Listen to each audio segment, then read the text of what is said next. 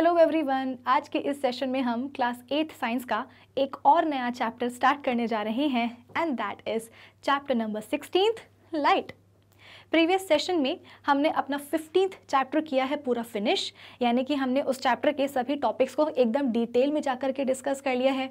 N questions भी हमने solve कर लिए हैं. इनफैक्ट हम इन टेक्स्ट एक्टिविटीज़ को भी कर चुके हैं डिस्कस यानी कि अपना फिफ्टींथ चैप्टर होता है कंप्लीट और अब बारी आती है सिक्सटींथ चैप्टर को स्टार्ट करने की। तो बेसिकली आज के इस सेशन में हम ये देखेंगे कि कौन कौन से ऐसे टॉपिक्स हैं जो कि हमें अपने चैप्टर लाइट के अंदर डिस्कस करने हैं, समझने हैं, पढ़ने हैं। सो आई होप आज के सेशन का जो टारगेट है वो सभी को है एकदम क्लियर तो अब एक काम करते हैं ना जल्दी से सेशन को स्टार्ट कर लेते हैं। So this is Vibhuti Khare welcome to Magnet Brains जहाँ पर आपको सभी चैप्टर्स के वीडियो लेक्चर्स मिलते हैं बिल्कुल फ्री ऑफ़ कॉस्ट यानी कि मैग्नेट प्रेन्स में आपको दो चैप्टर्स पढ़ने के बाद किसी भी तरह का पेमेंट करने की या पैकेज परचेज करने की रिक्वायरमेंट बिल्कुल भी नहीं है, क्योंकि मैग्नेट प्रेन्स आप सब तक पहुँचा रहा है। क्वालिटी एजुकेशन बिल्कुल फ्री ऑफ़ कॉस्ट तो इसी अच्छी बात से हम स्टार्ट कर लेते हैं आज का हमारा सेशन और जल्दी से आ जाते हैं टॉपिक्स की लिस्ट के ऊपर। तो इस पूरे चैप्टर में जो हम फ़र्स्ट टॉपिक पढ़ेंगे, वो होगा अपना लाइट भाई, एक बात बताओ मुझे, ये लाइट हमारे लिए इतनी इंपॉर्टेंट क्यों है? कि इस लाइट के ऊपर हमने एक अलग से चैप्टर बनाया है और अब जाकर के इस चैप्टर को हम पढ़ रहे हैं। ना सिर्फ़ हम ये लाइट का चैप्टर क्लास एट्थ में पढ़ेंगे क्लास टेंथ में फिजिक्स में तो आपको लाइट के बारे में बहुत सारी बातें करनी है। तो आखिर ये लाइट हमारे लिए इतनी इंपॉर्टेंट क्यों है? देखो, हमें ना, आप बोल सकते हो कि हमारे आसपास बहुत सारी चीज़ें होती हैं, बहुत सारी चीज़ें। आप अपने रूम से ही स्टार्ट कर सकते हो। आप अभी अपनी स्टडी टेबल पे बैठ करके पढ़ रहे हो। तो स्टडी टेबल की टेबल चेयर हो सकता है कि ग्लास भी हो आपकी टेबल पे, उस पर लैंप भी रखा हो ग्लास रखा हो ग्लास में पानी भरा हो या दूध रखा हो उसमें, है ना? बुक्स हैं और आपकी नोटबुक्स हैं। पेंसिल हैं, इरेज़र है, स्केल है, बॉक्स है, बहुत सारी चीज़ें हैं। वाइटनर है, स्केच पेन्स हैं। इसके अलावा आपके रूम में आप बोल सकते हो कि बेड है बेड शीट है आप बोल सकते हो कि विंडो है, उस पर लगे हुए कर्टन्स यानी कि कुल मिलाकर के हमारे आसपास बहुत सारी चीज़ें होती हैं। और इन सभी चीज़ों को सेंस करने के लिए ना भगवान ने हमको कुछ सेंसेस दिए हैं, जैसे कि सेंस ऑफ़ हियरिंग हम सुन सकते हैं अलग अलग तरह की आवाज़ों को राइट हमारे पास, आप बोल सकते हो कि सेंस ऑफ़ विजन है, देखने के लिए। सेंस ऑफ़ स्मेलिंग है, सूंघने के लिए। सेंस ऑफ़ टेस्ट है, चीज़ों को टेस्ट करने के लिए, उनका स्वाद पता करने के लिए। सेंस ऑफ़ टच कि टच करके पता करते हैं कि ये चीज़ मतलब टेक्सचर में कैसी है। है ना? मम्मा ने अगर कुछ आपकी फेवरेट डिश बनाई है तो उस डिश का हम बहुत ही जो है ना, आप बोल सकते हो कि उसको बड़े शौक से खाते हैं। सबसे पहले तो उसको हम, उसकी जो खुशबू आ रही है, उसको हम सूंघेंगे। तो सूंघने के लिए हमने क्या करा है? सेंस ऑफ़ स्मेल जो है ना, वो हमने यूज़ किया है। इसके अलावा उसको हम हाथ से पकड़ेंगे भी तो हमने सेंस ऑफ़ टच भी यूज़ कर लिया। उसको हम खाएँगे भी तो आप बोल सकते हो कि आपने सेंस ऑफ़ टेस्ट भी यूज़ कर लिया, है ना? पूरे उसके मज़े लेंगे खाने के, अपनी फेवरेट डिश के। अब इतना जो आपने कुछ किया है सूंघ कर मतलब सूंघा है आपने उसको कौर, सपोज़ रोटी है, कुछ भटूरे बनाए मम्मा ने, है ना? तो उसको आपने कौर एक बाइट आपने ली है तो उसको आप, आपने हाथ से तोड़ा है, खाया है। तो इन सब चीज़ों में आपने अलग अलग सेंसेस यूज़ करे। प्लस आपने सेंस ऑफ़ विजन भी तो यूज़ किया है ना? भाई, छोले भटूरे आपने देखे कि नहीं देखे कि बिना देखे खाने लग गए हो, है ना? तो बहुत सारे सेंसेस हमको भगवान ने दिए हैं अपने आसपास की चीज़ों को सेंस करने के लिए। ऐसा माना जाता है कि जो सेंस ऑफ़ विजन है ना, ये मोस्ट इंपॉर्टेंट सेंस है। ऐसा बोला जाता है कि हमारे आसपास जितनी भी चीज़ें हैं, उनमें से 80 परसेंट चीज़ों को सेंस करने के लिए we use our sense of vision जितनी भी चीज़ें हैं, उनमें से मैक्सिमम चीज़ें 80 परसेंट चीज़ों को सेंस करने के लिए हम अपना सेंस ऑफ़ विजन ही यूज़ करते हैं। तो आप बोलोगे कि मैम अच्छा देखने के लिए ना सबसे ज़्यादा ज़रूरी होती हैं आँखें। बस आँखें ही होती हैं जो कि हमें अलग अलग चीज़ों को देखने में मदद करती हैं। बात तो सही है, गलत नहीं है। लेकिन ये बात ना आधी ही सही है और थोड़ी सी गलत है। ये बात सही है कि आँखें हमें देखने में मदद करती हैं, लेकिन ये कहना गलत है कि सिर्फ़ आँखें ही देखने में मदद करती हैं। एग्ज़ाम्पल बताऊँ? आप अपने रूम में चले जाओ, ठीक है ना? रूम में आप ट्यूबलाइट जला लो बल्ब ऑन कर लो, और लैंप रखा होगा, वो भी ऑन कर लो। कुछ लोग सीरीज़ लगा करके रखते हैं बेड के आसपास, वो भी ऑन कर लो। जितनी भी रोशनी कर सको, उतनी कर लो। दिवाली बना लो आज तुम अपने कमरे में। अब जब आप अपने रूम में ऐसे जाओगे तो उस रूम में रखी हुई हर चीज़ आपको एकदम क्लियरली दिखाई देगी। आपको अपना बेड दिखाई देगा। आपको बेडशीट दिखाई देगी। बेडशीट पे जो आपने कल सॉस गिराया था, वो भी दिखाई देगा। बुक्स दिखाई देंगे। बुक्स में जो आपने लिखा हुआ जो प्रिंट है, जो डायग्राम्स है वो सब आपको दिखाई देंगे। तो दिखाई कैसे दे रहे हैं? आप बोलोगे कि मैम हमारी आँखें हैं, बटन थोड़ी हैं, हमारी आइज़ आर फंक्शनल तो हमारी आँखें काम करती हैं, हम देख सकते हैं। बहुत अच्छी बात है। अब एक काम करो, जितनी दिवाली मनाई थी आपने अपने कमरे में, वो दिवाली अब बंद कर दो। यानी कि जितनी भी रोशनी आपने करके रखी थी, जितनी भी लाइट्स आपने जला के रखी थी, वो सब बंद कर दो। इनफैक्ट आप अपना रूम का जो गेट है, वो भी पैक कर लो ताकि बगल वाले रूम की जो रोशनी है, वो आपके रूम में एंटर ना हो। अगर बाहर से स्ट्रीट लाइट ऑन है है ना? रात का टाइम है अगर बाहर से रोशनी आ रही है धूप आ रही है या रात का टाइम है तो स्ट्रीट लाइट की रोशनी आ रही है तो खिड़की दरवाजे सब बंद कर दो पर्दा भी लगा लो यानी कि आप अपने रूम में कंप्लीट डार्कनेस कर लो। कमरा वही है लेकिन जब उस कमरे में पूरी डार्कनेस हो जाएगी तो क्या अब आपको आपकी चीज़ें दिखाई देंगी? आ, बुक दिखाई देगी बुक में लिखा हुआ जो प्रिंट है जो कल डायग्राम बनाया है वो दिखाई देगा? क्यों? आँखें तो फंक्शनल है ना हमारी। बटन थोड़ी है, दिखाई दे रहा है। तो फिर अब क्यों नहीं दिखाई दे रहा? पहले तो दिखाई दे रहा था, आँखें तो हैं हमारे पास। रूम वही था, सामान वही था, आँखें हमारी थी, हम भी वही थे, लेकिन फिर भी सामान दिखाई नहीं दे रहा। क्यों नहीं दे रहा? क्योंकि वहाँ पे लाइट नहीं थी। इसलिए मैंने आपको समझाया कि ये बात सही है कि आँखें हमें देखने में मदद करती हैं। सेंस ऑफ़ विजन में, लेकिन सिर्फ़ आँखें ही देखने में मदद करती हैं चीज़ों को? ये थोड़ा सा गलत है। रोशनी भी इंपॉर्टेंट है लाइट भी इंपॉर्टेंट है। अगर लाइट ना हो तो क्या आपको आपके आसपास की चीज़ें दिखाई दें?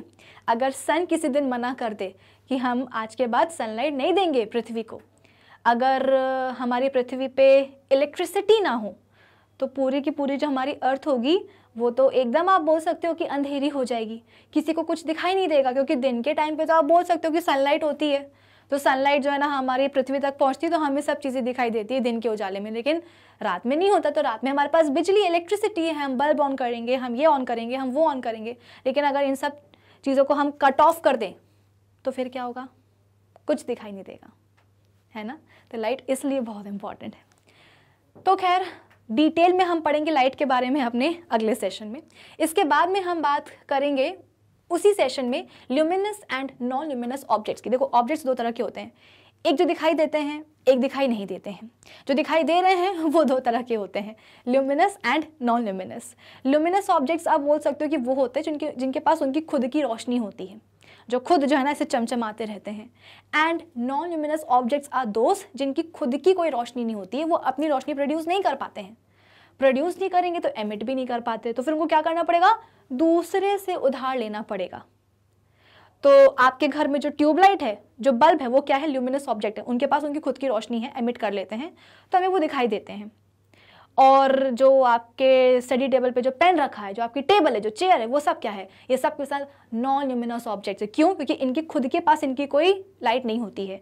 वो तो हम ट्यूबलाइट ऑन करते हैं तो उसकी रोशनी उन पर पड़ती है और रोशनी उनसे टकरा करके हमारी आँखों तक जाती है।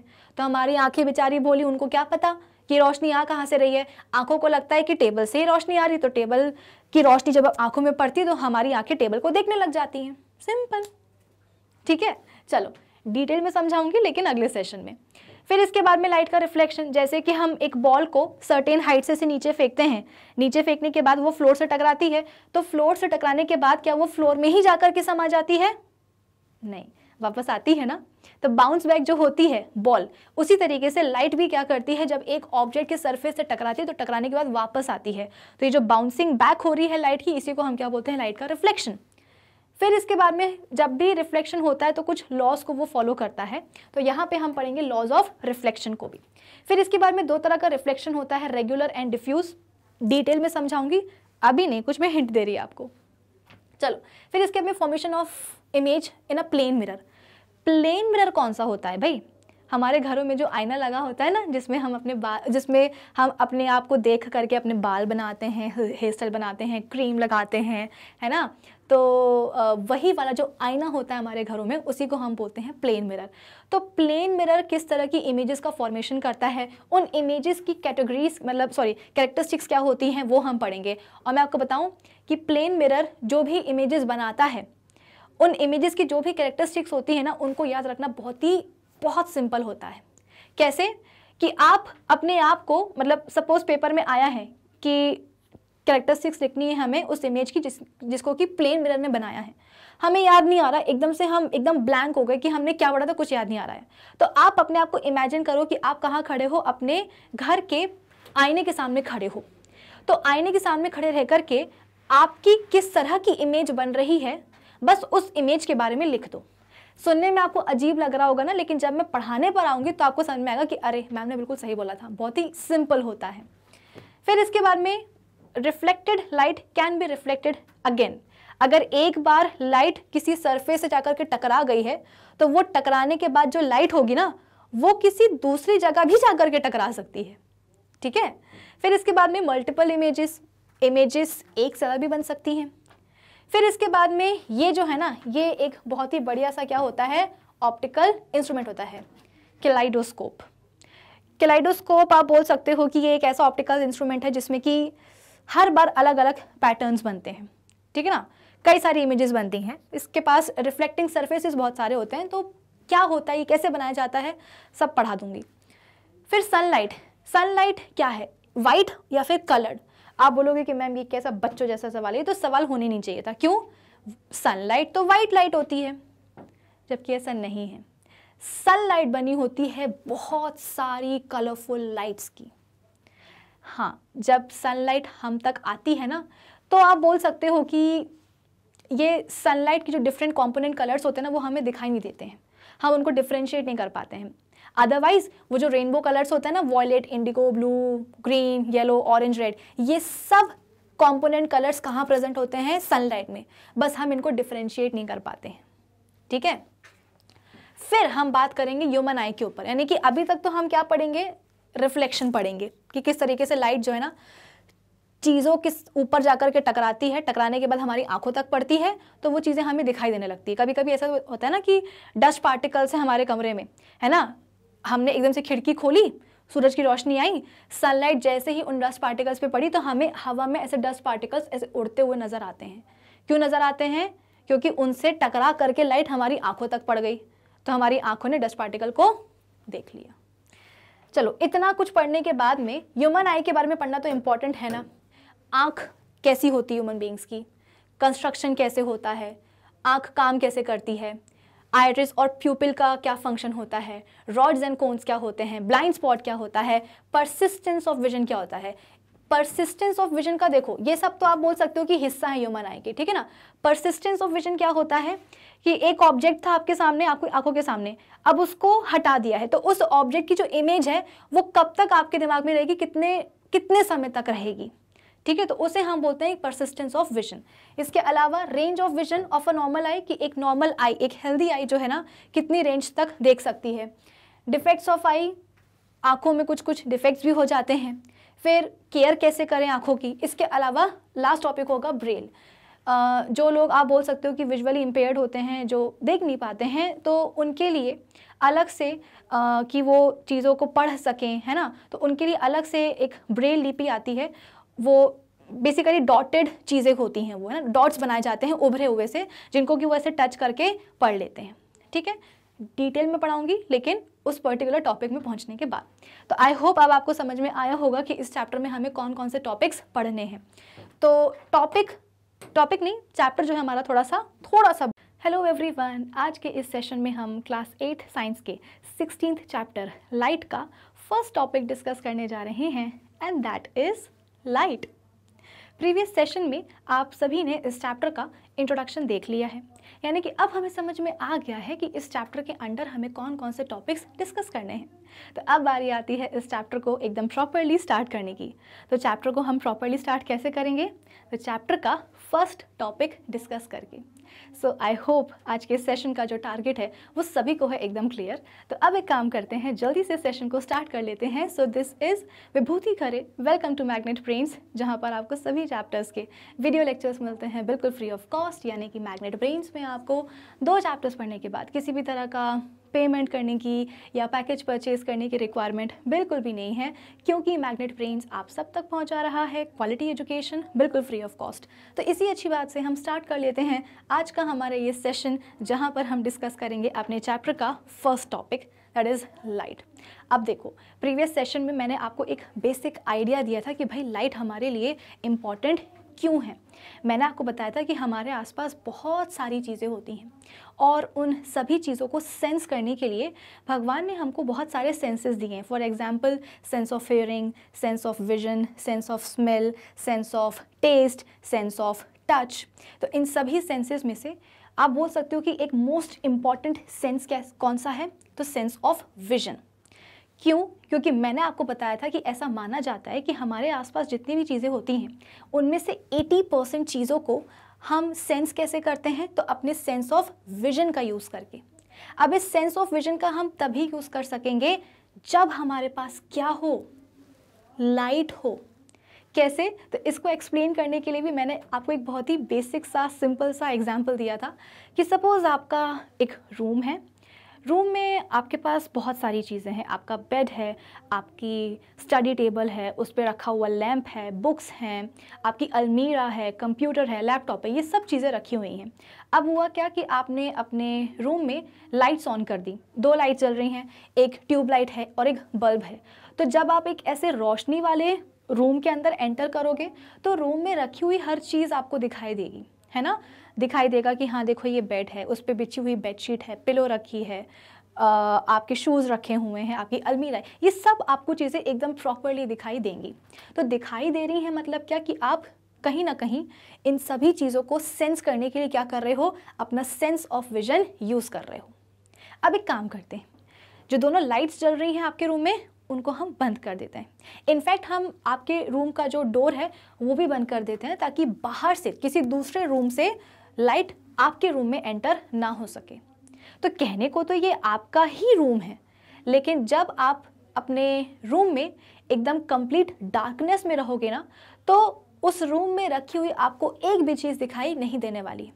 ऐसा नहीं है कि हमने अपनी आँखें बंद कर ली थी कि अब हम देख ही नहीं रहे। आँखें तो हमारी खुली थी। आँखें हैं हमारे पास फंक्शनल भी हैं, काम भी करती हैं, लेकिन फिर भी रूम में अब रखी हुई चीज़ें हमें दिखाई नहीं दे रही हमको पता है कि यहाँ पे आसपास कहीं बेड है, यहाँ पे आसपास कहीं हमारी स्टडी टेबल है, लेकिन फिर भी दिखाई नहीं देंगी। क्यों नहीं दिखाई देंगी? क्योंकि अब आपके रूम में कंप्लीट डार्कनेस है। एकदम अंधेरा है, बिल्कुल भी रोशनी नहीं है। तो बिना रोशनी के क्या हम सेंस ऑफ़ विजन को यूज़ कर पा रहे हैं? नहीं, है ना? तो इसीलिए लाइट हमारे लिए इंपॉर्टेंट है। तो ये तो एक छोटा सा आप बोल सकते हो कि इम्पॉर्टेंस हो गई लाइट की। अब लाइट के बारे में हम थोड़ी सी और बातें कर लेते हैं कि light is a form of energy and travels in a straight line light exactly है क्या? तो आप बोल सकते हो कि ये एक फॉर्म होता है एनर्जी का। जैसे कि हम साउंड uh, बोलते हैं ना साउंड एनर्जी Uh, आप बोल सकते हो हीट एनर्जी वैसे ही हम लाइट एनर्जी भी बोलते हैं। क्यों? क्योंकि लाइट क्या है? एक एनर्जी का ही फॉर्म है। ठीक है? और अच्छी बात क्या है कि ये हमेशा स्ट्रेट लाइन में ट्रैवल करती है। लाइट ऐसे डांस करते हुए नहीं आती है, ठीक है? लाइट क्या करती है? It travels in a straight line ठीक है? चलो। Now light is needed to see things around us जैसे कि मैंने आपको एक्सप्लेन किया कि हमारे आसपास इतनी सारी चीज़ें होती हैं, है ना? उन सभी चीज़ों को देखने के लिए वी नीड वॉट हाँ आइज़ तो इंपॉर्टेंट है, उसके अलावा light we are able to see the beautiful world around us because of light तो हमारे आसपास जो इतना खूबसूरत इतना खूबसूरत दुनिया है, उसको देखने के लिए हमें लाइट चाहिए। We can read a book see pictures in a magazine and watch TV and movies due to the existence of light. तो आप बोल सकते हो कि हम बुक रीड कर सकते हैं, हम मैगजीन्स में पिक्चर देख सकते हैं, हम टीवी देख सकते हैं, हम मूवीज़ देख सकते हैं। तो ये सब किसकी वजह से? क्योंकि लाइट एग्जिस्ट करती है। बिना लाइट के एग्जिस्टेंस के कुछ भी पॉसिबल नहीं होता। and it is light which makes us see our image in looking mirror. भाई रोज़ सुबह सो कर के उठते हैं, इसके बाद में स्कूल जाना रहता है ना तो स्कूल जाने के लिए रेडी होना पड़ता है। तो अच्छे से बाँध, बाल जो है ना, अपने वो टाई करते हैं, बाल अच्छे से संवारते हैं, फिर इसके बाद में क्रीम लगाते हैं और फिर यूनिफॉर्म पहनते हैं। यूनिफॉर्म एकदम प्रॉपर दिख रही है या नहीं दिख रही है, इस बात का हमें कैसे पता चलता है? तो हम सब के घर में क्या होता है? एक आईना होता है, एक मिरर होता है, जिसमें हम क्या करते हैं? सुबह शाम अपनी शक्ल देखते हैं कि भाई हम अच्छे तो लग रहे हैं कि नहीं लग रहे हैं? बाल कहीं बिगड़ तो नहीं गए हैं, है ना? दोबारा से स्टाइल बनानी पड़ेगी या नहीं बनानी पड़ेगी, कपड़े एकदम प्रॉपर हैं या नहीं है तो इन सब चीज़ों को पता करने के लिए हमें क्या चाहिए? एक मिरर चाहिए है। तो मिरर तो आपको चाहिए, जैसे कि मैंने आपको अभी एग्ज़ाम्पल दिया था कि भाई आपके रूम में सब कुछ है मिरर भी है, मीरा भी है, दुनिया की सारी चीज़ें आपके रूम में मिलेंगी। लेकिन अगर उस रूम में रोशनी नहीं है ना लाइट नहीं है तो फिर उन चीज़ों का भी कोई मतलब नहीं, क्योंकि बिना लाइट के आप उन चीज़ों को देख ही नहीं सकते हो। तो अगर मिरर में आपको अपना रिफ्लेक्शन चाहिए है मिरर में आपको अपनी इमेज चाहिए है तो उसके लिए भी you need what light so we detect light with eyes और इस लाइट को हम डिटेक्ट कैसे करते हैं? तो अपनी आँखों से। Though we see various things या objects around us with our eyes but eyes alone can not see any object ये बात सही है कि हम अपने आसपास की जितनी भी चीज़ें देखते हैं, है ना, उन सब चीज़ों को देखने के लिए हम अपनी आँखों का यूज़ करते हैं। लेकिन यहाँ पे बोला गया है कि आँखें अकेली जो है ना, किसी भी ऑब्जेक्ट को देखने में मदद नहीं करती। मतलब आप ये नहीं बोल सकते हो कि अगर आँखें हैं हमारे पास तो अब हमें किसी दूसरी चीज़ की ज़रूरत ही नहीं है बाकी चीज़ों को देखने के लिए। बेस्ट एग्ज़ाम्पल क्या है? बंद कर लो अपने कमरे की लाइट आँखें तो है ना? फंक्शनल भी है, चालू भी है, दिख भी रहा है। लेकिन मतलब दिख सकता है, लेकिन फिर भी नहीं दिख रहा है। क्यों नहीं दिख रहा है? क्योंकि लाइट नहीं है। तो ये बात सही है कि हम चीज़ों को देखने के लिए आँखों का यूज़ करते हैं, लेकिन आँखें अकेली आप बोल सकते हो कि चीज़ों को देखने में मदद नहीं करती हैं। For example we can not see in a dark room और in the darkness of the night even when our eyes are wide open जब हमारी आँखें ऐसी खुली होती हैं, फिर भी हमें अंधेरे में कुछ भी दिखाई नहीं देता है। कुछ भी दिखाई नहीं देता absolutely nothing so we need a source of light to make the objects या थिंग्स विजिबल तो हमको क्या चाहिए, है ना? एक लाइट का सोर्स चाहिए है, ताकि हमें चीज़ें दिखाई दें, है ना? चीज़ें विजिबल हों। So as sun light from a torch या एक इलेक्ट्रिक बल्ब और you can say tube light fall on the object, we are able to see it clearly even in a dark room or in the darkness of night. एक, आप निकल पड़े हो कहाँ? रात में। निकलना नहीं चाहिए एग्ज़ाम्पल दे रही हूँ। ठीक है कि आप निकल पड़े हो आधी रात में सड़क पर और वहाँ पे कोई भी स्ट्रीट लाइट नहीं है, कोई भी घर नहीं है, कुछ भी नहीं है, एकदम कंप्लीट डार्कनेस है। तो उस डार्कनेस आप बोल सकते हो कि डीप डार्कनेस में रोड में पत्थर होंगे, हो सकता है कि साइड में कुछ प्लांट्स वगैरह भी लगे हो, ग्रास हो, रोड ख़राब हो, गड्ढा हो, कुछ भी हो, वो सब भी आपको दिखाई नहीं देगा।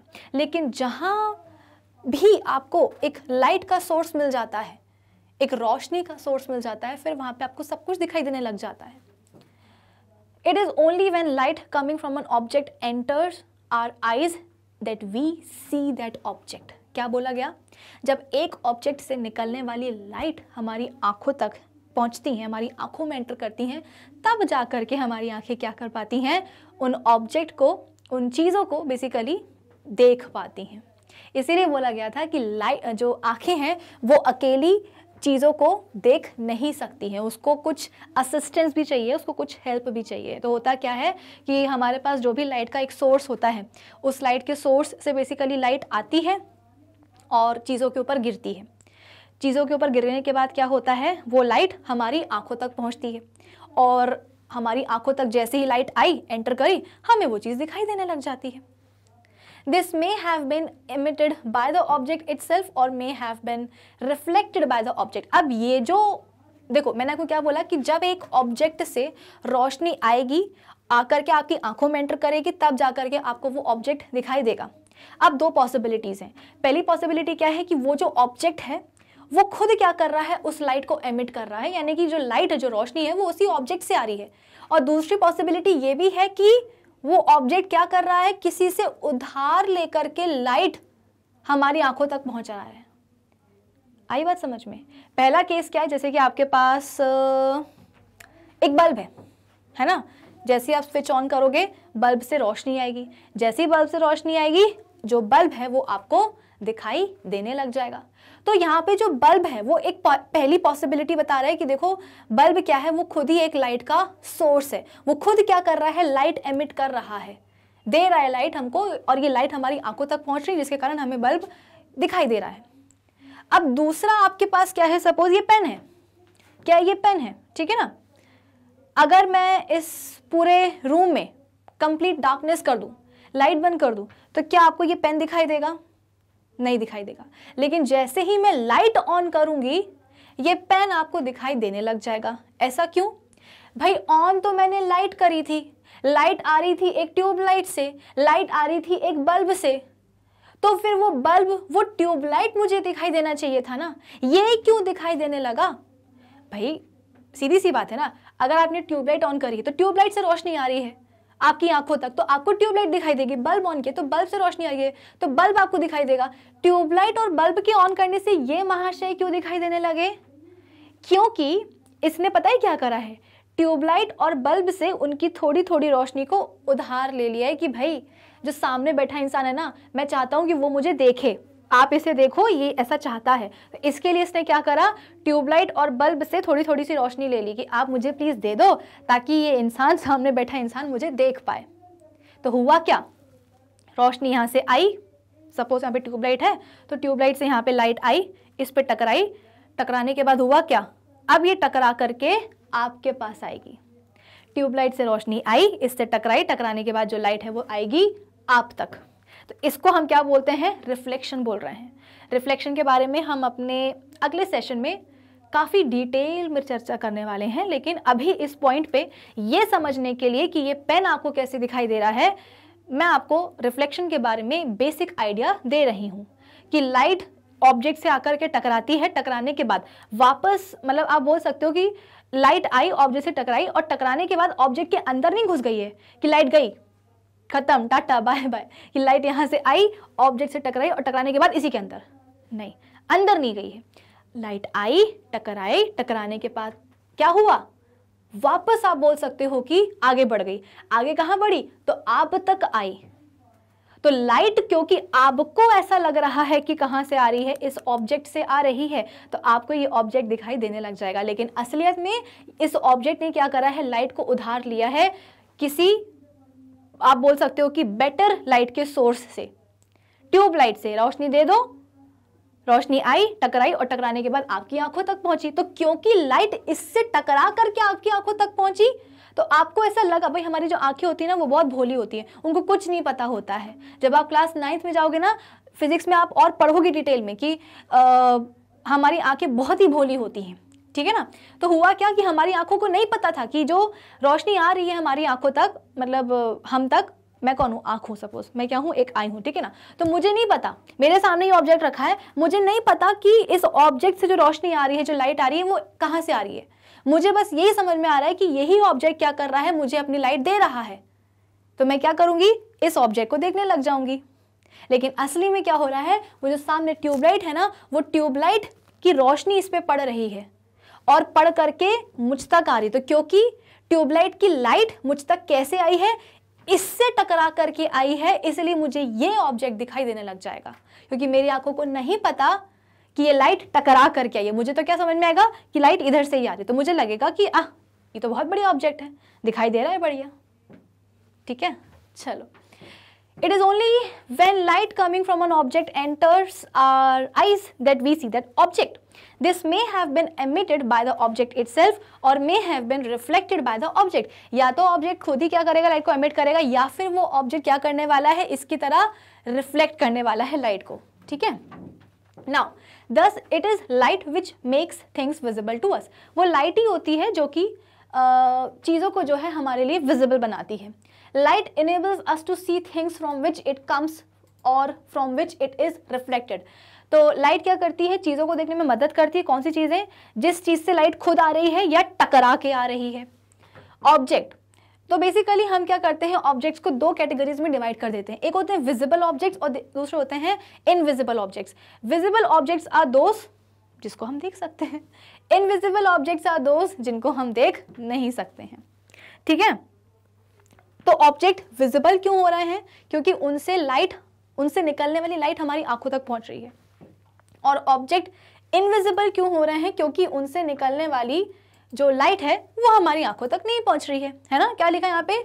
ऑब्जेक्ट्स को हम दो कैटेगरीज में कैटेगराइज करते हैं visible objects and invisible objects visible objects are those objects with which we can see जो हम देख सकते हैं। Lights from object enters our eyes object से लाइट क्या हो रही है? हमारी आँखों तक एंटर कर रही है, इसलिए वो चीज़ हमें दिखाई दे रही है। यहाँ पे क्या लिखा है? इनविजिबल ऑब्जेक्ट में कि objects which can we which we can not see जिसको हम देख नहीं सकते हैं। Lights from object does not enter our eyes और ऑब्जेक्ट से निकलने वाली जो रोशनी है, वो हमारी आँखों तक नहीं पहुँच रही है। अब नहीं पहुँचेगी तो वो दिखाई भी नहीं देगा। सिंपल सी बात है। ठीक है? फिर इसके बाद में, अब ये जो विजिबल ऑब्जेक्ट्स है ना, इन्हीं को हम क्या करते हैं? फर्दर दो कैटेगरीज में कैटेगराइज कर देते हैं। एक होते हैं हमारे पास ल्यूमिनस ऑब्जेक्ट्स और दूसरे होते हैं नॉन ल्यूमिनस ऑब्जेक्ट्स ठीक है ना? तो हमने पहले ऑब्जेक्ट्स की दो ब्रॉड कैटेगरीज बनाई विजिबल एंड नॉन विजिबल या इनविजिबल विजिबल ऑब्जेक्ट्स की भी हमने फर्दर और दो ब्रांचेस निकाल दी हैं कि ल्यूमिनस ऑब्जेक्ट्स और नॉन ल्यूमिनस ऑब्जेक्ट्स सबसे पहले हम बात करते हैं ल्यूमिनस ऑब्जेक्ट की the objects which emit their own light are called luminous object वो बेचारे सच्चे सीधे ऑब्जेक्ट जो अपनी खुद की लाइट क्या करते हैं एमिट करते हैं, उन्हें हम बोलते हैं ल्यूमिनस ऑब्जेक्ट यानी कि उनको किसी किसी दूसरे लाइट के सोर्स की ना उधारी नहीं चाहिए होती कि कोई हमें दे दे रोशनी तो हम इंसान की आँखों तक पहुँचा दे। नहीं, ऐसा नहीं होता है। वो आप बोल सकते हो कि इंडिपेंडेंट होते हैं, उनके पास उनकी खुद की रोशनी होती है और वो खुद की रोशनी को क्या करते हैं, फैलाते हैं। फैला फैला के, फैला फैला के जो अपनी रोशनी है, जो लाइट है, वो हमारी आँखों तक पहुंचाते हैं, जिसके कारण वो चीज़ें हमें दिखाई दे जाती है। भाई लाइट ऑब्जेक्ट से क्या होगी? एंटर करेगी हमारी आँखों तक तो हमें वो चीज़ दिखाई देगी। ऑब्वियस सी बात है। Now the luminous objects are in fact the source of light और ल्यूमिनस ऑब्जेक्ट्स को हम क्या बोलते हैं? दे आर लाइट का सोर्स क्योंकि रोश मतलब लाइट का सोर्स मतलब क्या? कि वही है जहाँ से लाइट क्या हो रही है, निकल करके आ रही है। ठीक है ना? वो केंद्र है, वो आप, केंद्र तो खैर सेंटर हो जाता है मतलब आप बोल सकते हो कि वहीं से एग्जैक्टली exactly क्या हो रहा है लाइट निकल करके आ रही है। Luminous objects produce their own light and then emit this light luminous objects अपनी लाइट खुद प्रोड्यूस करते हैं और इसके बाद में इस प्रोड्यूस्ड लाइट को वो एमिट करते हैं। The sun, other stars, lighted electric bulb, glowing tube light, torch, fire and flame of burning candle are all the luminous objects. जैसे कि सबसे बढ़िया हमारा जो सन है वो क्या है? एक ल्यूमिनस ऑब्जेक्ट है। सूर्य को किसी को यू नो ट्यूबलाइट नहीं दिखानी पड़ती है कि जब ट्यूबलाइट जलेगी तब हमें क्या होगा? सन दिखाई देगा। सिमिलरली स्टार्स स्टार्स के पास भी क्या होती है? अपनी एक उनकी लाइट होती है। ऐसा नहीं होता कि जब हम बल्ब जलाते हैं, तब हमें स्टार्स दिखाई देते हैं। नहीं स्टार्स अपने आप खुद ब खुद हमें दिखाई देते हैं। क्यों? क्योंकि उनके पास रोशनी होती है, वो उसको प्रोड्यूस करते हैं और यही सन की सनलाइट स्टार की स्टारलाइट हमारी आँखों तक पहुँचती है, जिसके कारण हमें सन और स्टार्स दिखाई देते हैं। सिमिलरली अगर हम बात करेंगे अपने इलेक्ट्रिक बल्ब की ट्यूबलाइट की तो इलेक्ट्रिक बल्ब और ट्यूबलाइट को आप बोल सकते हो कि ये दोनों भी क्या हैं? ल्यूमिनस ऑब्जेक्ट्स ही हैं क्योंकि इनके पास इनकी खुद की रोशनी होती है। हमने क्या करना होता है? बस स्विच ऑन करना होता है। इलेक्ट्रिक करंट पास करवाना होता है। जहाँ हमने इलेक्ट्रिक करंट पास करवाया, बल्ब ने, ट्यूबलाइट ने क्या करी? अपनी अपनी रोशनी प्रोड्यूस करी और उसको एमिट करी। इसके अलावा आग टॉर्च ठीक है? कैंडल की जो फ्लेम होती है वो ये सब क्या होते हैं? ल्यूमिनस ऑब्जेक्ट्स होते हैं। ये खुद ही अपनी लाइट को क्या करते हैं? प्रोड्यूस करके एमिट करते हैं। इनको किसी दूसरे आप बोल सकते हो कि लाइट के सोर्स की ज़रूरत नहीं होती है ना? ल्यूमिनस ऑब्जेक्ट्स को हम क्या बोलते हैं? Source of light actual source of light क्योंकि उन्हीं से क्या हो रहा है? रोशनी निकल रही है। तो आप देख सकते हो सनलाइट हो गया है ना? टॉर्च हो गया आग हो गई कैंडल की फ्लेम हो गई सब के सब क्या है? ल्यूमिनस ऑब्जेक्ट्स हैं। ठीक है ना? ऐसा नहीं होता है कि आ, कैंडल की अगर हमें फ्लेम देखनी हो तो इसके लिए हमें कुछ ट्यूबलाइट या बल्ब हमें ऑन करना पड़ता है, तब जाकर के हमें कैंडल की फ्लेम दिखाई देती है। हाँ कैंडल की जो पूरी वैक्स पोर्शन है, वो आपको भले अंधेरे में ना दिखाई दे, लेकिन इस वैक्स पोर्शन के ऊपर जो फ्लेम जल रही होती है, वो आपको अंधेरे में भी दिखाई देती है ना। जब लाइट चली जाती है तो हम क्या करते हैं, कैंडल जलाते हैं तो कैंडल की बॉडी वैक्स वाली भले हमें दिखाई ना दे अंधेरे में, लेकिन उसकी जो फ्लेम है, वो हमें दिखाई देती है। आग का भी ऐसे ही है। फिर a luminous object can be seen because the light given out by it enters our eyes luminous objects को हम देख कैसे सकते हैं? क्योंकि उनसे निकलने वाली जो लाइट है, वो हमारी आँखों तक पहुँचती है। For example we can see the sun because the light given out by the sun और light emitted by the sun enters our eyes तो बेसिकली सन की जो सनलाइट है, वो हमारी आँखों तक पहुँचती है, इसलिए हमें सन दिखाई देता है। Luminous objects are very small in number luminous objects कहने को तो बड़े अच्छे लग रहे हैं ना सुनने में कि अरे वाह, अपनी रोशनी खुद ही बनाते हैं, खुद ही एमिट करते हैं, सब अपने मतलब इंडिपेंडेंट होते हैं। लेकिन असली में बात यह है कि ये काफ़ी कम होते हैं नंबर में, यानी कि मैक्सिमम जो चीज़ें होती हैं, वो कैसी होती हैं? नॉन ल्यूमिनस यानी कि उनके पास उनकी खुद की लाइट नहीं होती। उधार लाना पड़ता है किसी दूसरे लाइट के सोर्स से। All the objects can not given can not give out their own light सभी ऑब्जेक्ट्स जो है ना, वो अपनी लाइट खुद नहीं दे सकते हैं।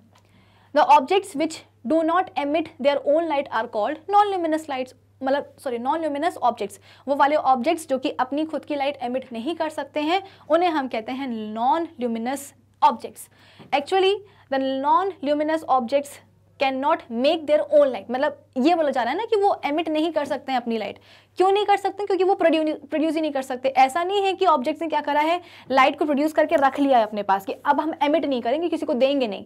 नहीं, ऐसा नहीं होता है। एमिट करने के लिए लाइट प्रोड्यूस करना ज़रूरी है।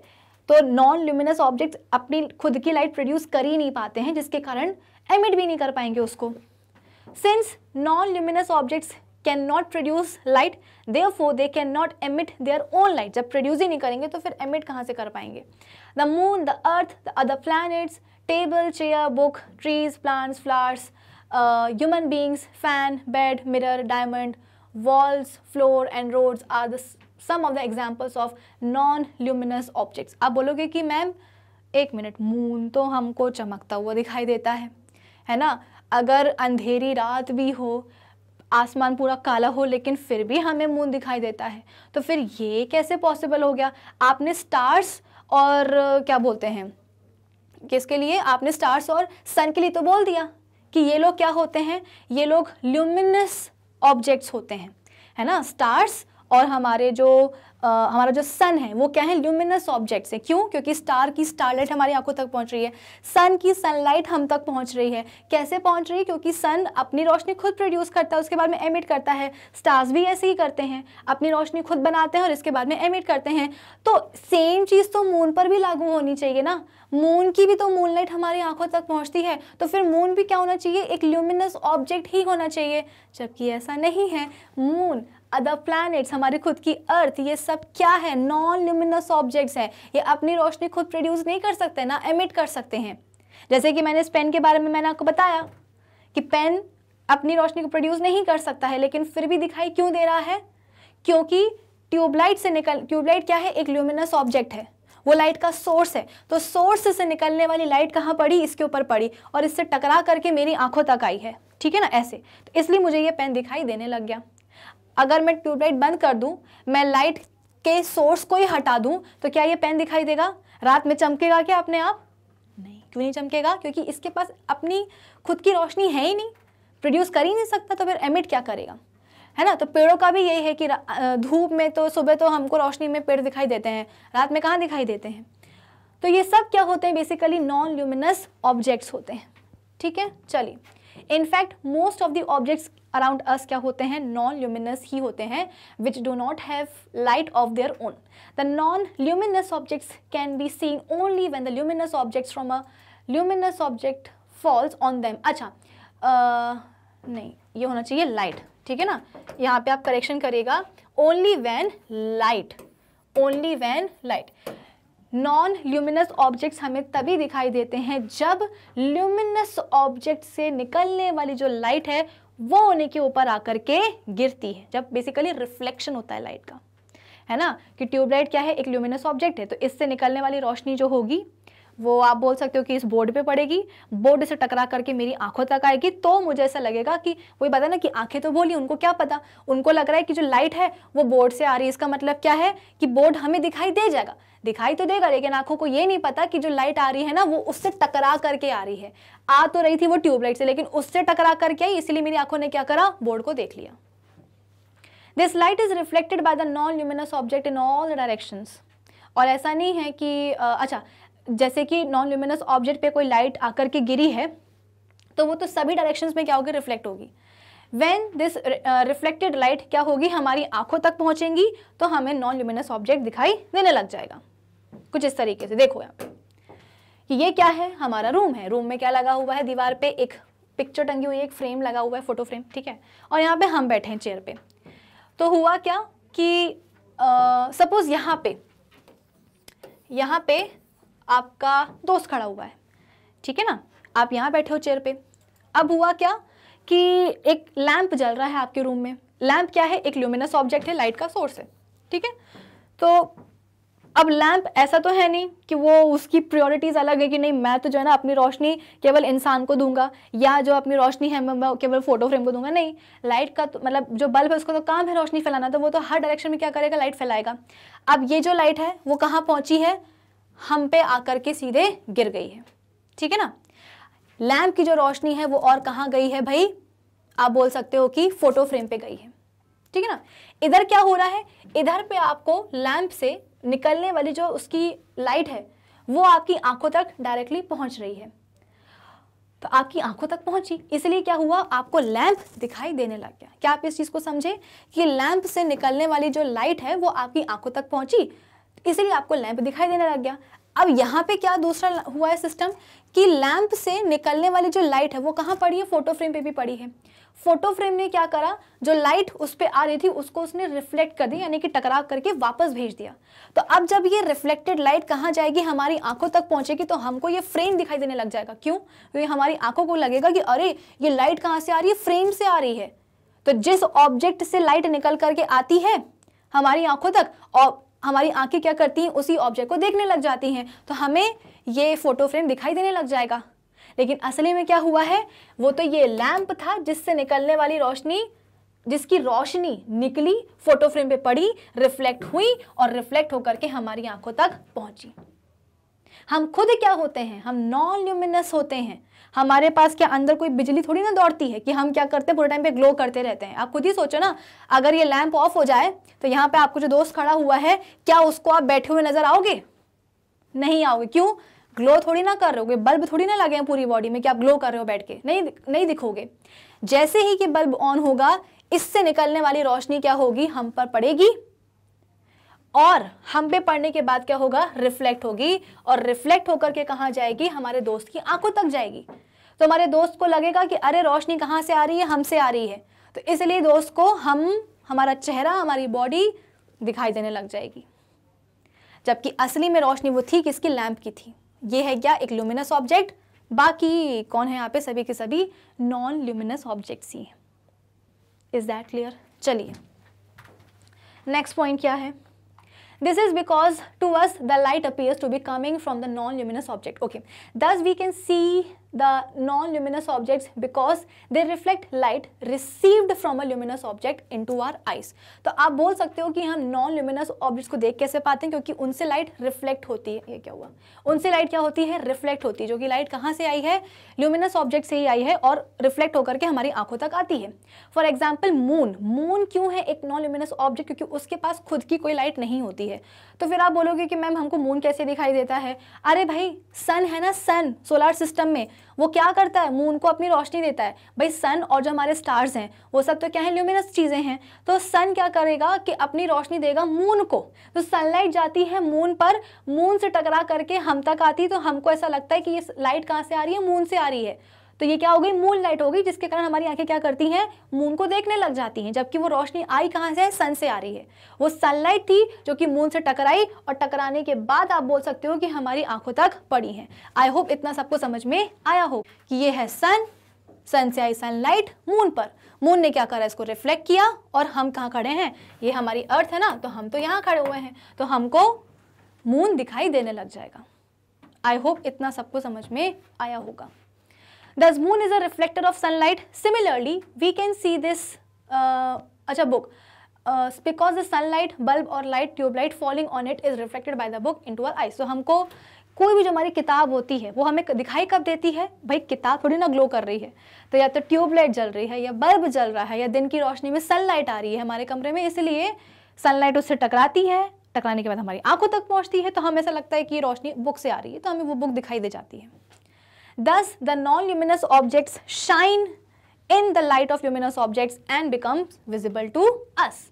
The non-luminous objects are also called illuminated objects because they get illuminated or lightened up by the light of luminous objects falling on them. और जो हमारे मोस्ट ऑफ़ द ऑब्जेक्ट्स क्या होते हैं around us being non luminous are seen by the reflected light तो कुल मिलाकर के भाई आज के सेशन के लिए बस इतना ही।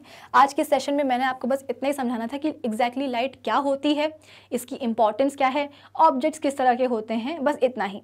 हेलो एवरीवन आज के इस सेशन में हम क्लास एट साइंस के सिक्सटीन चैप्टर लाइट के दो बहुत ही इंपॉर्टेंट टॉपिक्स डिस्कस करने जा रहे हैं।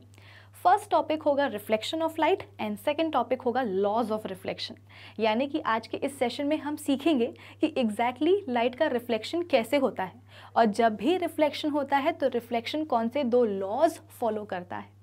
सो आई होप आज के सेशन का जो टारगेट है, वो सभी को है एकदम क्लियर तो अब एक काम करते हैं, जल्दी से अपने सेशन को स्टार्ट कर लेते हैं. So this is Vibhuti Khare welcome to Magnet Brains जहाँ पर आपको सभी चैप्टर्स के वीडियो लेक्चर्स मिलते हैं, बिल्कुल फ्री ऑफ़ कॉस्ट यानी कि मैग्नेट ब्रेन्स में आपको दो चैप्टर्स पढ़ने के बाद किसी भी तरह का पेमेंट करने की या पैकेज परचेज करने की रिक्वायरमेंट बिल्कुल भी नहीं है. क्योंकि मैग्नेट ब्रेन्स आप सब तक पहुँचा रहा है क्वालिटी एजुकेशन बिल्कुल फ्री ऑफ़ कॉस्ट तो इसी अच्छी बात से हम स्टार्ट कर लेते हैं आज का हमारा ये सेशन और सेशन को स्टार्ट करते हुए जल्दी से आ जाते हैं हमारे इस सेशन के फ़र्स्ट टॉपिक के ऊपर, जो कि है रिफ्लेक्शन ऑफ़ लाइट अब लाइट का रिफ्लेक्शन क्या होता है, इसका बेसिक आइडिया मैंने आपको दिया था प्रीवियस सेशन में, लेकिन हाँ आज के इस सेशन में हम इस टॉपिक को एकदम डिटेल में जा के डिस्कस करेंगे। अब लाइट का रिफ्लेक्शन क्या होता है, कैसे होता है, वो तो है बात की बात। पहले आप फोकस करिए ज़रा इस जी के ऊपर। इसमें हो क्या रहा है? हमारे पास एक बॉल है क्यूट सी बॉल है हमारे पास ब्लू कलर की। और उस बॉल को हम क्या कर रहे हैं, एक सर्टेन हाइट से थ्रो कर रहे हैं, यानी कि ऊपर से हम उसको फेंक रहे हैं। अब अगर हमने एक बॉल को सर्टेन हाइट से थ्रो किया है तो इसके बाद में क्या होगा? बॉल कहाँ जाएगी? ऑब्वियस ही बात है, नीचे जाएगी, ठीक है? तो हमने जैसे ही बॉल को थ्रो किया तो बॉल गई नीचे। नीचे जाकर के क्या होगा? तो नीचे जो भी फ्लोर होगा, जो भी ग्राउंड होगा, जो भी फर्श होगा, उस फर्श से जाकर के बॉल टकरा जाएगी। अब टकराने के बाद क्या होने वाला है? क्या बॉल हमारी फ्लोर के अंदर घुस जाएगी? मतलब भाई, हमने एक सर्टेन हाइट से बॉल को फेंका था। अब फेंक तो दिया, बॉल कहाँ जाएगी? नीचे जाएगी। नीचे कहाँ जाएगी? फ्लोर की तरफ़ जाएगी। और तरफ़ क्या? फ्लोर से जाकर के टकराई गई है बॉल। तो टकराने के बाद क्या होगा? क्या बॉल फ्लोर में ही जाकर के समा जाएगी? उसी के अंदर जाकर के घुस जाएगी? नहीं। एग्जैक्टली exactly क्या होने वाला है? आप देख सकते हो इस GIF में कि बॉल नीचे गई तो है, फ्लोर से टकराई तो है, लेकिन टकराने के बाद वापस आ गई। देखो, फिर से वापस आएगी। फिर से वापस आएगी। गई, टकराई, फिर वापस आई। गई, टकराई, फिर वापस आई। तो बेसिकली यहाँ पे क्या हो रहा है? लाइट बाउंस बैक होकर के हमारे पास आ रही है वापस से। कि हमने इधर से बॉल को थ्रो किया था बॉल नीचे गई फर्श से टकराई फ्लोर से टकराई और टकराने के बाद वापस कहाँ गई? हम तक आ गई। तो बेसिकली यहाँ पे आप देख सकते हो कि बॉल क्या कर रही है? बाउंस बैक कर रही है। और ये चीज़ सिर्फ़ फर्श के साथ नहीं होती है, सिर्फ़ ग्राउंड के साथ नहीं होता है। भाई, अगर आपके सामने एक दीवार है, आपके सामने एक वॉल है देखो कभी कभी ऐसा होता है ना कि हमारा कोई फ्रेंड है, वो हमारे साथ में खेलने नहीं आ पा रहा है और घर पे भी नहीं है कोई खेलने के लिए तो हम बोर हो रहे होते हैं और हमको खेल हमको ऐसा लगता है कि नहीं, खेलते ही हैं, बहुत ज़्यादा बोर हो रहे हैं, पढ़ाई के लिए भी कुछ नहीं है होमवर्क कर लिया, सब हो गया है और कोई है भी नहीं साथ में खेलने के लिए। तो हम क्या करते हैं बॉल उठाते हैं और उसको हम दीवार की तरफ़ फेंकते हैं। तो बॉल जो हमने फेंकी है, वो कहाँ जाती है? वॉल में जाएगी मतलब वॉल की तरफ़ जाएगी और तरफ़ क्या, बॉल जो है, दीवार से टकराई जाती है। बॉल जा कर के वॉल को स्ट्राइक करती है। स्ट्राइक करने के बाद में क्या होता है? टकराने के बाद में क्या होता है? क्या जो आपने बॉल फेंकी है, वो फेंकी हुई बॉल दीवार के अंदर जा कर के घुस जाती है? नहीं, ऐसा नहीं होता है।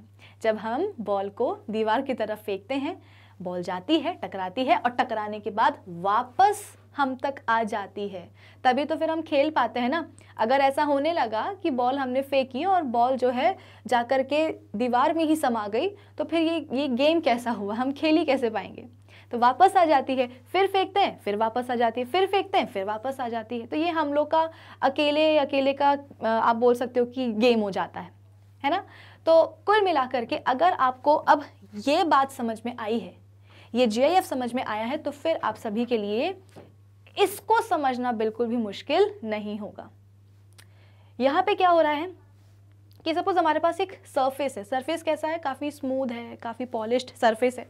चलो एक काम करते हैं बना ही देते हैं ना। बोलने की क्या बात है? ये लो, बना दिया हमने एक स्मूथ पॉलिश्ड सरफेस अब क्या हुआ? इस सरफेस के ऊपर हम लाइट फेंक रहे हैं। कैसे फेंक रहे हैं? तो यहाँ पे हमारे पास एक टॉर्च है। जैसे ही हमने उसका बटन ऑन किया तो आप देख सकते हो कि लाइट जो है आ रही है।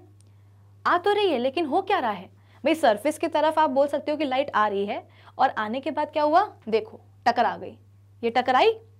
अब टकराने के बाद क्या हो रहा है? क्या जो हमने सरफेस लिया है, भाई ऑब्वियसली बात है सरफेस क्या होगा? किसी ऑब्जेक्ट का ही होगा, है ना? किसी आर्टिकल का ही होगा। तो इस जी को देख करके आपको क्लियरली समझ में आ रहा होगा कि जब हम इस सरफेस के ऊपर लाइट को फेंक रहे हैं तो लाइट बकायदा जाकर के सरफेस से टकराती है, लेकिन टकराने के बाद जो लाइट है वो सरफेस के अंदर ऑब्जेक्ट में नहीं घुस रही है। जैसे कि बॉल नहीं घुसती है ना? आप ग्राउंड पे फेंक दो, आप दीवार पे फेंक दो बॉल जाएगी, टकराएगी, लेकिन टकराने के बाद वापस आती है, उसी में जाकर के फिक्स नहीं हो जाती है।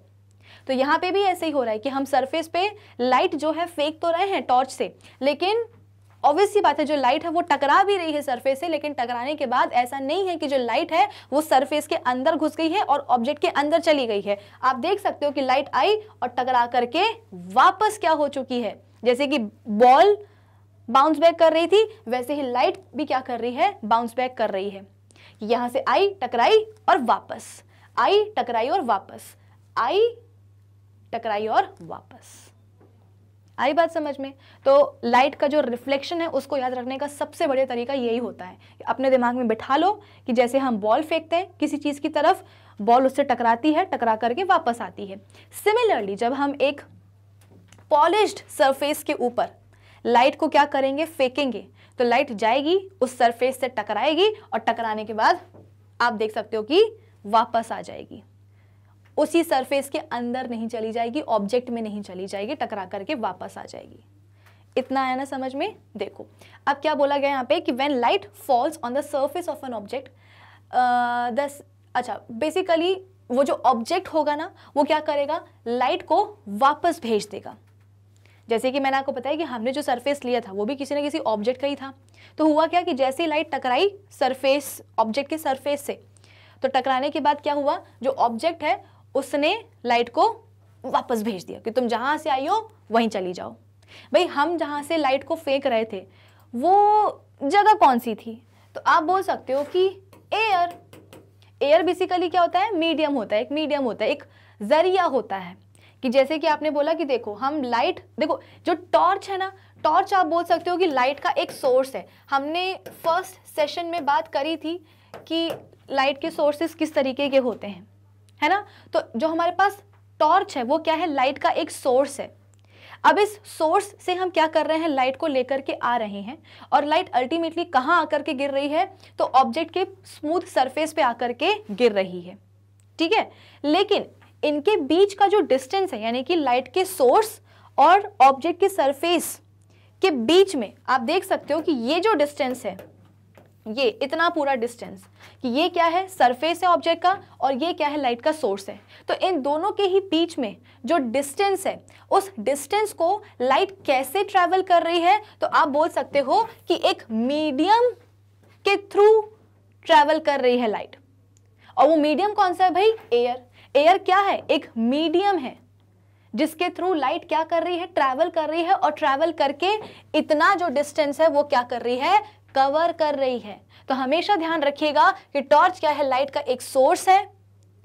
और इस सोर्स से जो भी लाइट आ रही है और ऑब्जेक्ट के सरफेस पे पड़ रही है स्ट्राइक कर रही है तो इस चीज़ के लिए लाइट को एक सर्टेन डिस्टेंस कवर करना पड़ा। वो डिस्टेंस उसने कैसे कवर किया? जब लाइट ट्रैवल कर रही है, कैसे? एक मीडियम के थ्रू और वो मीडियम कैसे होगा? मतलब सॉरी वो मीडियम क्या होगा? लाइट किस मीडियम के थ्रू ट्रेवल कर रही है? तो यू शुड से कि मैम एयर है ना? हमारे जो सराउंडिंग एयर है, वो क्या है? एक मीडियम है। लाइट को आप बोल सकते हो कि हमेशा एक मीडियम की ज़रूरत होती है ट्रैवल करने के लिए। तो इस समय, इस केस में लाइट को कौन सा मीडियम मिल रहा है? तो आप बोलोगे कि मैम एयर मीडियम मिल रहा है। आई बात समझ में? तो मैं आपको बता क्या रही थी? मैं आपको ये बता रही थी हाँ कि अच्छा एक और चीज़। ये जो हमारे पास ऑब्जेक्ट है ना, जिसका सरफेस यहाँ पे हमने लिया हुआ है, ये ऑब्जेक्ट सपोज़ बना हुआ है किससे? ग्लास से। किससे बना है? ग्लास से बना है। ग्लास मतलब कि अपना कांच कांच से बना है। तो ग्लास क्या होगा? दूसरा मीडियम होगा। जैसे एयर एक मीडियम है ना? देखो हमारे आसपास ना मीडिया ही मीडिया होते हैं। जितने भी हमारे तेल होते हैं कुकिंग ऑयल हो कैरोसिन ऑयल हो कुछ भी हो वो सब क्या है? अलग अलग मीडियम है। अगर हम बात करेंगे एक आ, पानी की अगर हम बात करें तो पानी भी क्या है? एक मीडियम है। ग्लास जैसे कि हमने यहाँ पे लिए तो ग्लास भी क्या होगा? एक मीडियम होगा। ठीक है? तो एयर एक मीडियम है वैसे ही ग्लास एक मीडियम है। तो लाइट आ कहाँ से रही थी? लाइट आ रही थी एयर मीडियम से। भाई मैंने आपको बताया ना कि लाइट को क्या चाहिए? है एक मीडियम चाहिए ट्रैवल करने के लिए। तो लाइट के सोर्स से लेकर के ये जो ऑब्जेक्ट का जो सरफेस है, इस तक लाइट कैसे आ रही है? एक सर्टेन डिस्टेंस कवर करके आ रही है। कैसे डिस्टेंस कवर किया है लाइट ने? क्योंकि उसके पास एक मीडियम था ट्रेवल करने के लिए। वो मीडियम कौन सा था? एयर था। तो आप बोल सकते हो कि जो इनिशियली लाइट है, वो इनिशियली एयर मीडियम से आ रही है। ठीक है? अब लाइट आ तो गई एयर मीडियम में ट्रैवल करके आ गई। कहाँ आ गई? ऑब्जेक्ट की सरफेस पे आ गई। सरफेस से उसने टकराया। टकराने के बाद क्या लाइट ने अपना मीडियम चेंज किया? कि लाइट आ रही थी एयर से? ग्लास के सरफेस से टकराई और टकराने के बाद ग्लास में घुस गई। अगर लाइट ग्लास में ही जाकर के घुस जाती तो आप बोल सकते थे कि वहाँ पे ग्लास ने अपने प्रपोगेशन का मीडियम चेंज कर दिया। कि लाइट आई तो थी एयर से ट्रेवल करके। लाइट का सोर्स हमारा कहाँ था? एयर में ही था। तो लाइट आई थी एयर मीडियम में ट्रेवल करके, लेकिन हुआ क्या कि ग्लास के सरफेस से टकराई और टकराने के बाद ग्लास में ही चली गई। इसका मतलब क्या? कि उसने अपने प्रपोगेशन का मीडियम चेंज कर दिया। लेकिन यहाँ पे ऐसा कुछ भी नहीं हुआ। कि लाइट आ रही है, एयर मीडियम के थ्रू आ रही है ट्रैवल करके। डेफिनेटली ग्लास के सरफेस से टकरा रही है, लेकिन टकराने के बाद क्या हो रहा है? जिस मीडियम से वो आई थी, उसी मीडियम में वो वापस चली गई, यानी कि यहाँ से ऐसे आई, टकराई और टकराने के बाद वापस कहाँ आ गई? एयर मीडियम में ही आ गई, उसने अपना प्रपोगेशन का मीडियम चेंज नहीं करा। तो रिफ्लेक्शन की आप बोल सकते हो कि ये खास बात होती है कि लाइट जिस मीडियम में ट्रैवल कर रही होती है सेम मीडियम में टकरा करके वापस आ जाती है, अपना मीडियम चेंज नहीं करती है। आई बात समझ में? चलिए। तो the process of sending back light rays which fall on the surface of an object is called reflection of light कि जो प्रोसेस होती है कि ऑब्जेक्ट का सरफेस क्या कर रहा है लाइट रेस को टकरा करके वापस भेज रहा है। भाई ऑब्जेक्ट का जो सरफेस है, वो क्या करता है कि जब उसके ऊपर लाइट रेज आती हैं, आकर के गिरती हैं तो गिरने के बाद ऑब्जेक्ट का सरफेस उन लाइट रेज को वापस भेज देता है। तो इसी प्रोसेस को, इसी प्रोसेस को the process of sending back light rays which fall on the surface on the object which falls on the surface of an object is called what reflection of light clear है? चलिए। Now the reflection of light is studied by using a plane mirror हम एक plane mirror का use करते हैं, जिसकी मदद से हम लाइट के रिफ्लेक्शन को स्टडी कर सकते हैं। A plane mirror reflects almost all the light which falls on it this means that a plane mirror changes the direction of light which falls on it अच्छा तो अब आप बोलोगे कि मैम ये तो चलो समझ में आ गया कि लाइट का रिफ्लेक्शन मतलब आ रहा है समझ में धीरे धीरे कि लाइट का रिफ्लेक्शन क्या होता है है ना? और आपने बोला कि अब लाइट के रिफ्लेक्शन को स्टडी करने के लिए हम एक प्लेन मिरर यूज़ करेंगे। तो आखिर ये प्लेन मिरर क्या होता है? भाई प्लेन मिरर हम सबके घर में होता है। हमारे घरों में जो मेकअप करने के लिए जो मिरर होता है है ना? ड्रेस हमारी प्रॉपर दिख रही है नहीं, बाल अच्छे बने हैं या नहीं, इस चीज़ को चेक करने के लिए हमारे घरों में जो रेगुलर आईना लगा होता है, वो आईना बेसिकली क्या है? एक प्लेन मिरर ही होता है। ठीक है ना? तो जैसे कि यहाँ पे आपको दिखाई दे रहा होगा, इस इमेज में कि एक सुंदर सा ओवल शेप का यहाँ पे मिरर है। इसके सामने देखो जो लैंप रखा हुआ है, इस लैंप की इमेज कहाँ बन रही है? इस मिरर में बन रही है। ठीक है? तो ये क्या है? नॉर्मली हमारे घरों में जो मिरर लगा होता है, आईना लगा होता है, वो क्या होता है? प्लेन मिरर ही होता है। तो अलग से कहीं से खरीद के लाने की ज़रूरत नहीं है प्लेन मिरर कि जब हम खरीदेंगे, फिर लेकर आएँगे, फिर पता चलेगा कि अच्छा है इसमें देखते हैं कि लाइट का रिफ्लेक्शन कैसे होता है। नहीं, ऐसे भी समझ सकते हैं। ठीक है? चलो। तो हो क्या रहा है यहाँ पे? अच्छा मिरर और आप बोल सकते हो कि ग्लास के टुकड़े में क्या फ़र्क होता है?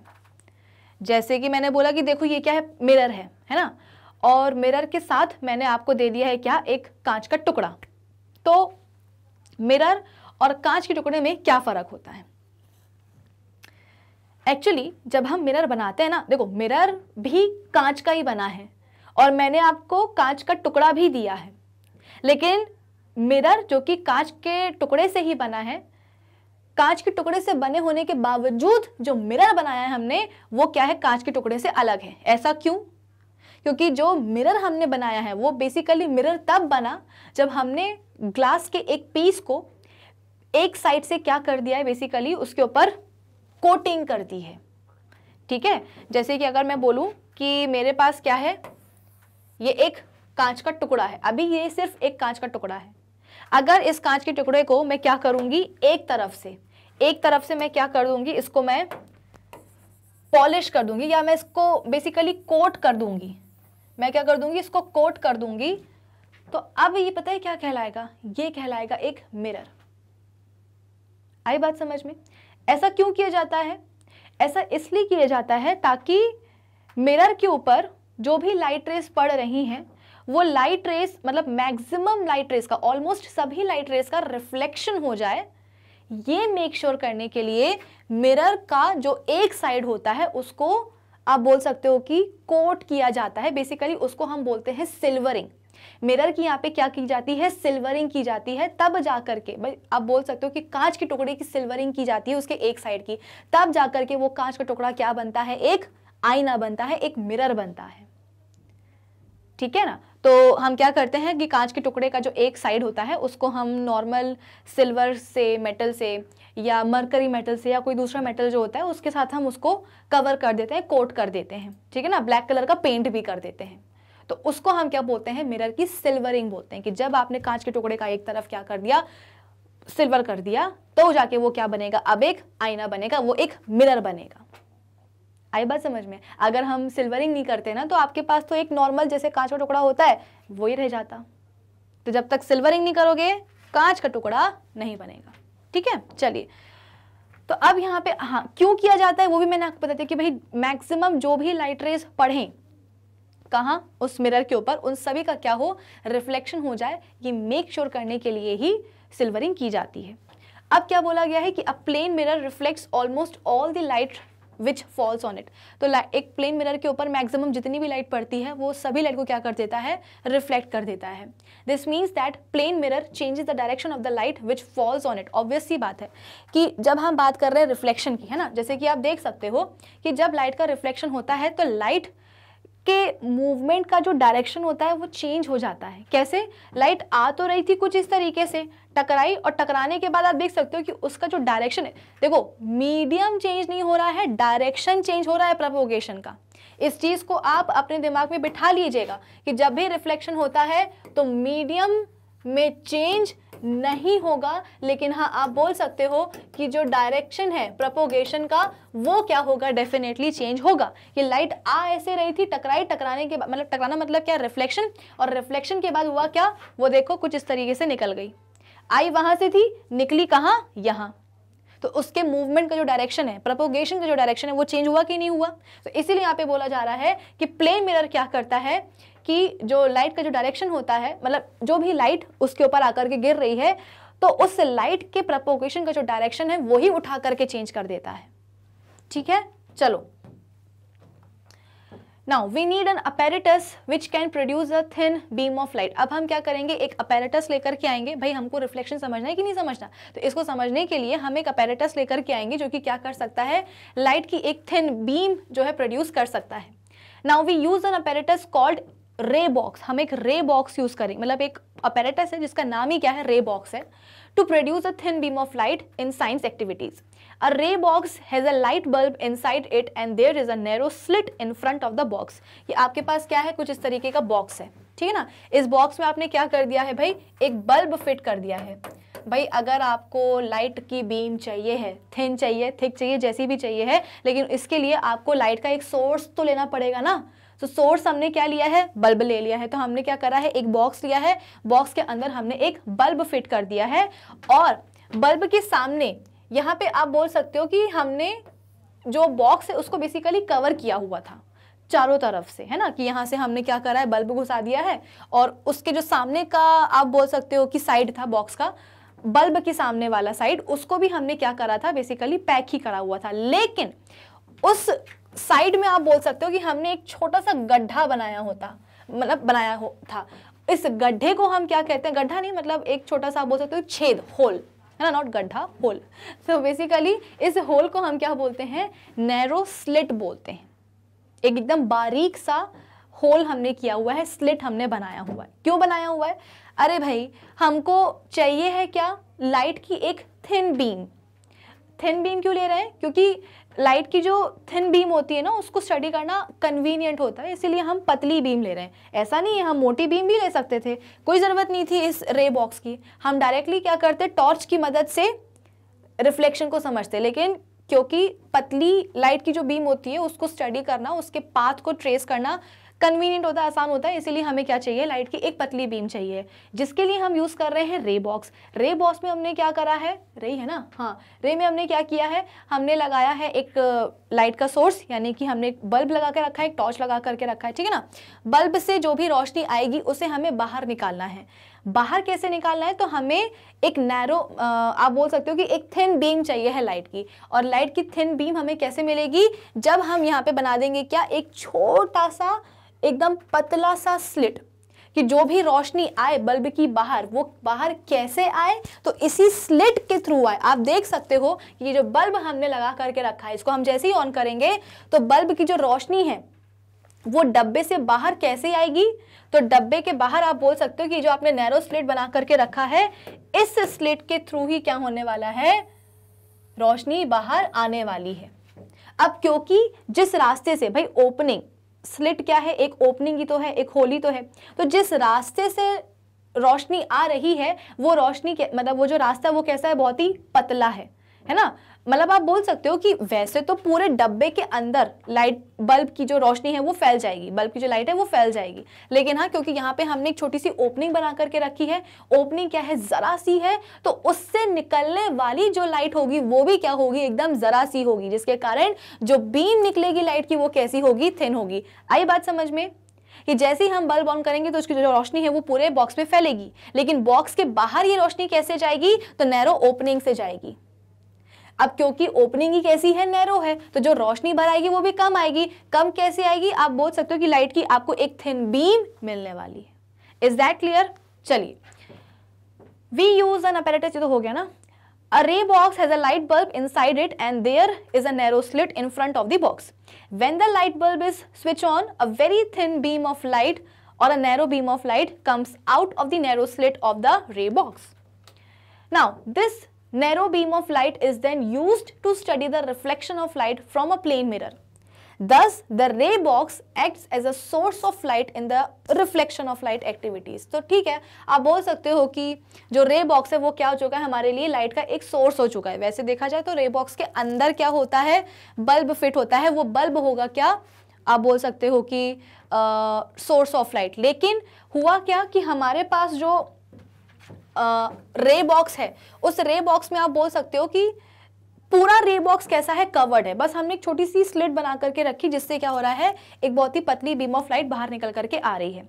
तो देखने में ऐसा लगेगा कि जो रे बॉक्स है, वो खुद क्या है? एक लाइट का सोर्स ही है, क्योंकि इस रे बॉक्स के अंदर से क्या हो रहा है? एक लाइट एक रोशनी बाहर आ रही है। तो वो खुद हमारे लिए क्या हो जाएगा? पूरा का पूरा रे बॉक्स एक लाइट का सोर्स हो जाएगा। Simple The thin beam of light produced by an X-ray by X-ray नहीं है a ray box is visible on a white sheet of paper so its path on paper can be traced by using a pencil. अब क्या हुआ हमने जो रे box था उससे लाइट जो पतली बीम थी लाइट की वो तो हमने पास करवा दी पास तो हमने करवा दी लेकिन आप बोल सकते हो कि उसको ट्रेस करना भी तो इंपॉर्टेंट है ना ट्रेस कैसे करेंगे भाई तो जो भी लाइट बीम निकल रही है रे बॉक्स की, उसको हम पास करवाने वाले हैं किसके ऊपर? एक वाइट शीट के ऊपर। या ब्लैक भी ले सकते हो, कोई और कलर की भी ले सकते हो, बस ये कि शीट के ऊपर जो भी लाइट निकल रही है, जो भी बीम निकल रही है लाइट की रे बॉक्स से, वो बीम दिखाई देनी चाहिए। अगर आपको शीट के ऊपर लाइट की बीम ही दिखाई नहीं देगी तो फिर आप उसको ट्रेस कैसे करोगे? फिर रिफ्लेक्शन को कैसे समझोगे? ठीक है? So a thin beam of light is made up of अच्छा कुछ बच्चों के दिमाग में ये सवाल आएगा कि मैम ये बीम बीम बीम क्या होता है, बीम क्या होता है?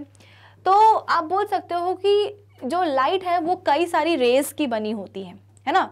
आप रेस को किरण बोल सकते हो, है ना? वो जो अपन बोलते हैं ना सन रेज तो सन रेज मतलब क्या? सूर्य की किरणें। तो एक लाइट जो होती है, एक लाइट ऑफ़ मतलब जो बीम होती है लाइट की, वो कई सारी रेस की बनी होती हैं। But for the sake of simplicity and convenience a thin beam of light is considered to be a ray of light ठीक है? अब जैसे कि मैं आपको एक्सप्लेन कर रही थी कि वैसे तो हम एक थिक बीम भी ले सकते हैं। लेकिन थिक बीम में प्रॉब्लम क्या होती है? बीम जितनी मोटी होगी, उसमें लाइट की जो रेज हैं, वो उतनी ज़्यादा होंगी। हमको अपनी स्टडी को आसान बनाना है, क्योंकि हम ये पहली बार पढ़ रहे हैं। तो कन्वीनियंस के लिए हम क्या करते हैं? एक थिन बहुत ही थिन बीम लेते हैं लाइट की। और आप बोल सकते हो कि उस थिन बीम ऑफ़ लाइट को हम क्या कंसिडर करते हैं? To be a ray of light की ये जो पतली सी बीम निकल करके आ रही है, ये बीम ही क्या है? लाइट की एक रे है। ठीक है? चलो। हाँ तो कुछ इस तरीके से हम क्या करने वाले हैं? पूरा अपना जो अपेरेटस है रे बॉक्स वाला शीट वाला, वो हम जमाने वाले हैं। कि आपके पास क्या है यहाँ पे? रे बॉक्स है लाइट बॉक्स है जो भी ले लो। अब इसके सामने, जैसे कि मैंने आपको बताया था, हम एक प्लेन मिरर रखते हैं। अच्छा हाँ प्लेन मिरर को भी डिनोट करने के तरीके होते हैं। जैसे यहाँ पे तो लिखा हुआ है मिरर ठीक है ना? अगर मुझे प्लेन मिरर बनाना तो जैसे कि मैंने आपको बताया कि मिरर का जो एक साइड होता है, उसको हम क्या करते हैं? उसको हम सिल्वर कर देते हैं, है ना? तो सिल्वरिंग दिखाने के लिए हम क्या करते हैं? अरे, हम क्या करते हैं? हम डिज़ाइन बनाते हैं कुछ इस तरह की, ठीक है ना? एक साइड में ही। तो ये एक साइड में जो आपको डिज़ाइन दिखाई दे रही है, ये डिज़ाइन क्या इंडिकेट करती है कि आपने मिरर का एक साइड क्या कर चुके हैं आप? सिल्वर कर चुके हैं, यानी कि अब आपके पास कांच का टुकड़ा नहीं है, आपके पास बकायदा एक सिल्वर मतलब एक मिरर है। इज़ दैट क्लियर चलिए तो हमारे पास जो रे बॉक्स था, उसके सामने हमने एक मिरर रख दिया और इस पूरे के नीचे हमने क्या किया है? एक शीट बिछा करके रखी है। ये पूरी क्या बिछी हुई है? शीट बिछी हुई है। आपको दिखाई दे रहा होगा शीट ऑफ़ वाइट पेपर ये पूरी की पूरी क्या है? वाइट पेपर की एक शीट है। वही बात है ना कि रे बॉक्स से जो लाइट रे है जैसे कि मैंने आपको बताया कि जो रे बॉक्स से निकलने वाली जो पतली सी लाइट की बीम है, उसको हम क्या कंसिडर कर रहे हैं? लाइट की रे ही कंसिडर कर रहे हैं, ठीक है? तो रे बॉक्स से जो भी रे निकलेगी लाइट की रे निकलेगी, वो ऑब्वियस सी बात है, जो लाइट रे होगी, वो कहाँ जाने वाली है? मिरर से जाकर टकराने वाली है। तो जो भी टकराने के पहले उसका डायरेक्शन होगा प्रपोगेशन का, टकराने के बाद जो होगा डायरेक्शन प्रपोगेशन का, उसको ट्रेस करने के लिए हमें क्या चाहिए है? एक वाइट पेपर की शीट चाहिए ठीक है? तो हम क्या करेंगे? बाकायदा ट्रेस करते जाएँगे। कैसे ट्रेस कर रहे हैं? तो जैसा कि आपको दिखाई दे रहा होगा कि देखो बॉक्स से जैसे यहाँ से रे निकली तो हम क्या करेंगे? पेंसिल से ड्रॉ करते जाएँगे कि देखो, अरे ये निकल रही है क्या रे शीट के ऊपर ही ड्रॉ करेंगे शीट के ऊपर ही, ठीक है ना? शीट के ऊपर ही हम क्या कर रहे हैं? ड्रॉ करते जा रहे हैं कि ये देखो, लाइट रे जो है वो कुछ इस तरीके से आ रही है। ड्रॉ कर ली हमने शीट के ऊपर। अब इसके बाद में क्या होगा? गई मिरर से टकराई और टकराने के बाद हुआ क्या? ये देखो वापस आ रही है कुछ इस तरीके से। ऐसे वापस आ रही है। तो हम क्या कर रहे हैं? कुछ नहीं कर रहे हैं। जो हमें, आप बोल सकते हो कि पूरा जो सिस्टम है, जितनी भी चीज़ें हैं, उनको जमा करके बैठ जाना है और जा करके ये जो बॉक्स है, इसके अंदर का जो बल्ब है, वो ऑन कर देना है। ताकि ये जो हमारा लाइट का सोर्स है, इससे क्या हो, एक पतली सी बीम ऑफ़ लाइट निकले, जिसको कि हम एक लाइट रे कंसिडर कर रहे हैं, वो रे निकले। अब इसके बाद में बैठ के हम देखेंगे कि अच्छा लाइट रे जो है ना, बाहर निकली। निकल तो रही है, कहाँ जा रही है? मिरर के पास जा रही है। मिरर से टकराने के बाद हो क्या रहा है? वो वापस आ रही है। है ना? वो वापस आ रही है हम तक। तो इस पूरे बोल सकते हो कि ड्रामे को ट्रेस करने के लिए हम क्या करेंगे? पेंसिल से मार्क कर लेंगे कि देखो देखो देखो, ऐसे लाइट आ रही है, ऐसे आ रही है, ऐसे आ रही है, टकराने के बाद ऐसे ऐसे ऐसे ऐसे नहीं, ऐसे ऐसे करके क्या हो रही है, वो वापस आ रही है और बाकायदा हम एरो भी बनाएँगे। भाई, अगर आप ऐसी सिंपल लाइंस जो है ना ड्रॉ कर दोगे तो कैसे पता चलेगा कि लाइट रे गई कहाँ से थी, वापस कहाँ आई है? जैसे कि अगर मैं यहाँ पे इसको बस ऐसे ड्रॉ करूँ, ये।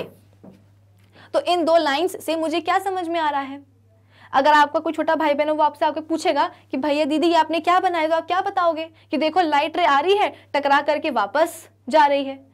तो हो सकता है कि आपको छोटा भाई बहन ये समझे कि अच्छा लाइट रे आ यहाँ से रही थी, जा ऐसे रही है। तो ये तो उल्टा हो गया ना तो एरो बनाना ज़रूरी होता है। तो हम क्या करते हैं, लाइट रे जा ऐसे रही है, वापस ऐसे आ रही है।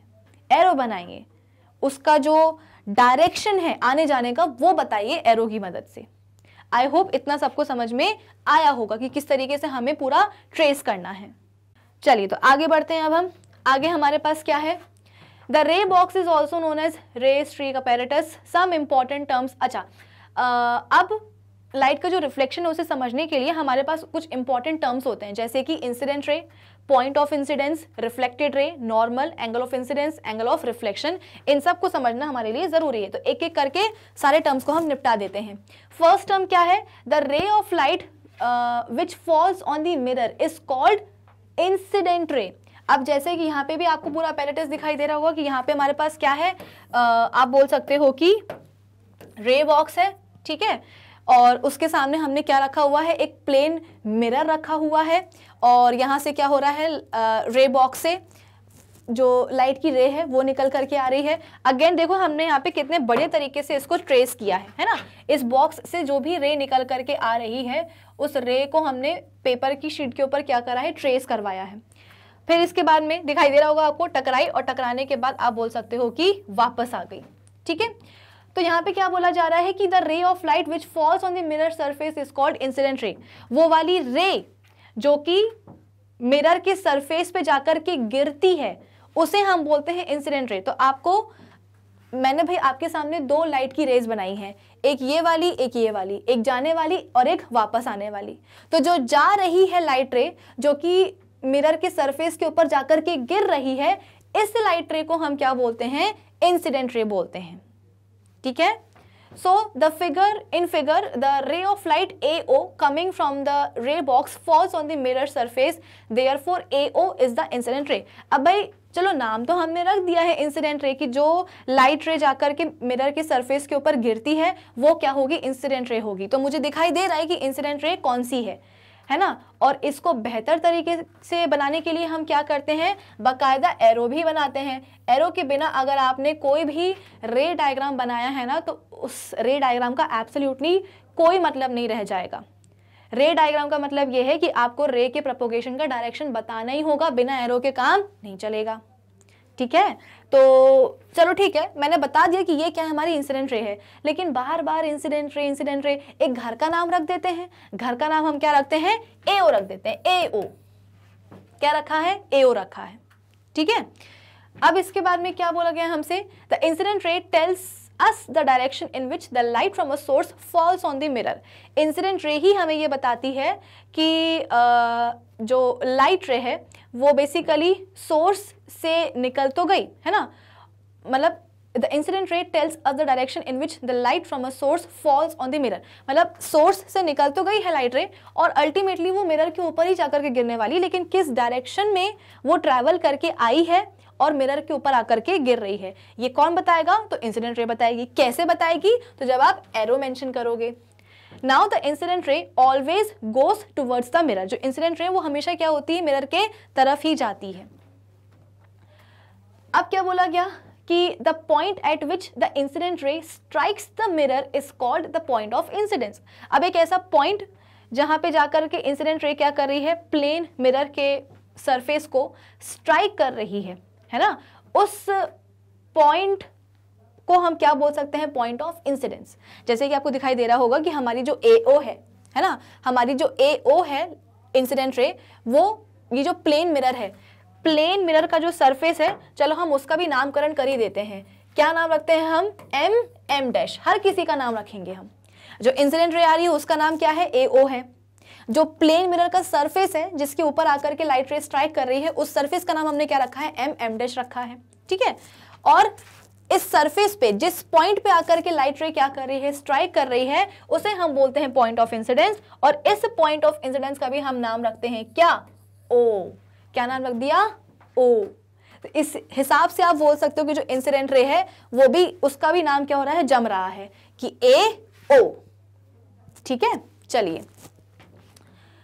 Now in the incident ray A O strikes the mirror और touches the mirror at point O therefore O is the point of incidence आप बोल सकते हो कि जो ए ओ इंसिडेंट रे है, वो क्या कर रही है? पॉइंट ओ पे आकर के प्लेन मिरर के सरफेस को स्ट्राइक कर रही है। इसलिए ओ का ही मतलब ओ क्या हो चुका है? पॉइंट ऑफ़ इंसिडेंस हो चुका है। The point of incidence tells us where exactly the light falls on the mirror surface और जो पॉइंट ऑफ़ इंसिडेंस है, वो हमें एक्जैक्टली exactly बताता है कि भाई मिरर के ऊपर आकर के लाइट रे गिर तो रही है, लेकिन एग्जैक्टली exactly कहाँ गिर रही है, कहाँ आके स्ट्राइक कर रही है। ठीक है? When the incident ray falls on a mirror, the mirror sends it back in another direction, and the direction, and the mirror has reflected the ray of light. Obvious बात है कि लाइट रे आकर के गिरेगी मिरर के surface के ऊपर तो मिरर क्या करेगा? उसको खा थोड़ी ना जाएगा, उसको अब्जॉर्ब थोड़ी ना कर लेगा। वो क्या करेगा? उसको रिफ्लेक्ट करवा देगा, उसको वापस भेज देगा, उसका डायरेक्शन चेंज करके। देखो यहाँ पे क्या लिखा है? Sends it back in another direction दूसरे डायरेक्शन में उसको भेज देता है। ठीक है? तो बेसिकली आप बोल सकते हो कि मिरर ने क्या करा है? लाइट रे को रिफ्लेक्ट किया है। तो रिफ्लेक्शन खा करके जो रे आप बोल सकते हो कि दूसरे डायरेक्शन में ट्रेवल कर रही है, उस रे को हम क्या बोलते हैं? रिफ्लेक्टेड रे बोलते हैं कि देखो यहाँ से क्या हुआ था? लाइट के सोर्स से इंसिडेंट रे निकली थी। इंसिडेंट रे गई पॉइंट ऑफ़ इंसिडेंस ओ पे टकराया। टकराने के बाद हुआ क्या कि मिरर ने उस लाइट रे को वापस भेज दिया दूसरे डायरेक्शन में। तो जो लाइट रे वापस आ रही है सेम मीडियम में, लेकिन अपना डायरेक्शन चेंज करके उस रे को हम क्या बोलते हैं? रिफ्लेक्टेड रे बोलते हैं। अब इतना नामकरण हो ही रहा है तो एक काम करते हैं ना इस रे का भी नाम हम रख देते हैं क्या? ओ बी ओ बी क्या होगी? रिफ्लेक्टेड रे होगी। तो ए ओ आप बोल सकते हो कि इंसिडेंट रे है और ओ बी क्या हो जाएगी? अपनी रिफ्लेक्टेड रे हो जाएगी। ओ क्या है? पॉइंट ऑफ़ इंसिडेंस है। ठीक है? चलो। The ray of light which is sent back by the mirror is called the reflected ray और वो वाली रे जिसको कि मिरर ने क्या करा है? रिफ्लेक्ट बैक करवाया है मतलब आ, वापस भेजा है।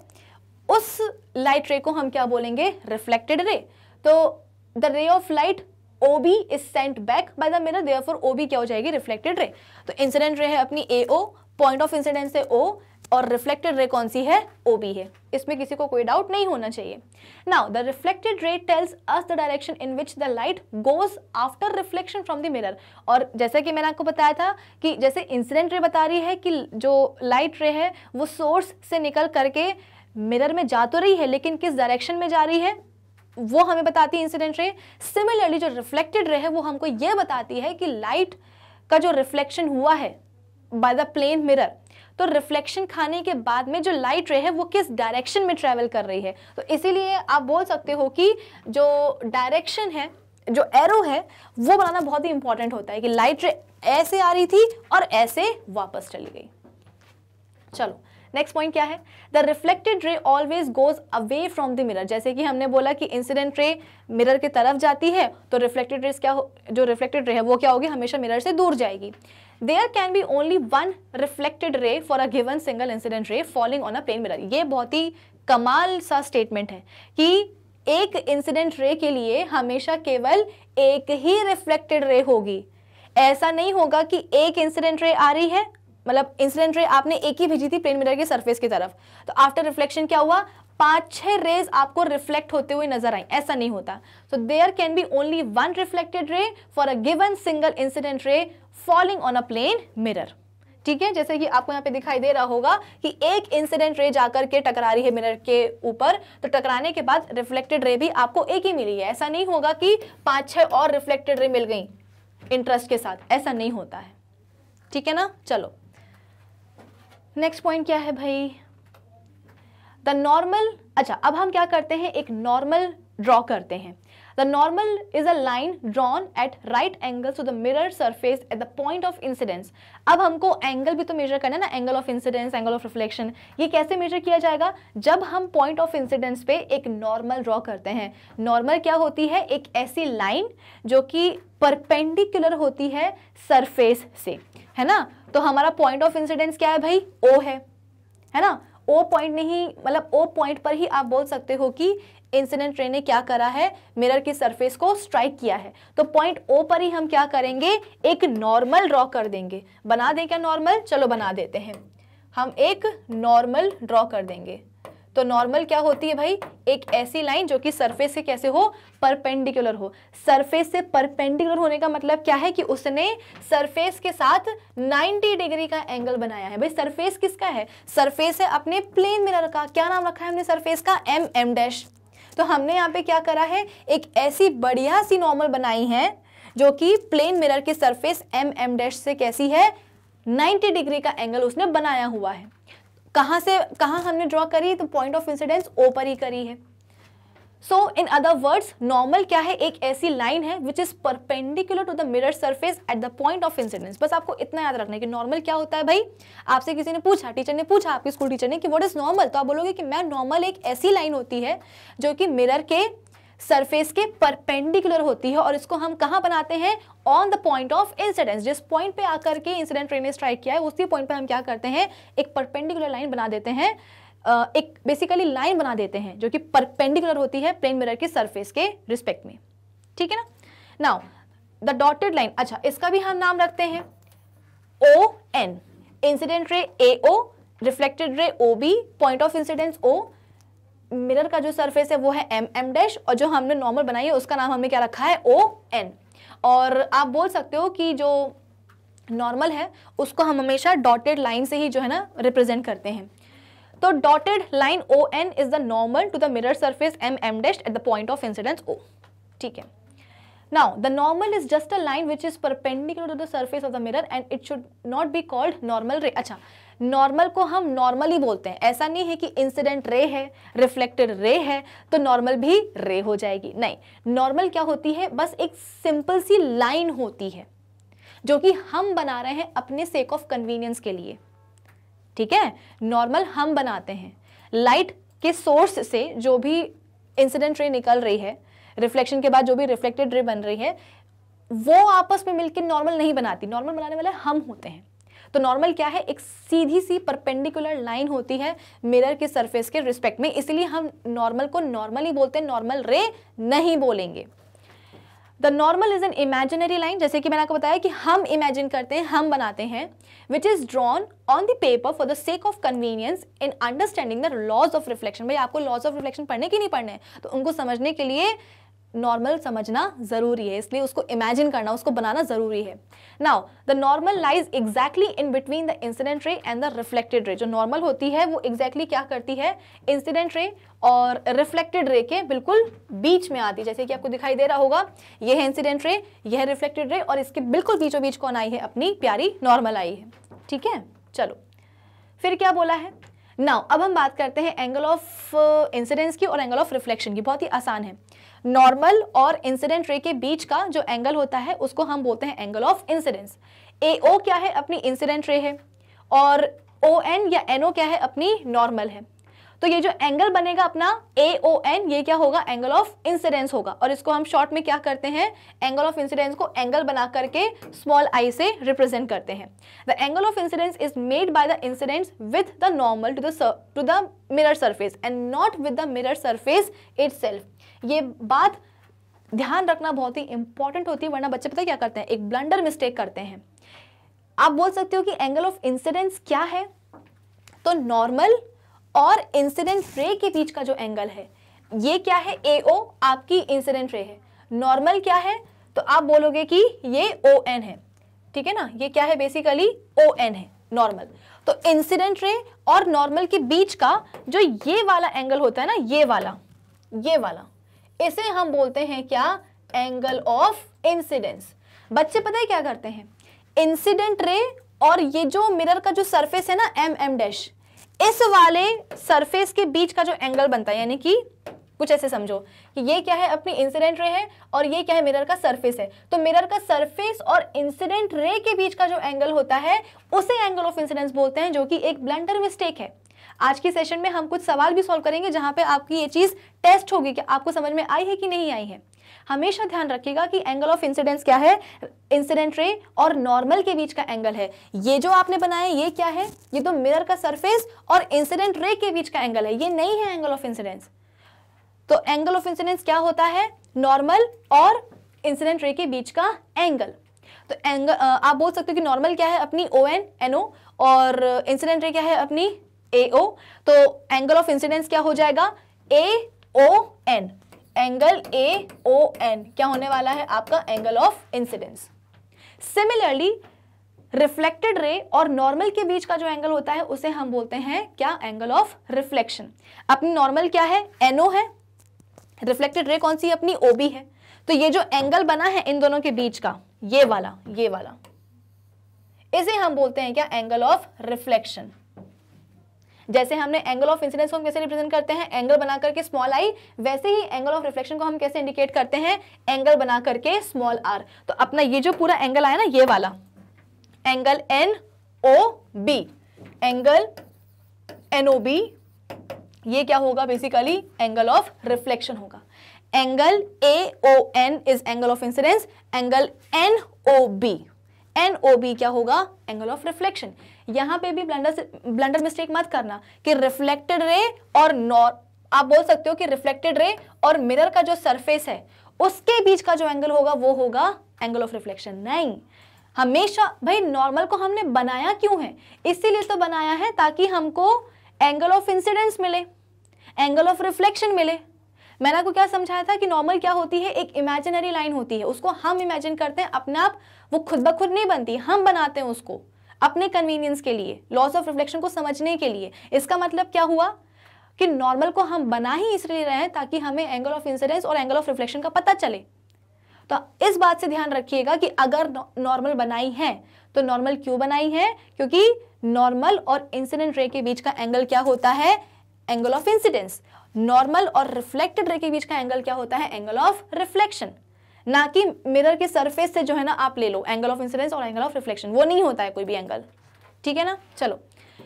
So the angle between the reflected ray and the normal is called the angle of reflection reflected ray is O B and the normal क्या है? एनओ है. सो so, जो एंगल होगा अपना बी ओ एन या एनओ बी कुछ भी बोल सकते हो वो क्या होगा? आप बोल सकते हो कि एंगल ऑफ़ रिफ्लेक्शन होगा। जैसे कि यहाँ पे लिखा हुआ है the angle B O N is the angle of reflection या जिसको कि आप क्या बोल सकते हो एनओ बी भी बोल सकते हो। बी ओ एन बोल दो या एनओ बी बोल दो, कुछ भी बोल दो, एक ही बात है। तो वो क्या होगा एंगल ऑफ़ रिफ्लेक्शन जिसको कि हम कैसे रिफ्लेक्ट करते हैं मतलब कैसे इंडिकेट करते हैं तो एंगल बना करके स्मॉल आर बना देते हैं, कुछ इस तरीके से। ठीक है ना? चलिए। फिर क्या है कि when a ray of light falls in a plane mirror it gets reflected the reflection of the light from a plane mirror takes place according to तो लाइट का रिफ्लेक्शन अब आपको समझ में आ गया? अब हम बात करते हैं सीधे किसकी? लॉज ऑफ़ रिफ्लेक्शन की। कि जब लाइट का रिफ्लेक्शन होता है प्लेन मिरर से तो वो कुछ लॉज के अकॉर्डिंग होता है। और उन्हीं को हम क्या बोलते हैं? Laws of reflection the laws of reflection are as follows क्या है भाई laws of reflection According to the first law of reflection, the incident ray, the reflected ray and the normal at the point of incidence all lie on the in the same plane. इसका मतलब क्या हुआ कि जब भी reflection होता है तो इंसिडेंट रे नॉर्मल और रिफ्लेक्टेड रे नॉर्मल रे नहीं बोलना है नॉर्मल बोलना है केवल है ना? क्योंकि नॉर्मल क्या होती है? एक सिंपल सी परपेंडिकुलर लाइन होती है। तो जब भी रिफ्लेक्शन होता है तो इंसिडेंट रे नॉर्मल और रिफ्लेक्टेड रे तीनों की तीनों क्या करती हैं? सेम प्लेन पे लाई करती हैं। इस बात का क्या मतलब हुआ? द इंसिडेंट रे A O reflected ray O B and normal O N सभी के सभी सेम प्लेन पे लाई करेंगी। That is the plane of paper they are neither coming out of the paper nor going down into the paper जैसे कि आपको यहाँ पे दिखाई दे रहा होगा कि हमारे पास क्या है? वो अपना पुराना सेटअप है कि हमारे पास जो है ना, यहाँ बोल सकते हो कि जुगाड़ है हमारे पास। जुगाड़ क्या थी कि हमारे पास पूरा लाइट जो रे बॉक्स था, वो नहीं था हमारे पास। तो हमने क्या करा? टॉर्च जलाई, उसके सामने हमने एक कड़क पेपर की शीट रखी है और उसमें हमने क्या करा छोटा सा? आप बोल सकते हो कि होल बनाया है, एक स्लिट बनाई है। तो उस स्लिट से हम क्या कर रहे हैं, एक बहुत ही पतली सी बीम ऑफ़ लाइट निकलवा रहे हैं, जिसको कि हम क्या बोलते हैं, रे ऑफ़ लाइट बोल रहे हैं, ठीक है ना? और उसको हम क्या कर रहे हैं, मिरर के ऊपर स्ट्राइक करवा रहे हैं। तो आप देख सकते हो कि ये क्या है अपनी, ये क्या है बेसिकली अपनी इंसिडेंट रे आ रही है, ठीक है ना? पॉइंट ऑफ़ इंसिडेंस जैसे कि हमने एग्ज़ाम्पल लिया कि पॉइंट ऑफ़ इंसिडेंस क्या है? अपना ओ है। इंसिडेंट रे अपनी क्या है? ए ए ओ है है ना? तो incident ray A O point of incidence क्या है? ओ है। और ये क्या हो गई? अपनी रिफ्लेक्टेड रे हो गई। रिफ्लेक्टेड रे का नाम क्या है भाई? ओ बी है। है ना? तो यहाँ पे आप देख सकते हो कि इंसिडेंट रे क्या हो रही है? आ रही है A O point of incidence पे ओ पे स्ट्राइक कर रही है और ओ बी क्या हो रही है? रिफ्लेक्ट होकर के वापस निकल रही है। तो ये जो अच्छा जितनी भी यहाँ पे हमने रेज बनाई हैं, जो हमने नॉर्मल बनाई है, वो हम कैसे बना पा रहे हैं? क्योंकि हमने इन तीनों को पेपर की शीट के ऊपर क्या करा है? ट्रेस किया है। इसका मतलब क्या? कि तीनों की तीनों इंसिडेंट रे नॉर्मल रिफ्लेक्टेड तीनों की तीनों आप बोल सकते हो कि पेपर के जो शीट है आपके पास बेसिकली उस उस शीट पे आप ड्रॉ कर सकते हो। ऐसा नहीं हो रहा है कि इंसिडेंट रे को तो आपने क्या कर लिया? ड्रॉ कर लिया। लेकिन आप बोल सकते हो कि रिफ्लेक्शन के बाद में जो रिफ्लेक्टेड रे हो रही है, वो कैसे निकल रही है? कुछ इस तरीके से रिफ्लेक्ट हो रही है, यानी कि पेपर के ऊपर जा रही है, या पेपर के नीचे चली गई। ऐसा नहीं हो रहा है। अगर पेपर के ऊपर जाती रिफ्लेक्टेड रे या पेपर के नीचे चली जाती तो फिर आप उस रिफ्लेक्टेड रे को ट्रेस कैसे कर पाते? आप खुद ही सोचो ना कि इंसिडेंट रे तो आ रही है, उसको तो हमने ट्रेस कर लिया पेपर पर। लेकिन आफ्टर रिफ्लेक्शन क्या हुआ? कि जो रिफ्लेक्टेड रे है, वो ऐसे ऊपर उड़ गई। तो ऊपर उड़ती ऊपर उड़ गई मतलब क्या कि जो पेपर की जो शीट है ना, उससे बाहर निकल गई। कुछ इस डायरेक्शन कुछ ऐसे। ऊपर उठ गई। तो ऐसी ऊपर उठती हुई, उड़ती हुई रे को आप कैसे ट्रेस करोगे? नहीं कर पाओगे। क्यों नहीं कर पाओगे? क्योंकि भाई, हवा में अगर कोई चीज़ निकल रही है, हवा में जैसे कि मैंने बोला कि देखो, ये क्या है रिफ्लेक्टेड रे। ठीक है ना? जैसे कि हाँ ये क्या था अपने पास? पेपर की शीट थी। यहाँ से क्या हुआ? यहाँ से आप बोल सकते हो कि ये इंसिडेंट रे आई। तो इंसिडेंट रे को तो आपने पेपर की शीट के ऊपर ट्रेस कर लिया, लेकिन आफ्टर रिफ्लेक्शन क्या होगा? रिफ्लेक्टेड रे ऐसी रे हो गई, ऐसे निकल गई। तो अब आप बताओ शीट तो आपकी ये है इंसिडेंट रे आपकी ये थी, लेकिन आफ्टर रिफ्लेक्शन क्या हुआ? रिफ्लेक्टेड रे ऐसी हो गई। तो इस पेपर की शीट के ऊपर क्या आप इस रिफ्लेक्टेड रे को ट्रेस कर पाओगे? नहीं, क्यों? क्योंकि तो हवा में है ना। हवा में पड़ी हुई चीज़ को कैसे ट्रेस करेंगे? इसका मतलब क्या? हवा में नहीं गई है रिफ्लेक्टेड रे पेपर पर ही रही है। इसका मतलब क्या कि उसने अपना प्लेन चेंज नहीं किया है? प्लेन चेंज करने का मतलब क्या होता है कि ना लाइट रे पेपर के अंदर घुस रही है, ना पेपर के ऐसे बाहर निकल करके आ रही है। तीनों के तीनों reflected ray normal incident ray तीनों के तीनों क्या है? सभी के सभी सेम प्लेन पे लाई कर रहे हैं, यानी कि आप तीनों को ही क्या कर सकते हो? पेपर के ऊपर ट्रेस कर सकते हो। है ना? They are neither coming out coming up out of the paper ना पेपर से बाहर निकल के आ रही हैं और ना ही पेपर के अंदर जा रही हैं। ये क्या हुआ? ये हुआ अपना फ़र्स्ट लॉ ऑफ़ रिफ्लेक्शन या आप इसको सेकेंड भी बोल सकते हो।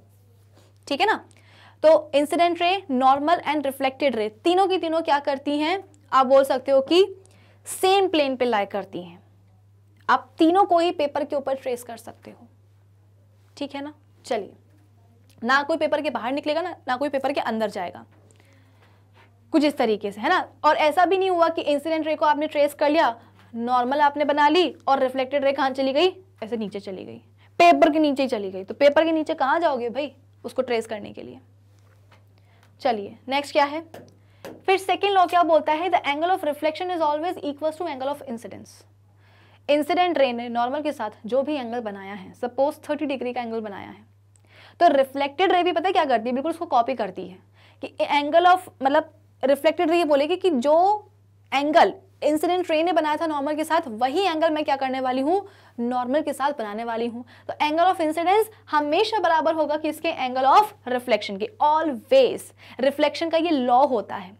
ये दो लॉज रिफ्लेक्शन चाहे जहाँ भी हो रहा हो, हमेशा फॉलो किए जाते हैं। पहला incident ray normal and reflected ray सभी के सभी तीनों के तीनों सेम प्लेन पे लाई करते हैं, कोई भी प्लेन छोड़ करके नहीं जाता है। दूसरा angle of incidence is always equal to angle of reflection so so, in figure, we measure the angle of reflection NOB we will find that it is exactly equal to the angle of incidence A O N तो जो भी आप बोल सकते हो कि हमने angle बनाया था, है ना? ये क्या एंगल इंसिडेंट वो है? क्या बोल सकते हैं कि रे है ना? तो ए ओ आप बोल सकते हो कि ये एन और ये बी है, ठीक है ना? तो जब हम एंगल ए ओ एन को, यानी कि एंगल ऑफ़ इंसिडेंस को क्या करेंगे? जब हम मेजर करेंगे तो एंगल ऑफ़ इंसिडेंस या angle of A O N ये किसके बराबर आएगा? इस वाले एंगल के, यानी कि एंगल एन ओ बी के।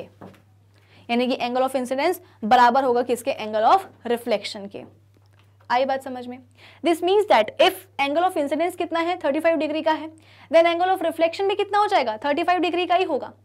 अगर angle of incidence thirty five degree का है so the angle of reflection N O B वो भी उतना ही होगा।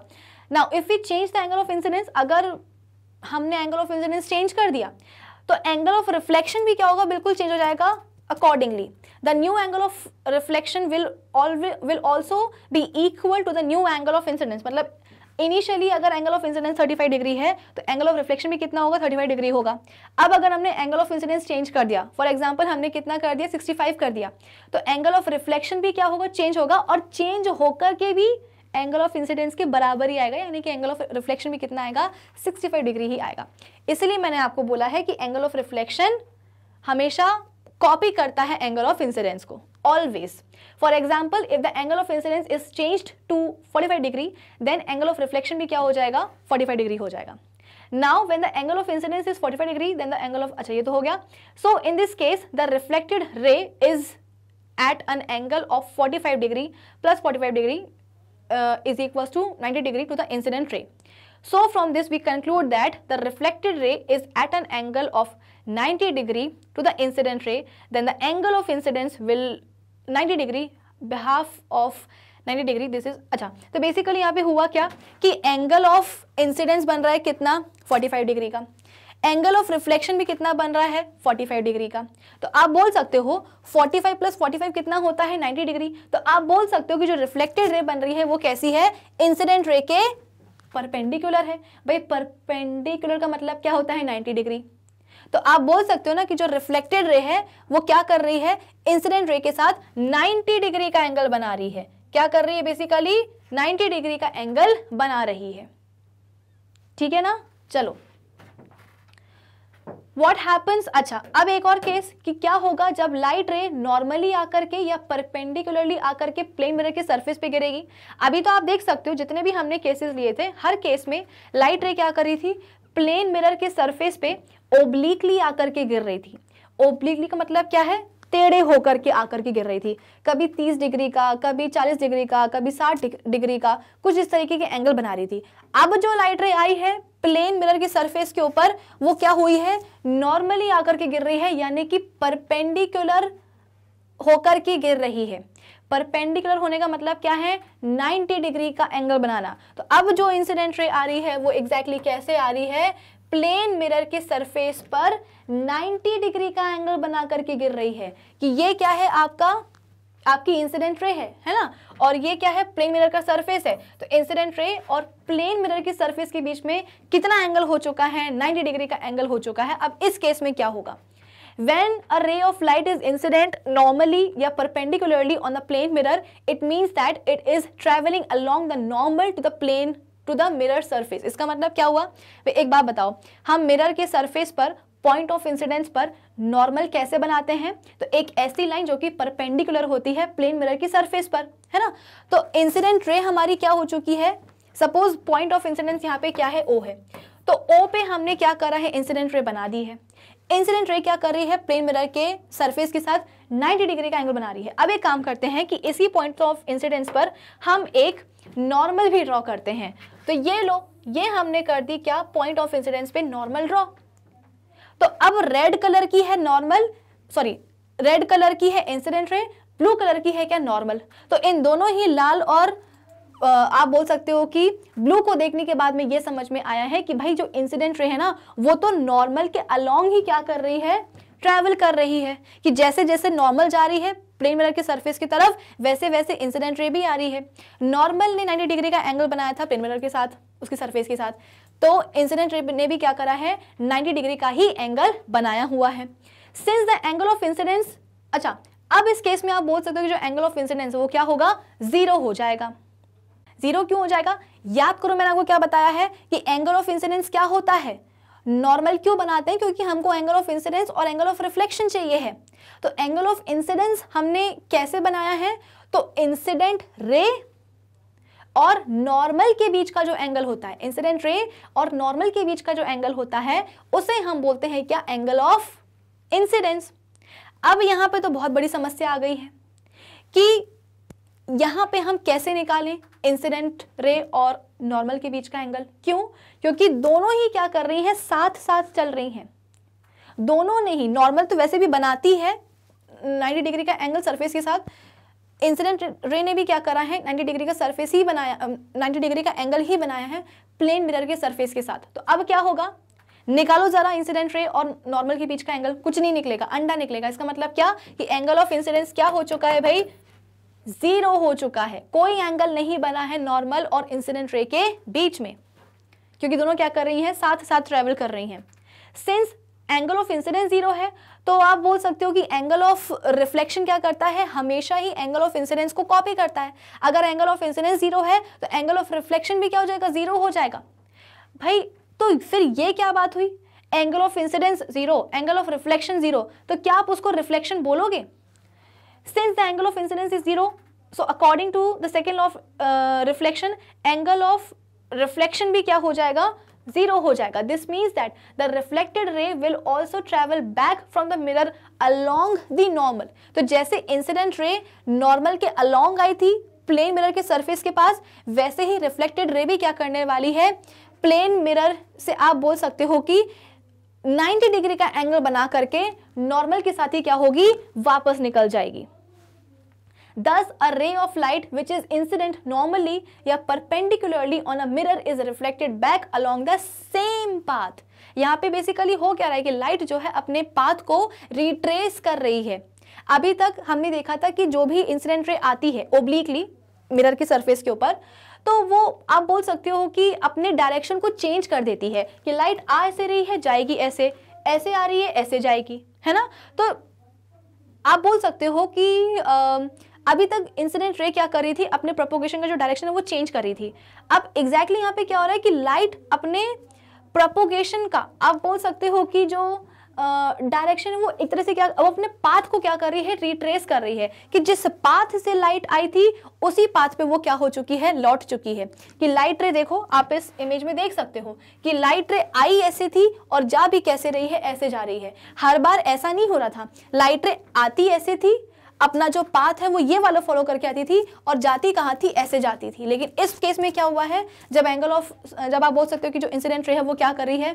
प्लेन मिरर के सरफेस के साथ 90 डिग्री का एंगल बना रही है। तो आप देख सकते हो कि जिस पाथ को फॉलो करके इंसिडेंट रे आई थी, उसी पाथ को फॉलो करके रिफ्लेक्टेड रे क्या होगी? वापस चली जाएगी। अलोंग द नॉर्मल फिर आप बोल सकते हो कि this is because the angle of incidence for such a ray of light is zero degree और एंगल ऑफ़ रिफ्लेक्शन भी क्या है? ज़ीरो डिग्री है thus if incident ray goes to a mirror along normal the reflected ray क्या होगा? Will also travel back along the normal in this case the same line represent incident ray normal and the reflected ray whenever light is reflected laws of reflection are obeyed जब भी light का reflection होगा laws of reflection हमेशा follow किए जाएँगे, हमेशा ओबे किए जाएँगे। ऐसा कभी नहीं होता है कि रिफ्लेक्शन हो रहा है और आप बोल सकते हो कि लॉज ऑफ़ रिफ्लेक्शन जो ना फॉलो नहीं किए गए हों। ऐसा होता ही नहीं है। चलिए, अब जो भी हमने कहानी पढ़ी है, उसके हिसाब से हम क्या करते हैं? थोड़े से सवाल सॉल्व कर लेते हैं। कि फ़र्स्ट सैंपल प्रॉब्लम क्या है आपके पास? कि an incident ray makes an angle of 35 degree with the surface of a plane mirror what is the angle of reflection ध्यान से पढ़िएगा सवाल को कि जो इंसिडेंट रे है, वो क्या कर रही है? प्लेन मिरर के सरफेस के साथ 35 डिग्री का एंगल बना रही है तो आपको एंगल ऑफ़ रिफ्लेक्शन निकालना है। इसका मतलब क्या है कि सपोज़ ये है आपका क्या? Plane mirror. इंसिडेंट रे आई कहाँ गई इंसिडेंट रे ये वाली। Incident ray I point O पर उसने क्या क्या क्या किया है? प्लेन मिरर की सरफेस को स्ट्राइक किया है। तो ओ क्या हो जाएगा? पॉइंट ऑफ़ इंसिडेंस अब सवाल में क्या दिया है कि इंसिडेंट रे प्लेन मिरर के सरफेस के साथ 35 डिग्री का एंगल बना रही है। यानी कि यहाँ पे एंगल ऑफ़ इंसिडेंस नहीं 35 डिग्री।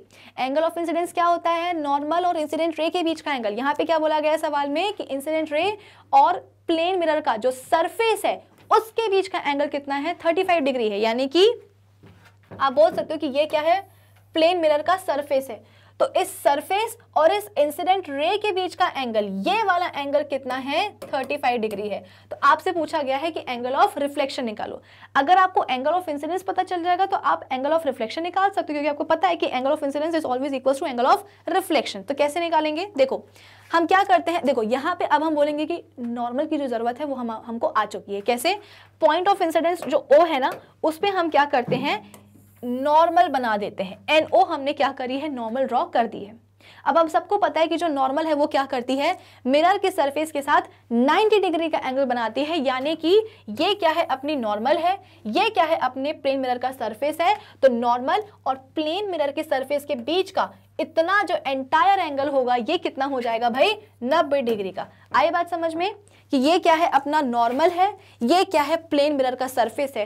तो नॉर्मल और प्लेन मिरर के सरफेस के बीच का जो एंगल होगा, वो कितना होगा? नब्बे डिग्री होगा। प्लेन मिरर का सरफेस और इंसिडेंट रे के बीच का एंगल कितना है? 35 डिग्री है। तो एक बात बताओ मुझे, आपके पास इतना पूरा एंगल है, आपको इतना एंगल दिया गया है तो आप इतने पूरे एंगल में से इतना एंगल माइनस करके क्या आप ये वाला एंगल नहीं निकाल सकते? भाई, ये वाला एंगल किसके बीच का है? इंसिडेंट रे और नॉर्मल के बीच का है। तो आप इतने बड़े 90 डिग्री के एंगल में से 90 डिग्री का एंगल किसके साथ बन रहा है? नॉर्मल और प्लेन मिरर के सरफेस के साथ बन रहा है। तो इतने बड़े एंगल में से आप 35 डिग्री एंगल माइनस नहीं कर सकते। 35 डिग्री क्या है? तो प्लेन मिरर का सरफेस और इंसिडेंट रे के बीच का एंगल है। तो क्या करेंगे? 90 माइनस पैंतीस कर देंगे। कितना आ जाएगा भाई? आप बोलोगे कि मैम 55 डिग्री आ जाएगा। इसका मतलब क्या होगा कि 55 डिग्री क्या है? ये वाला एंगल है, ये वाला। और ये वाला एंगल ही क्या है? एंगल ऑफ़ इंसिडेंस है। अगर एंगल ऑफ़ इंसिडेंस है कितना 55 डिग्री सेल्सियस तो एंगल ऑफ़ रिफ्लेक्शन भी क्या होगा? 55 डिग्री सेल्सियस दैट्स इट इसीलिए मैंने बोला था कि हमेशा ध्यान में, मन में बिठा लो, दिमाग में बिठा लो कि एंगल ऑफ़ इंसिडेंस किसके बीच में बनता है? एंगल ऑफ़ रिफ्लेक्शन किसके बीच में बनता है? अगर कंफ्यूज हो गए तो फिर सवाल गलत हो जाएगा कि आप बोलोगे कि बहुत ही लड्डू सवाल है। सवाल में दिया ही गया है कि इंसिडेंट रे और प्लेन मिरर का जो सरफेस है, उसके बीच का एंगल कितने 35 डिग्री है। तो डेफिनेटली यही क्या होगा? Angle of incidence angle of incidence is 35 degree celsius तो एंगल ऑफ़ रिफ्लेक्शन भी कितना हो जाएगा? 35 डिग्री सेल्सियस जबकि ऐसा बिल्कुल भी नहीं है। आई बात समझ में? ये क्या है? प्लेन मिरर की सरफेस और इंसिडेंट रे के बीच का एंगल है। ये वाला एंगल है, ये। ये वाला। हमें क्या करना है? नॉर्मल और इंसिडेंट रे के बीच का एंगल निकालना है। ठीक है ना? चलो।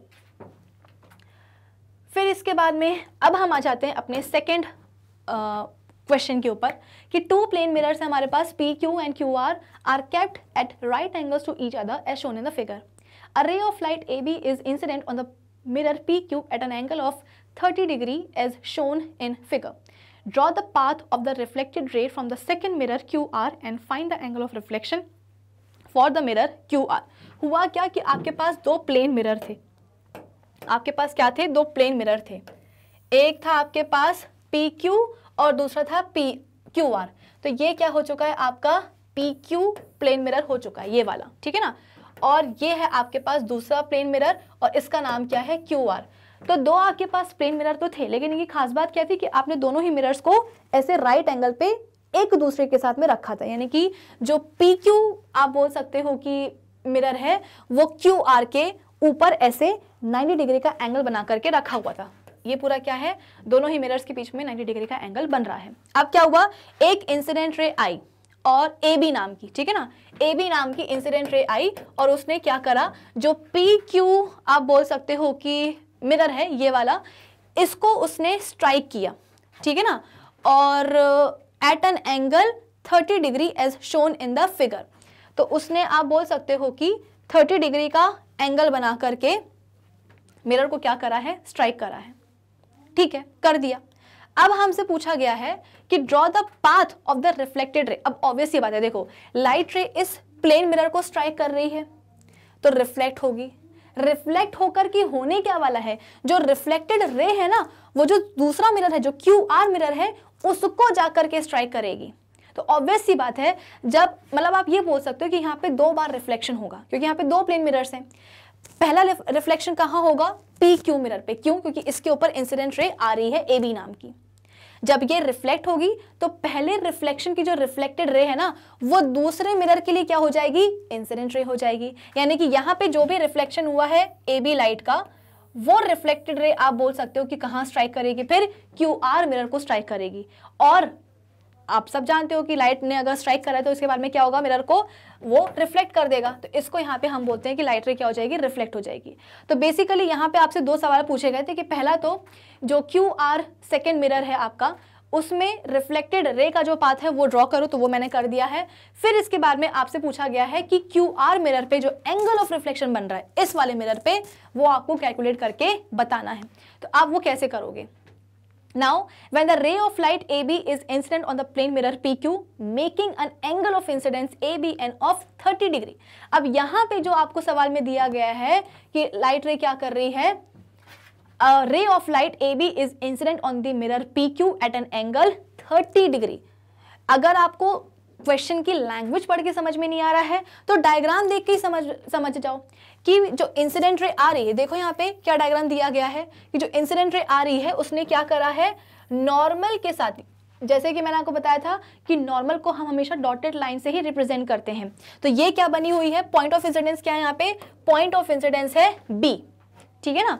तो पॉइंट ऑफ़ इंसिडेंस पे हमने क्या करा है? एक नॉर्मल बना करके रखी है। तो आप देख सकते हो कि हमारी जो ए बी इंसिडेंट रे है, वो क्या कर रही है?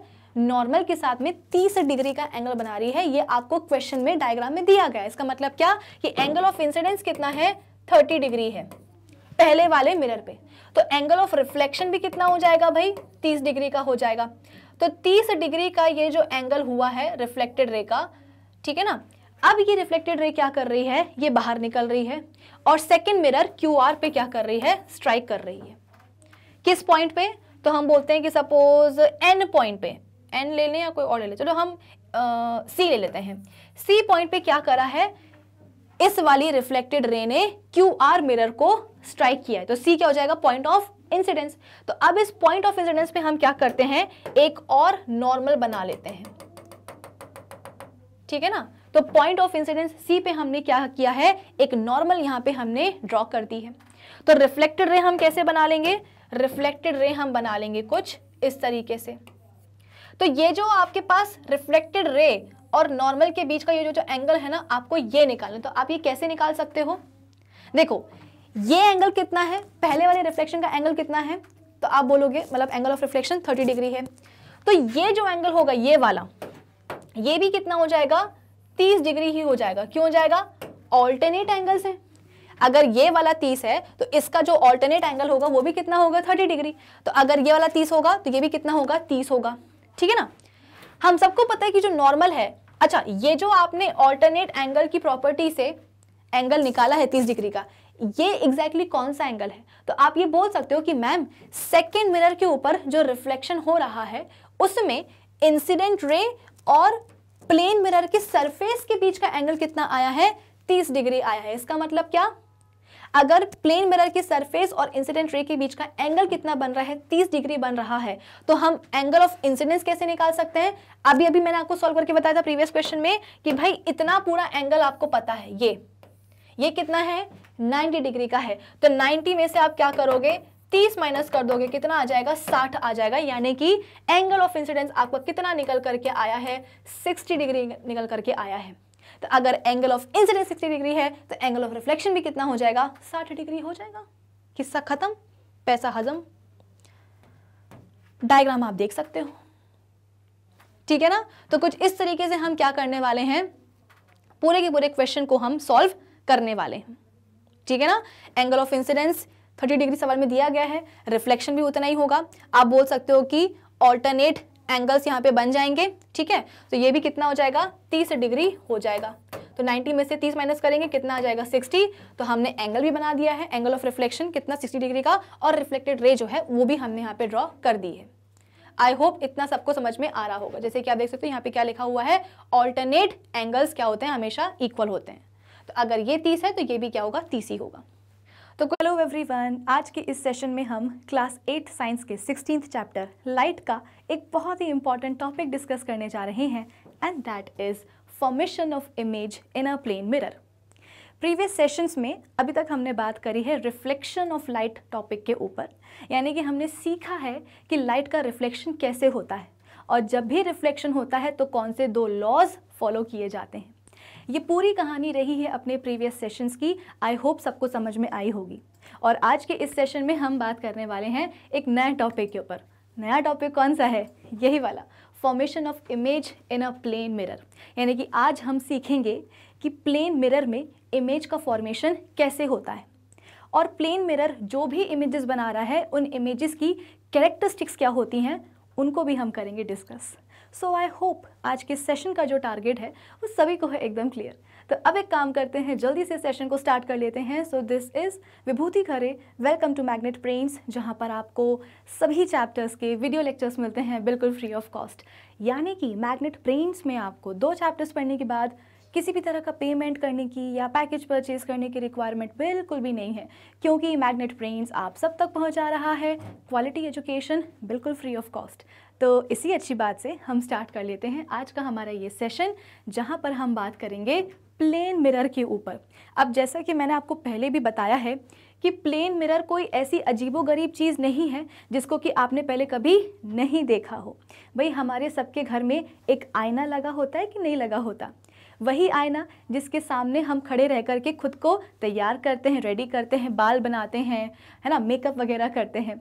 वही आईना क्या है? एक प्लेन मिरर है। तो हमारे घरों में जो एक बेसिक आईना लगा होता है, उसी को हम बोलते हैं क्या? एक प्लेन मिरर ठीक है? अब देखो यहाँ पे क्या लिखा गया है कि when an object is placed in front of a plane mirror its image is formed in the plane mirror जब आप एक ऑब्जेक्ट को प्लेन मिरर के सामने रखते हो तो प्लेन मिरर पे उस ऑब्जेक्ट की इमेज बन जाती है। भाई, इसको तो आप ऐसे भी समझ सकते हो ना कि हमको सुबह उठ करके स्कूल जाना है। तो स्कूल जाने के लिए सबसे पहले अपने आप को रेडी करना पड़ेगा। रेडी हम कैसे करेंगे? तो हम जा करके खड़े हो जाते हैं शीशे के सामने, आईने के सामने। तो जब हम जा कर के मिरर के सामने जाके खड़े हो जाते हैं तो हमारी जो इमेज है, वो मिरर पे बनती है, वो आईने में बनती है कि नहीं बनती है? तो जिस समय आप आईने के सामने खड़े हो ना, उस समय क्या हो? आप एक ऑब्जेक्ट हो। और आपकी इमेज कहाँ बनेगी? तो आईने पे बनेगी, यानी कि प्लेन मिरर पे बनेगी। तो यहाँ पे भी तो यही बोला गया है कि जब आप एक ऑब्जेक्ट को प्लेन मिरर के सामने रखते हो तो प्लेन मिरर क्या करता है? उस ऑब्जेक्ट की इमेज बना देता है। प्लेन मिरर पे उस ऑब्जेक्ट की इमेज बन जाती है। क्लियर चलो। Now we can locate the image of an object in a plane mirror by using the laws of reflection of light अब हम क्या कर सकते हैं कि प्लेन मिरर में जो ऑब्जेक्ट की इमेज बनी है उस इमेज को हम लोकेट कर सकते हैं। कैसे कर सकते हैं? So by using the laws of reflection of light हमने दो लॉज पढ़े हैं ना प्रीवियस सेशंस में। क्या पढ़ा है हमने? फ़र्स्ट लॉ क्या बोलता है? कि incident ray normal and reflected ray भाई जब भी रिफ्लेक्शन होता है तो एक इंसिडेंट रे होती है है ना? और पॉइंट ऑफ़ इंसिडेंस पर हम एक नॉर्मल ड्रॉ करते हैं। नॉर्मल को हम नॉर्मल बोलते हैं नॉर्मल रे नहीं बोलते हैं। ठीक है? तो एक होती है incident ray point of incidence पे हम क्या करते हैं? एक नॉर्मल ड्रॉ करते हैं। अब इंसिडेंट रे आई है, टकराई है सरफेस के साथ ऑब्जेक्ट के सरफेस के साथ तो टकराने के बाद क्या होगा? वो वापस लौट जाएगी, है ना? इसी को तो हम क्या बोलते हैं? रिफ्लेक्शन बोलते हैं। तो एक क्या आ जाएगी? अपने पास रिफ्लेक्टेड रे भी आ जाएगी। तो incident ray normal and reflected ray तीनों की तीनों क्या करती हैं? सेम प्लेन पे लाई करती हैं। ठीक है? ये तो हुआ अपना first law second law of reflection क्या बोलता है? कि angle of incidence is always equals to angle of reflection है ना? मैंने आपको समझाया था कि एंगल ऑफ़ इंसिडेंस हमेशा बराबर होता है किसके? एंगल ऑफ़ रिफ्लेक्शन की। आप ये भी बोल सकते हो कि एंगल ऑफ़ रिफ्लेक्शन हमेशा बराबर होता है एंगल ऑफ़ इंसिडेंस के। मैंने आपको पहले भी समझाया है कि यहाँ पर आप ब्लंडर मिस्टेक नहीं करोगे। कि एंगल ऑफ़ इंसिडेंस क्या होता है? इंसिडेंट रे और नॉर्मल के बीच में बनने वाला एंगल एंगल ऑफ़ रिफ्लेक्शन क्या होता है? रिफ्लेक्टेड रे एंड नॉर्मल के बीच में बनने वाला एंगल कि सपोज़ हमारे पास क्या है? प्लेन मिरर है, इस पर एक लाइट आई है, ठीक है ना?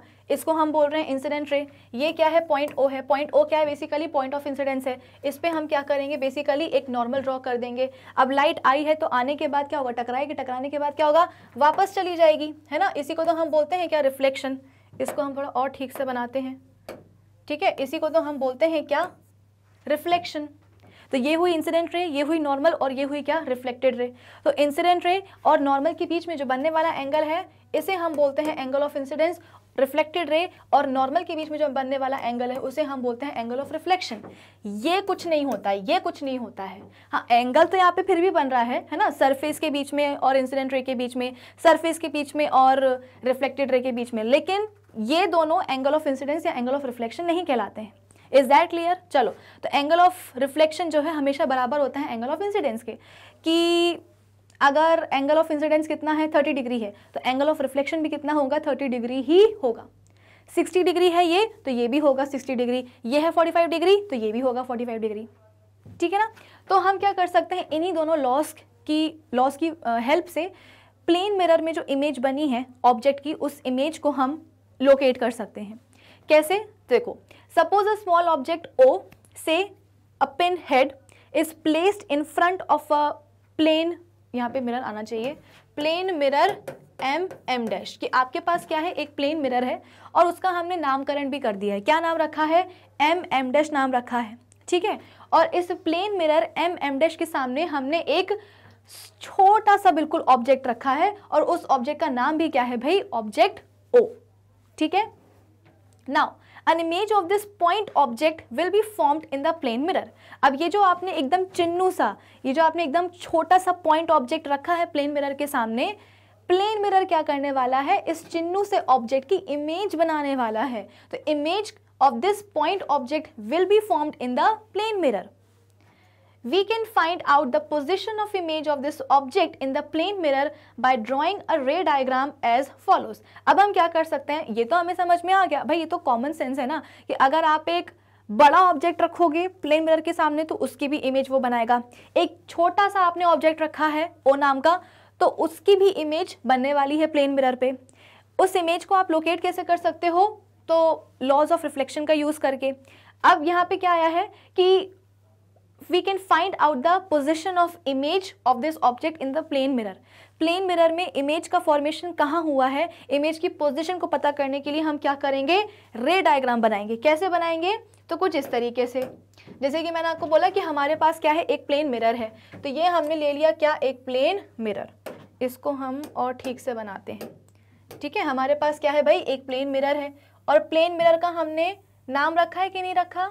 बिल्कुल रखा है। क्या रखा है? एम एम डैश और मैंने आपको प्रीवियस सेशन में भी बताया था कि जब भी हम मिरर बनाते हैं तो उसके एक साइड को हम क्या करते हैं? एक साइड में हम ऐसी ऐसी डिज़ाइन बनाते हैं। है ना? ये डिज़ाइन बेसिकली हमें क्या इंडिकेट करती हैं? ये डिज़ाइंस हमें बताती हैं कि ये क्या है? ये कोई कांच का टुकड़ा नहीं है, ये कोई ग्लास पीस नहीं है, ये एक मिरर है। क्योंकि मिरर का जो एक साइड है, जो एक साइड है, वो कैसा होता है? बेसिकली सिल्वर्ड होता है। वहाँ पे सिल्वर की कोटिंग की जाती है। वो पूरा ब्लैक होता है। इसका मतलब क्या? कि जो रिफ्लेक्शन होने वाला है मिरर में, वो केवल इस साइड में होने वाला है।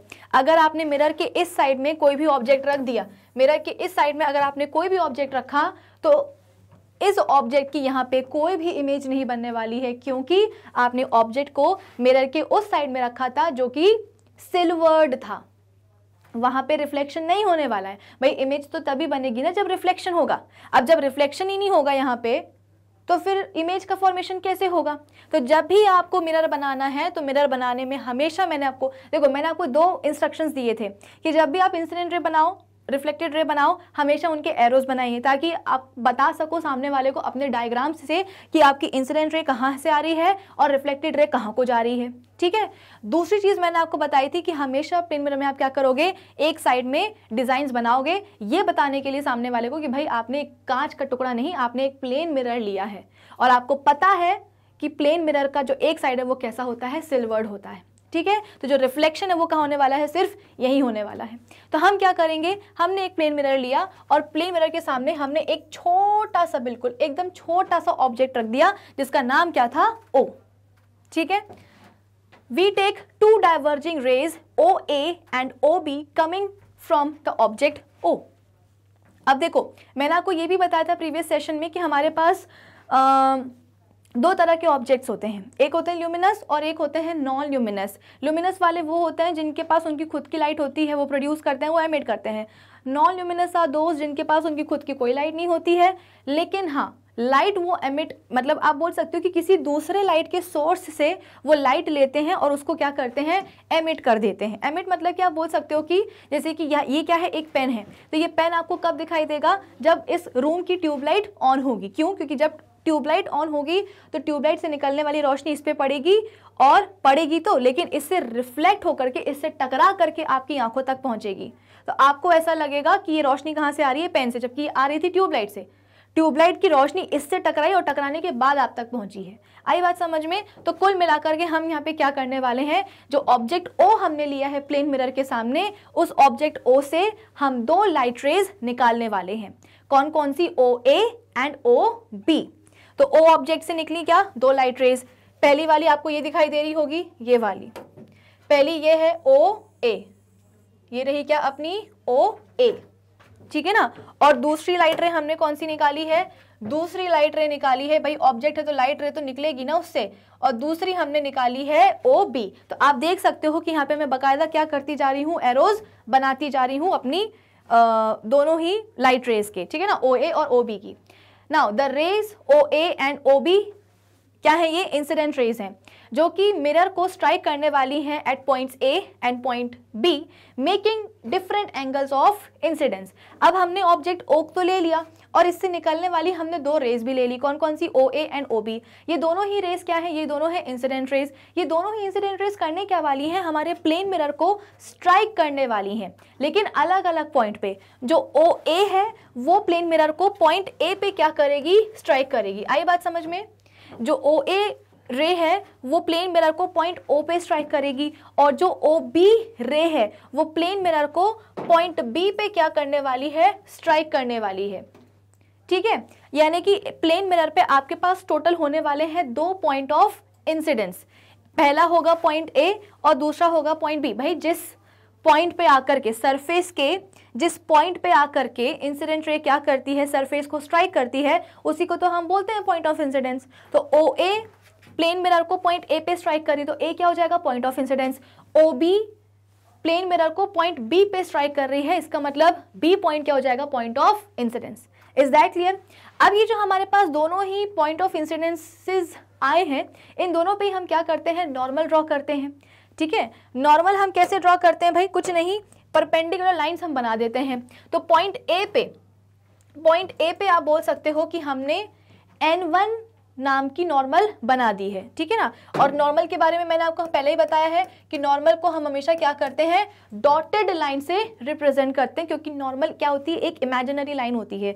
नॉर्मल को हम अपने कन्वीनियंस के लिए रिफ्लेक्शन एंगल ऑफ़ रिफ्लेक्शन निकालने के लिए रिफ्लेक्टेड रे बनाने के लिए हम उसको बनाते हैं अपने कन्वीनियंस के लिए, ठीक है ना? तो हम क्या करते हैं? हमेशा नॉर्मल को डॉटेड लाइन से रिप्रेजेंट करते हैं। तो पॉइंट ए पे पॉइंट ऑफ़ इंसिडेंस ए पे हमने एन वन नाम की नॉर्मल ड्रॉ कर दी है। सिमिलरली ये जो पॉइंट बी है पॉइंट ऑफ़ इंसिडेंस इस पे भी हम एन टू नाम की क्या करेंगे? नॉर्मल ड्रॉ कर देंगे कुछ इस तरीके से। आई बात समझ में?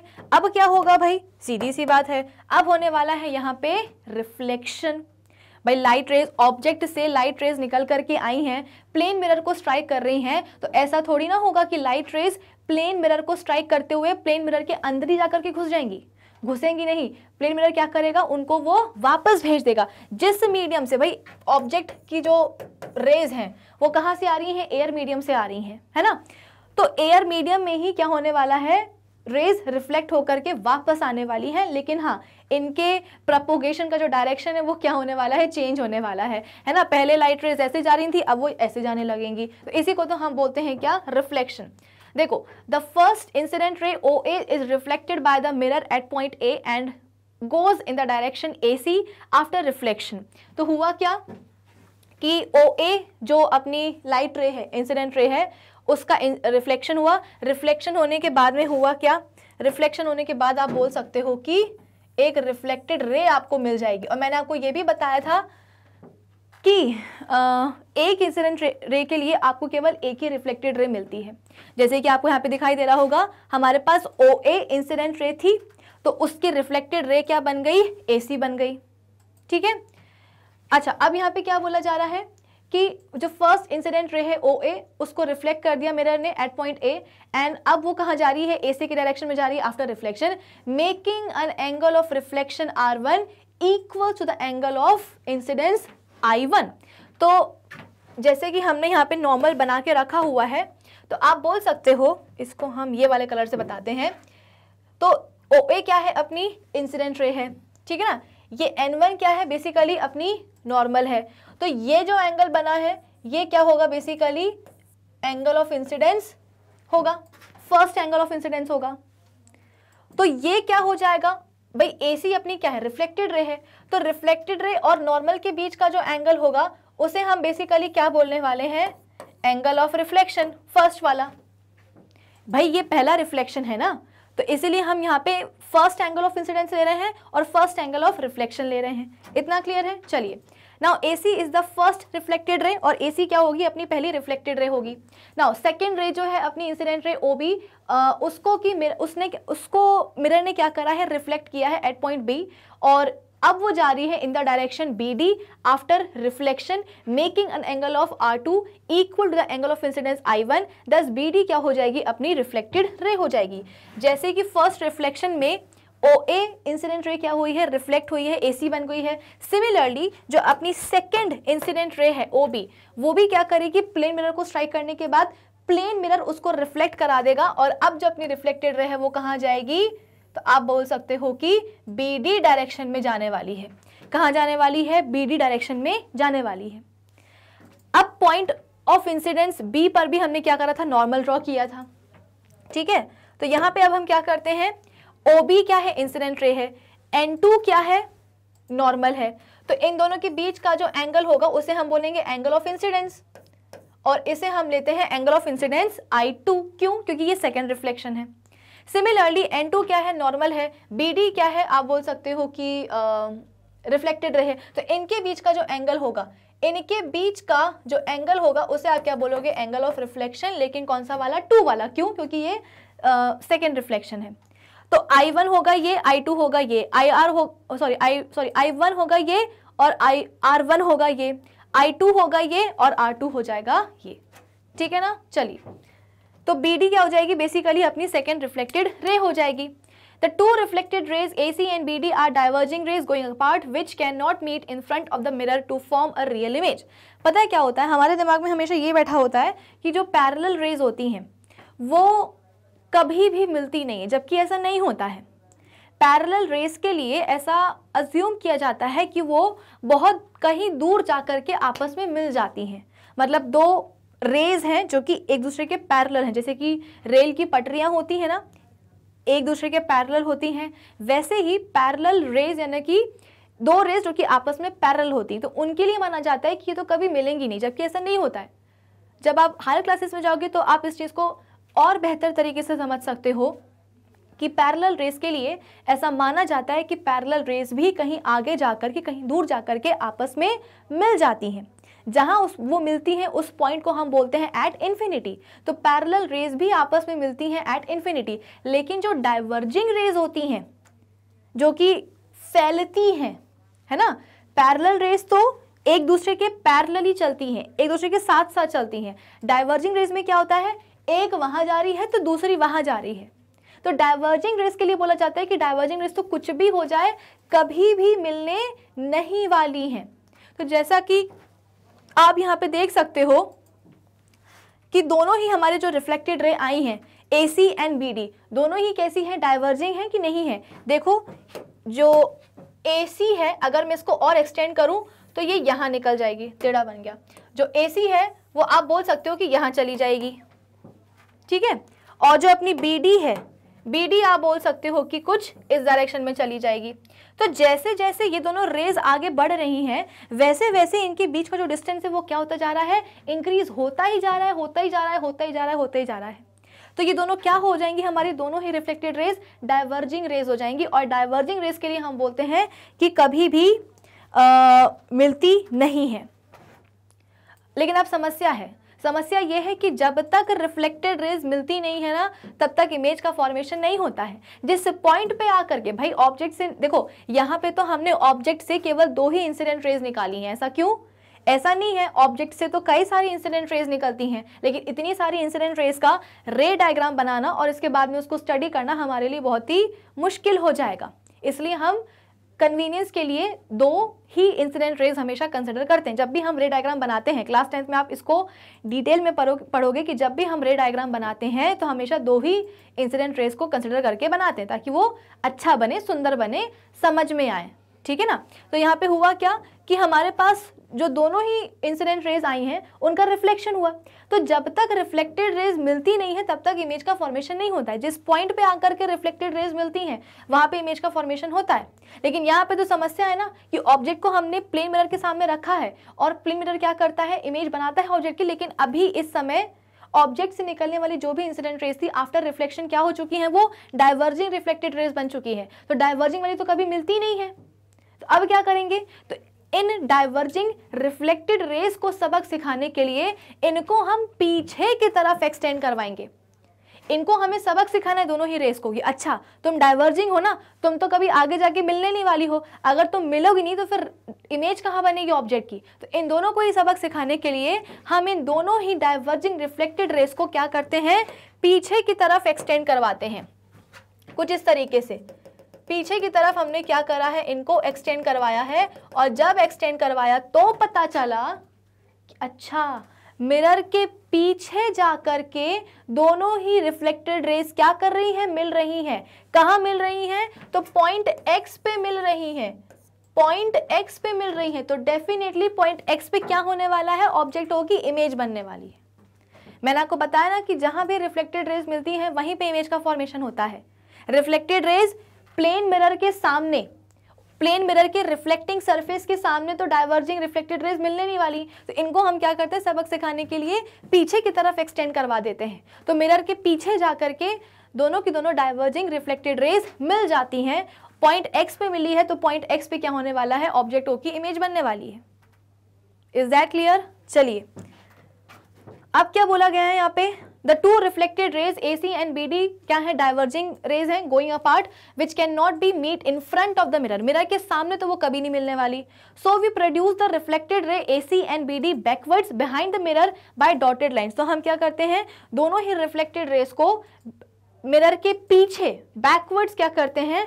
दोनों को प्रोड्यूस करते हैं और डॉटेड लाइन से बनाते हैं basically on producing backwards the reflected ray rays meet at point X behind the mirror और जब हम दोनों ही रिफ्लेक्टेड रेज को पीछे की तरफ़ जो है ना एक्सटेंड करते हैं तो दोनों ही रिफ्लेक्टेड रेज क्या होती हैं पॉइंट एक्स पे जाकर के मिल जाती हैं चलिए when we look in the plane into the plane mirror from an angle as shown in the figure the reflected rays AC and BD enter our eye the reflected rays appear to be coming from point X behind the mirror. So, point X is the image of object O.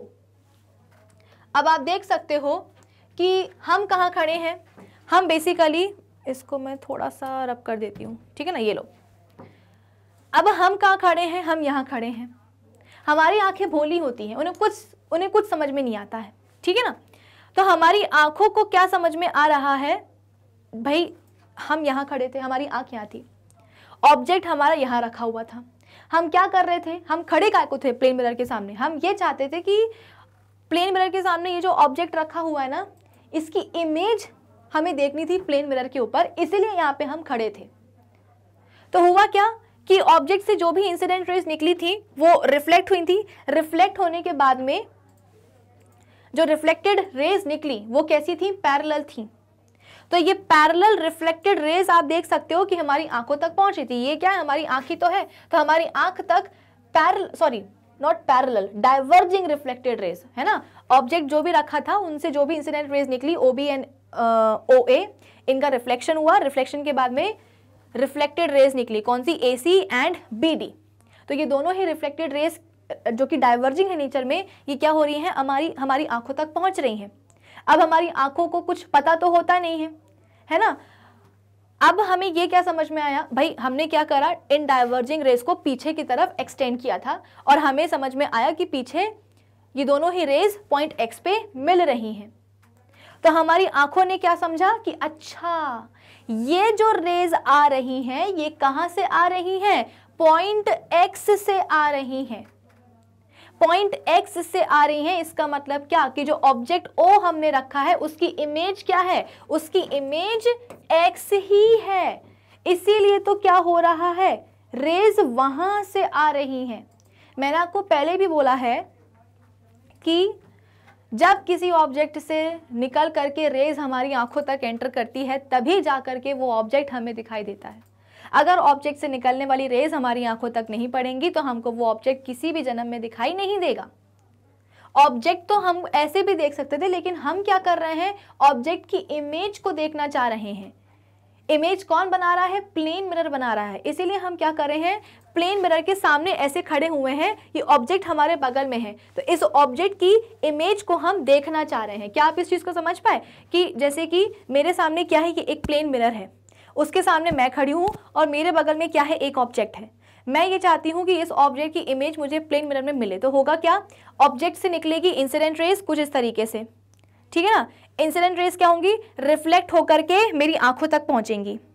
अब ये जो reflected raise निकल रही हैं मतलब जो reflected raise आ रही है मेरी आँखों तक, ये कैसी हैं? डाइवर्जिंग टाइप की हैं, जैसे कि ये है। है ना? ये जितनी भी रिफ्लेक्टेड रेस हैं, वो सब कैसी हैं? डाइवर्जिंग टाइप की हैं। तो इन सभी रिफ्लेक्टेड रेस को हम क्या करते हैं? पीछे एक्सटेंड करवाते हैं। पीछे जाकर के क्या होता है कि ये सभी की सभी डाइवर्जिंग रिफ्लेक्टेड रेज मिरर के पीछे जाकर के मिलती हैं पॉइंट एक्स पे मिलती हैं। तो मेरी आँखों को देखने में लगेगा कि जो भी रिफ्लेक्टेड रेज आ रही हैं, जो भी रेज मेरी आँखों तक पहुँच रही हैं, वो कहाँ से आ रही हैं? पॉइंट एक्स से आ रही हैं, जो कि कहाँ है? मिरर के पीछे है। तो डेफिनेटली जो इमेज है, वो क्या है? पॉइंट एक्स ही तो है। आई बात समझ में? मुझे इमेज दिखाई दी ना ऑब्जेक्ट की प्लेन मिरर में। कैसे दिखाई दी? तो आप बोल सकते हो कि रिफ्लेक्टेड रेज मेरी आँखों तक पहुँच रही हैं। जब तक लाइट नहीं पहुंचेगी, तब तक ऑब्जेक्ट दिखाई नहीं देगा। उसकी इमेज दिखाई नहीं देगी। तो मुझे इमेज कैसे दिखाई दी ऑब्जेक्ट ओ की? क्योंकि रेज मेरी आँखों तक पहुँची रिफ्लेक्टेड रेज मेरी आँखों तक पहुँची। कहाँ से पहुँची? तो आप देख सकते हो कि पॉइंट एक्स से पहुँच रही है। ऐसा लग रहा है कि पॉइंट एक्स से पहुँच रही है। तो डेफिनेटली पॉइंट एक्स क्या होगा? ऑब्जेक्ट ओ की इमेज ही होगा। आई होप ये सबको समझ में आया होगा। तो हम ये मान लेंगे कि x क्या है? X इमेज है ऑब्जेक्ट ओ की। क्योंकि ऐसा लग रहा है कि जो रिफ्लेक्टेड रेज हैं, वो कहाँ से चल के आ रही हैं? एक्स से ही चल के आ रही हैं। हमारी आँखों तक रेस पहुँच चुकी हैं और हमारी आँखों को क्या पता? कि भाई जो रेस पहुँच रही हैं, वो तो डाइवर्जिंग टाइप की थी। इनको पीछे की तरफ़ प्रोड्यूस करवाया गया है एक्सटेंड करवाया गया है। हमारी आँखों को इतनी कहानी नहीं पता होती, भोली होती है ना? तो इसीलिए क्या हुआ? हमें ऐसा लगा कि इमेज कहाँ बनी है? ऑब्जेक्ट ओ की एक्स पे बनी है। तो एक्स क्या है? इमेज है बेसिकली ऑब्जेक्ट ओ की। आई होप इतना सबको समझ में आया होगा। So when we look into the plane mirror from an angle as shown in the figure the reflected rays A C and B D हमारी आँखों तक आ जाती हैं। अब ये जो रिफ्लेक्टेड रेज हैं appear to be coming from point X behind the mirror मैं आपको बार बार बोल रही हूँ कि ऐसा लग रहा है। जो भी रिफ्लेक्टेड रेज आ रही है हमारी आँखों तक, उनको देख करके ऐसा लग रहा है कि ये दोनों ही रिफ्लेक्टेड रेज कहाँ से आ रही हैं? मिरर के पीछे पॉइंट एक्स से आ रही हैं। सो पॉइंट एक्स क्या हो जाएगा? ऑब्जेक्ट ओ की इमेज बन जाएगा। Since the reflected rays of light do not actually meet at the image point x but only appear to do so, we say that a virtual image of object O is formed at x. अब क्योंकि reflected rays वास्तव में सच में आपस में आकर के नहीं मिली हैं है ना since the reflected rays of light do not actually meet at point X बस हमें लग रहा है कि पॉइंट एक्स पे क्या हो रही है? रिफ्लेक्टेड रेज मिल रही हैं। इसीलिए जो इमेज बन रही है वो कैसी है? ऑब्जेक्ट ओ की वर्चुअल है। तो जो एक्स इमेज बनी है वो क्या है? एक वर्चुअल इमेज है। आपने सेवन्थ क्लास में पढ़ा होगा, एक रियल इमेज होती है और एक वर्चुअल इमेज होती है। रियल इमेज कब बनती है? जब रिफ्लेक्टेड रेज आफ्टर रिफ्लेक्शन सच में आकर के क्या होती है? मिलती हैं। जब आप क्लास टेंथ में जाओगे ना, आप पढ़ोगे एक स्फेरिकल मिरर के बारे में। किसके बारे में पढ़ोगे? आप एक स्फेरिकल मिरर के बारे में पढ़ोगे, जिसे हम क्या बोलते हैं? कॉन्केव मिरर बोलते हैं। ऐसा धसा हुआ रहता है वो, ठीक है ना? ऐसा। तो इस कॉन्केव मिरर की खास बात क्या होती है? कि सपोज़ ये एक इंसिडेंट रे आ रही है, ये एक इंसिडेंट रे आ रही है है ना? दोनों ही रिफ्लेक्ट होती हैं, और रिफ्लेक्ट होने के बाद में रिफ्लेक्टेड रेज आप बोल सकते हो कि इस पॉइंट पे आकर के क्या होती हैं? मिलती हैं। ये भी एक मिरर है, बस ये एक स्फेरिकल मिरर है। हम हम जो ले रहे हैं वो क्या है? एक प्लेन मिरर है।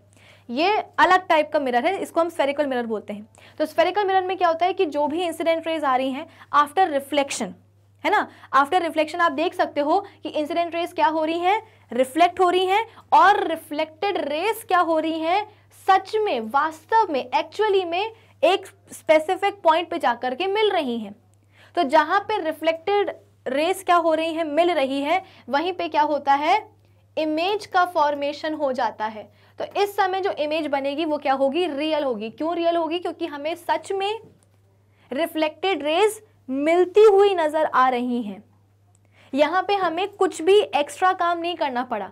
प्लेन मिरर में मैंने आपको जैसा कि बताया कि जो रिफ्लेक्टेड रेज मिल निकलती हैं इंसिडेंट रेस से मतलब रिफ्लेक्ट होकर के, वो रिफ्लेक्टेड रेस डाइवर्जिंग होती है। और डाइवर्जिंग वाली तो कभी भी मिलती नहीं है। तो उनको मिलाने की कोशिश के लिए हम क्या करते हैं?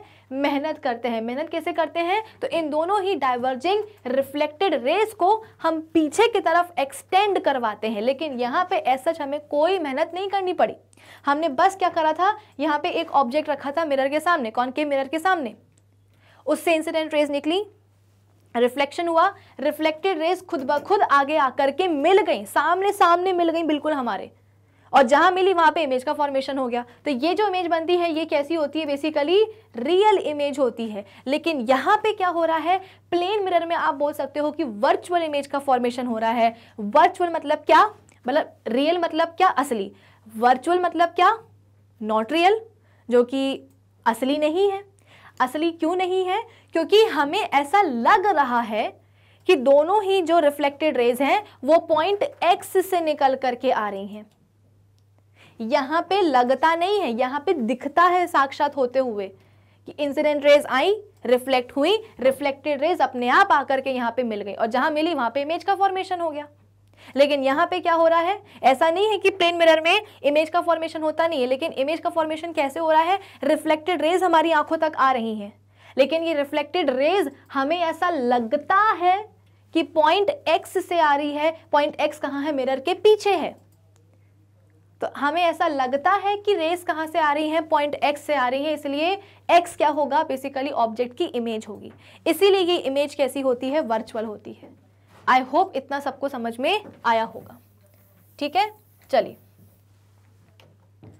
So since the reflected rays of light do not actually meet at the image point X but only appear to do so इसीलिए हम बोलते हैं कि वर्चुअल इमेज बनती है। Such a virtual image can not be obtained on a screen और ऐसी virtual image को आप स्क्रीन पे ऑप्टेन नहीं कर सकते हो। ठीक है ना? आप स्क्रीन पे ऑप्टेन नहीं कर सकते हो ऐसी वर्चुअल इमेज को।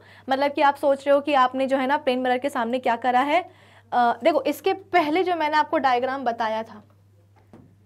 ठीक है ना? कहाँ गया अपना वो वाला डायग्राम फिर से बना देते हैं। ये लो। ठीक है ना? ये जो हमारा कॉनकेव मिरर का डायग्राम था कॉनकेव मिरर के से जो भी इमेज बन रही है, उसको आप एक स्क्रीन पे ऑप्टेन करना चाहते हो। तो स्क्रीन पे ऑप्टेन करने के लिए आप क्या करोगे? आप देख सकते हो कि ये आपने कॉनकेव मिरर रखा था। इंसिडेंट रेज निकल रही थी रिफ्लेक्शन हुआ था रिफ्लेक्टेड रेज यहाँ पे आकर के मिल रही थी। तो एक काम करो ना, जो भी आपके पास स्क्रीन है ना, आप उस स्क्रीन को इस पर्टिकुलर पॉइंट ऑफ़ कन्वर्जेंस पर रख दो। भाई, सभी के सभी रिफ्लेक्टेड रेज क्या हो रही है? कन्वर्ज हो रही है एक पॉइंट पर। तो जिस पॉइंट पे वो कन्वर्ज हो रही है, उसे हम बोलते हैं पॉइंट ऑफ़ कन्वर्जेंस तो पॉइंट ऑफ़ कन्वर्जेंस पे अगर आप क्या करोगे स्क्रीन रख दोगे तो स्क्रीन पे क्या होगा? इमेज का फॉर्मेशन हो जाएगा. लेकिन एक बात बताओ मुझे, इस केस में जो प्लेन मिरर इमेज बना रहा है वर्चुअल है, भले ही वर्चुअल है, लेकिन क्या आप वर्चुअल इमेज को स्क्रीन पे ऑप्टेन कर सकते हो? करके बताओ कैसे करोगे? भाई स्क्रीन हमें कहाँ रखनी है? जहाँ पे रिफ्लेक्टेड रेज मिल रही हैं। है ना? यहाँ पे इस वाले पॉइंट पे रिफ्लेक्टेड रेज मिल रही थी। ये पॉइंट ऑफ़ कन्वर्जेंस था। इसीलिए यहाँ पे हमने स्क्रीन रख दी। तो स्क्रीन पे इमेज का फॉर्मेशन हो जाएगा। लेकिन यहाँ पे आप कहाँ रखोगे स्क्रीन स्क्रीन हमेशा वहाँ रखी जाती है जहाँ पे रिफ्लेक्टेड रेज मिलती हैं। लेकिन यहाँ पे तो रिफ्लेक्टेड रेज के सच में मिलने का कोई आप बोल सकते हो कि ठिकाना ही नहीं है। यहाँ पे हमें ऐसा लगता है कि रिफ्लेक्टेड रेस कहाँ से आ रही है? पॉइंट एक्स से आ रही है। अब लगता है से क्या मतलब है? वास्तव में, असलियत में तो रिफ्लेक्टेड रेज आप बोल सकते हो कि एक्स से नहीं आ रही है ना? रिफ्लेक्टेड रेस तो कैसी थी? डाइवर्जिंग थी। वो तो हमने जा कर के प्रोड्यूस करवाया था कि भैया करवा देते हैं ताकि कहीं ना कहीं तो वो जाकर के मिलेंगी। वो तो हमने ज़बरदस्ती करवाई थी। है ना? तो हमें ऐसा लग रहा था कि भाई पॉइंट एक्स से क्या हो रहा है? रिफ्लेक्टेड रेज निकल के आ रही हैं हमारी आँखों तक। तो इसीलिए पॉइंट एक्स क्या है? इमेज है ऑब्जेक्ट की। लेकिन अगर आपको यहाँ पे स्क्रीन रखनी होगी तो आप कहाँ रखोगे? नहीं रख पाओगे। इसीलिए वर्चुअल इमेज जो है, उसको स्क्रीन पे ऑप्टेन नहीं किया जा सकता। आई होप ये भी समझ में आया होगा। ठीक है ना? चलिए। अब हम आ चुके हैं किसके ऊपर? Characteristics of image formed by a plane mirror अब प्लेन मिरर पे इमेज का फॉर्मेशन कैसे होता है ऑब्जेक्ट की? वो मैंने आपको बता दिया। अब जो इमेजेस बनती हैं प्लेन मिरर में, उन इमेजेस की कैरेक्टरिस्टिक्स क्या होती है, वो हम पढ़ते हैं। कुछ चार से पाँच कैरेक्टरिस्टिक्स हैं और इनको आप क्लास सेवन्थ में ऑलरेडी पढ़ चुके हो तो हमें क्या करना है? बस इसको जल्दी से एक बार रिवाइज करना है। एक्चुअली है क्या कि जब आप क्लास नाइन्थ में जाओगे ना तो वहाँ पे आप रिफ्रैक्शन पढ़ोगे। अभी आप रिफ्लेक्शन पढ़ रहे हो क्लास नाइन्थ में जाकर के आप रिफ्रैक्शन पढ़ोगे। रिफ्रैक्शन मतलब कि कभी कभी आपने देखा होगा ना कि सपोज़ हम क्या कर रहे हैं जूस पी रहे हैं, ठीक है ना? तो जूस हम कैसे पी रहे हैं? हमारे पास कांच का एक ग्लास है, उसमें हमने जूस डाला है और उसको हम स्ट्रॉ से पी रहे हैं। तो जैसे ही हम स्ट्रॉ डालते हैं, या स्ट्रॉ छोड़ो मतलब जूस छोड़ो, हम सिंपल पानी पी रहे हैं, है ना? कोल्ड ड्रिंक पी रहे हैं, कौन सी वाली? स्प्राइट पी रहे हैं, लिमका वगैरह पी रहे हैं, ठीक है ना? तो हमारे पास जो ग्लास है, उसमें हमने सपोज़ पानी डाला है और पानी में हमने स्ट्रॉ डाल दिया। स्ट्रॉ डालने के बाद जब हम ऐसे उसको ग्लास को जाकर के देखेंगे बाहर से तो हमको पता क्या लगेगा? कि ग्लास में जाकर के, पानी में जाकर के जो स्ट्रॉ है, वो ऐसा टूट सा गया है। सिमिलरली जब आप पानी में एक पेंसिल डाल दो तो पेंसिल आपको ऐसा लगेगा कि टूट गई है। तो वो जो टूटी हुई अपियरेंस आती है, वो होती है रिफ्रैक्शन की वजह से। तो क्लास नाइन्थ में आप रिफ्रैक्शन पढ़ते हो। और इसी का बहुत एडवांस्ड फॉर्म आप पढ़ते हो क्लास टेंथ में। यानी कि ये जो चैप्टर है ना अपना लाइट वाला, ये इतने आसानी से आपका पीछा नहीं छोड़ने वाला है। इसीलिए ज़रूरी है कि आप बेसिक मतलब जो आपकी जो एक फाउंडेशन क्लास जो यहाँ पे हो रही है एट्थ की नाइन्थ की जो होती है, यहीं से आप क्या करो, अपने कंसेप्ट को क्लियर करते हुए चलो। क्योंकि आपको आगे जाकर के क्लास टेंथ में जाकर के नाइन्थ में टेंथ में आपको काफ़ी एडवांस्ड चीज़ें पढ़नी है। वहाँ पे आप रिफ्रैक्शन की बातें करोगे न्यूमेरिकल सॉल्व करोगे। यहाँ पे जो हमने न्यूमेरिकल सॉल्व करे थे अभी प्रीवियस सेशन में, वो तो बहुत लड्डू सवाल थे, वो तो कुछ भी नहीं है। आगे जा करके आपको बहुत कुछ पढ़ना है इस चैप्टर में, ठीक है ना? तो इसीलिए रिफ्लेक्शन का जो कंसेप्ट है, वो आप अभी से क्लियर करते चलो। इसीलिए लाइट जो टॉपिक है, वो आप सेवन्थ में भी पढ़ते हो एट्थ में भी पढ़ते हो नाइन्थ में भी पढ़ोगे, और जहाँ तक है टेंथ में तो पढ़ना ही पढ़ना है। चलिए तो फ़र्स्ट कैरेक्टरिस्टिक क्या है? The image formed by a plane mirror is virtual या अनरियल जैसे कि मैंने आपको बताया कि जो इमेज का फॉर्मेशन होता है प्लेन मिरर में, वो कैसी होती है? वर्चुअल होती है। The image form by a plane mirror कैसी होती है? बिहाइंड द मिरर मिरर के पीछे होती है। The image formed in a plane mirror is the same distance behind the mirror as the object in front of the in front of it यानी कि plane mirror के सामने object को आप जितने डिस्टेंस पे रखते हो, उतने ही डिस्टेंस पर इमेज का फॉर्मेशन होता है from the plane mirror the image formed in a plane mirror is of the same size as the object एक बात बताओ, जब भी आप अपना चेहरा प्लेन मिरर में देखते हो, आईने में देखते हो तो जिस एक्चुअल साइज़ का आपका चेहरा होता है, उसी एक्चुअल साइज़ की आपकी इमेज भी बनती है ना? मतलब ऐसा तो नहीं होता कि आपका जो चेहरा है, वो ऐसा है, ठीक है ना? और जो इमेज बन रही है आईने में, वो कैसी बन रही है? आपके चेहरे की इतनी बड़ी बन रही है कि आपका मुँह इतना सा है, लेकिन इमेज में इतना बड़ा दिखाई दे रहा है। या आपका मुँह इतना सा है और इमेज में आ, आपका जो चेहरा है वो बिल्कुल इतना सा दिखाई दे रहा है। ऐसा नहीं होता ना। जो ओरिजिनल साइज़ है जो ओरिजिनल शेप है आपके फेस का वही साइज़ आपको आपकी इमेज में भी दिखाई देगा। The image form by a plane mirror is erect जो इमेज बनती है प्लेन मिरर में वो कैसी होती है? इरेक्ट होती है। The image in an plane mirror is laterally inverted ठीक है ना? तो जैसे कि मैंने आपको इंट्रोडक्शन में बताया था इस चैप्टर के इंट्रोडक्शन में कि प्लेन मिरर के जो इमेजेस बनाता है, उन इमेजेस की कैरेक्टरिस्टिक्स क्या होती हैं, ये एक फेवरेट सवाल होता है एग्जामिनर का। बहुत बार ऐसा हुआ है कि क्वेश्चन डायरेक्ट क्वेश्चन ये आया है कि define the characteristics of images form by plane mirror तो कभी कभी हम जाकर के एकदम ब्लैंक हो जाते हैं कि यार क्या पढ़ा था? इतनी सारी चीज़ें पढ़ी थी कि अब कुछ याद नहीं आ रहा है कि हमने क्या पढ़ा था। तो प्लेन मिरर जो इमेजेस बनाता है, उनकी कैरेक्टरिस्टिक्स को याद करने के लिए आपको मेहनत नहीं करनी पड़ती है। क्यों नहीं करनी पड़ती है? आप अपने आप को जो है ना इमेजिन करो कि आप अभी कहाँ खड़े हो। अपने घर के आईने के सामने खड़े हो। आप एक प्लेन मिरर के सामने खड़े हो। तो आपकी जो भी इमेज बन रही है बस उस उस आ, इमेज की जो कैरेक्टरिस्टिक्स है आपको बस वही लिखनी है। The image form by a plane mirror is virtual means the image form by a plane mirror can not be obtained on a screen जैसे कि मैंने आपको बताया आप यहाँ पे भी देख सकते हो। कि हमारे पास क्या है? बेसिकली एक प्लेन मिरर है। हमारे पास क्या है? एक प्लेन मिरर है। उसके सामने है, हमने एक जलती हुई कैंडल रखी है, एक लाइट सोर्स रखा है। उससे लाइट रेज निकली हैं। लाइट रेज क्या हुई हैं? रिफ्लेक्ट हुई हैं। रिफ्लेक्ट होकर के कहाँ आई हैं? लाइट रेज हमारी आँखों तक आई हैं। ठीक है ना? ये बेसिकली आप देख सकते हो कि जो लाइट रेज हैं, वो कैसी हैं? दरअसल ये हैं डाइवर्जिंग रिफ्लेक्टेड रेज लेकिन हमारी आँखें क्या होती हैं भाई? भोली होती हैं, इनको क्या पता? हमारी आँखों को ऐसा लगता है कि भाई, ये जो रिफ्लेक्टेड रेज है ना, ये पता है कहाँ से आ रही है? मिरर के पीछे एक स्पेसिफिक पॉइंट से आ रही हैं। यानी कि उस पॉइंट पे क्या हुआ होगा? रिफ्लेक्टेड रेज मिली होंगी। क्या आप इस चीज़ को समझ रहे हो? वर्चुअल इमेज क्या होती है वो मैं आपको और अच्छी तरीके से समझा रही हूँ, आसान तरीके से। इतना आसान तरीका आपको कहीं नहीं मिलेगा कि आपके सामने क्या रखा हुआ है? प्लेन मिरर रखा हुआ है उसके सामने एक जलती हुई कैंडल रखी है। और हम ये चाहते हैं कि इस जलती हुई कैंडल की इमेज हमें प्लेन मिरर में दिखाई दे। तो इसके लिए हम क्या कर रहे हैं? एक एंगल बना करके प्लेन मिरर के सामने ही हम खड़े हुए हैं। ये हमारी क्या है? आँख है। अब जो भी जलती हुई कैंडल से इंसिडेंट रेज निकली हैं, वो इंसिडेंट रेज क्या होंगी? स्ट्राइक करेंगे मिरर पे रिफ्लेक्शन होगा। रिफ्लेक्शन के बाद में रिफ्लेक्टेड रेज कहाँ आ रही है? हमारी आँखों तक आ रही है। अब हमारी आँखें बोली हैं, उनको क्या पता कि ये जो रिफ्लेक्टेड रेज आ रही हैं मतलब हमारी जो आँखें हैं, उनको ऐसा लगता है कि ये जो रिफ्लेक्टेड रेज हैं, ये कहाँ से आ रही है? ये कहीं से तो आ रही हैं मिरर के पीछे से। यानी कि हमारी आँखों को ये लगता है कि ये जो रिफ्लेक्टेड रेज हम तक आ रही हैं, आँखों तक आ रही हैं, ये रिफ्लेक्टेड रेज मिरर के पीछे से आ रही हैं और मिरर के पीछे ये रिफ्लेक्टेड रेज कहीं जाकर के मिली होंगी। जैसे कि हम यहाँ पे एक्सटेंड करवा रहे हैं ना, कुछ इस तरीके से। हम यहाँ पे जो एक्सटेंड करा रहे हैं, दोनों ही डाइवर्जिंग रिफ्लेक्टेड रेस को ये एक्सटेंशन बेसिकली कौन करता है? हमारी आँखें अपने आप कर देती हैं।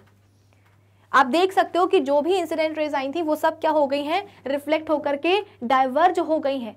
असलियत में कोई भी रिफ्लेक्टेड रे असलियत में कोई भी रिफ्लेक्टेड रे नहीं मिली है। आप इस चीज़ को प्लीज़ समझिएगा कि जो भी इंसिडेंट रेज आई थी, उनका रिफ्लेक्शन हुआ। रिफ्लेक्शन के बाद में क्या हुआ? रिफ्लेक्टेड रेज निकली। रिफ्लेक्टेड रेज कैसी थी? डाइवर्जिंग थी।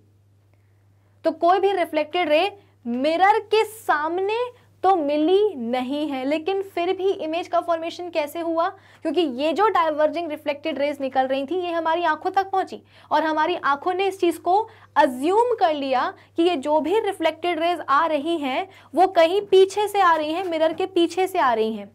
और मिरर के पीछे ये रिफ्लेक्टेड रेज किसी एक पॉइंट पे जाकर के मिली होंगी। सपोज़ इस पॉइंट पे जाकर के ये रिफ्लेक्टेड रेस क्या हुई है? मिली है। तो जिस पॉइंट पे मिली है, वहीं पे इमेज का फॉर्मेशन हुआ होगा। तो कुछ इस तरीके से हमारी आँखें क्या करती हैं? इमेज देख लेती हैं कि अच्छा ये जो रिफ्लेक्टेड रेज आ रही है, ये तो मिरर के पीछे से आ रही है। मिरर के पीछे कहीं रिफ्लेक्टेड रेज मिली होंगी और जहाँ मिली होंगी, वहीं पे इमेज का फॉर्मेशन होगा। तो कुछ इस तरीके से हमारी आँखें क्या करती हैं? इमेज का फॉर्मेशन कर लेती हैं। और यहाँ पे जो इमेज का फॉर्मेशन हो रहा है, जो इमेज बन रही है बेसिकली वो कैसी है? वर्चुअल है। आप इसको स्क्रीन पे ऑप्टेन नहीं कर सकते हो। ये तो हमारी आँखों की इमेजिनेशन हो रही है। है ना? आँखों की इमेजिनेशन कि अच्छा रिफ्लेक्टेड रेज आ रही है तो ये ज़रूर मिरर के पीछे से आई होंगी और मिरर के पीछे कहीं मिली होंगी। जहाँ मिली होंगी, वहीं पे इमेज का फॉर्मेशन होगा कि अच्छा देखो देखो देखो, यहीं पे क्या हुआ है? इमेज बन गई है। तो ये अनरियल इमेज होती है वर्चुअल होती है, इसको आप स्क्रीन पे ऑप्टेन नहीं कर सकते हो। It can be seen only by looking in the plane mirror आप इसको देख कैसे सकते हो? सिर्फ़ और सिर्फ़ प्लेन मिरर में देख करके। For example when we look into a plane mirror we see the image of our face है ना? जब हम अपने आप को मतलब जब हम अपने आप को मिरर के सामने खड़ा करते हैं तो हमारी इमेज हमको मिरर में दिख जाती है। Our image in the plane mirror is virtual और unreal Our image seen in the plane mirror cannot be formed on a screen. Placed behind the plane mirror where the image appears to be. हमारी जो image है आ, वो जो कि plane mirror में दिखाई देती है उसको आप किसी स्क्रीन पे ऑप्टेन नहीं कर सकते हो। है ना? Place behind the mirror where the image appears to be आई बात समझ में कि अगर आप सोच रहे हो कि हमारी जो इमेज है उसको हम एक स्क्रीन पे ऑप्टेन कर लें तो ऐसा नहीं होता। भाई अगर आप अपने घर के आईने के सामने खड़े हुए हो है ना? और आपके पास क्या है? एक स्क्रीन है। आप चाहते हो कि आपकी जो इमेज है, जो कि इस समय कहाँ बन रही है? प्लेन मिरर के पीछे बन रही है। तो ये इमेज स्क्रीन पे आपको मिल जाए। तो आप आईने के कितने भी पीछे चले जाओगे, कहीं भी स्क्रीन रख दोगे, वो स्क्रीन पे कभी भी आपको आपके चेहरे की इमेज मिलने ही नहीं वाली है। इसीलिए बोला था कि जो इमेज बनती है प्लेन मिरर से, वो कैसी होती है? वर्चुअल होती है। वो आपको तभी दिखाई देगी जब आप प्लेन मिरर में देखोगे। नहीं देखोगे स्क्रीन पे ऑप्टेन करना चाहोगे तो कभी नहीं हो पाएगी। In fact, when we look into the plane mirror, like the one on a dressing table, we find that our image in the plane mirror is formed behind the plane mirror. है ना? जब भी हम अपने आप को देखते हैं, अपनी इमेज को देखते हैं प्लेन मिरर में मिरर में तो हमको हमेशा दिखाई, ऐसा लगता है कि हमारी जो इमेज है वो कहाँ बन रही है? मिरर के पीछे बन रही है। अब मिरर के पीछे आप जाकर के चेक भी करोगे तो भी आपको इमेज नहीं दिखाई देती है। The image in a plane mirror is the is the same distance behind the mirror as the object is in front of it that is if a person is standing at a distance of one metre in front of a plane mirror then his image will be form at the same distance of one metre behind the plane mirror यानी कि अगर uh, इसको हम इससे समझ सकते हैं कि अगर हम प्लेन मिरर के सामने खड़े हुए हैं कितने डिस्टेंस पे? वन मीटर के डिस्टेंस पे। तो हमारी जो इमेज बन रही है प्लेन मिरर के पीछे, वो भी कितने डिस्टेंस पे बनेगी? वन मीटर के डिस्टेंस पर ही बनने वाली है। तो जिस डिस्टेंस पे ऑब्जेक्ट होता है प्लेन मिरर से, उतने ही डिस्टेंस पे इमेज भी बनती है कहाँ से? प्लेन मिरर से। So since the person is 1 meter in front of the plane mirror. And image is 1 meter behind the plane mirror. Therefore, जो distance होगा, जो distance होगा person और उसकी image के बीच में, वो कितना हो जाएगा? 1 प्लस वन यानी कि 2 मीटर जैसे कि मैंने आपको यहाँ पे एक्सप्लेन किया कि हम कहाँ खड़े हैं प्लेन मिरर से 1 मीटर के डिस्टेंस पे खड़े हैं। तो हमारी जो इमेज होगी, वो भी कहाँ बनेगी? 1 मीटर की डिस्टेंस पे ही बनेगी बिहाइंड द मिरर है ना? हमारी इमेज कहाँ बनने वाली है? मिरर के पीछे बनने वाली है। आई बात समझ में? तो हमारी इमेज जो होगी, वो भी प्लेन मिरर से वन मीटर के डिस्टेंस पे ही होगी। तो अगर मैं अब आपसे पूछूँ कि ऑब्जेक्ट और उसकी इमेज के बीच में ऑब्जेक्ट और उसकी इमेज के बीच में डिस्टेंस कितना है तो आप कैसे निकालोगे?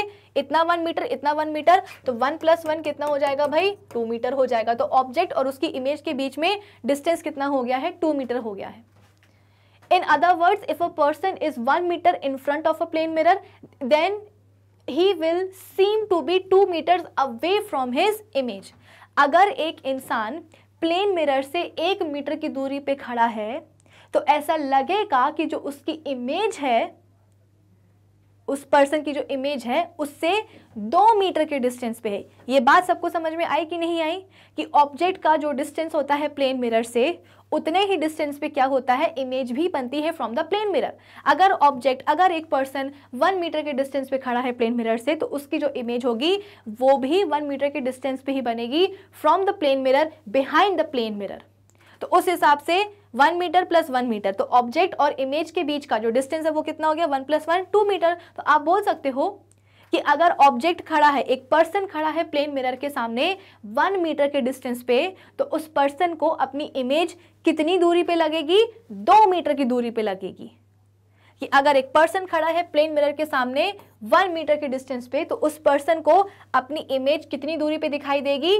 One plus one two metres की दूरी पे। ठीक है ना? चलिए। The image in a plane mirror is of the same size as the object. That is, the dimensions of the image such as length, breadth and height are exactly the same as that of the object. कि image जो बनती है plane mirror पे, वो कैसी होती है? Object के ही सेम साइज़ की होती है। यानी कि जो डायमेंशन होते हैं इमेज के लेंथ हो गया ब्रेथ हो गया हाइट हो गई, वो एग्जैक्टली exactly सेम होती है as that of the object ऐसा नहीं होता है कि अगर हम अपने घर के आईने के सामने जाके खड़े हैं तो हम पतले से हैं, लेकिन हमारी इमेज कैसी बन रही है? मोटी बन रही है।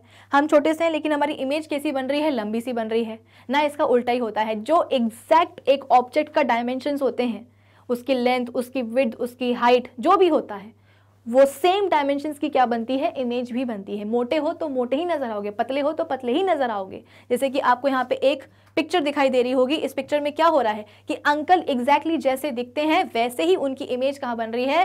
प्लेन मिरर पे बन रही है।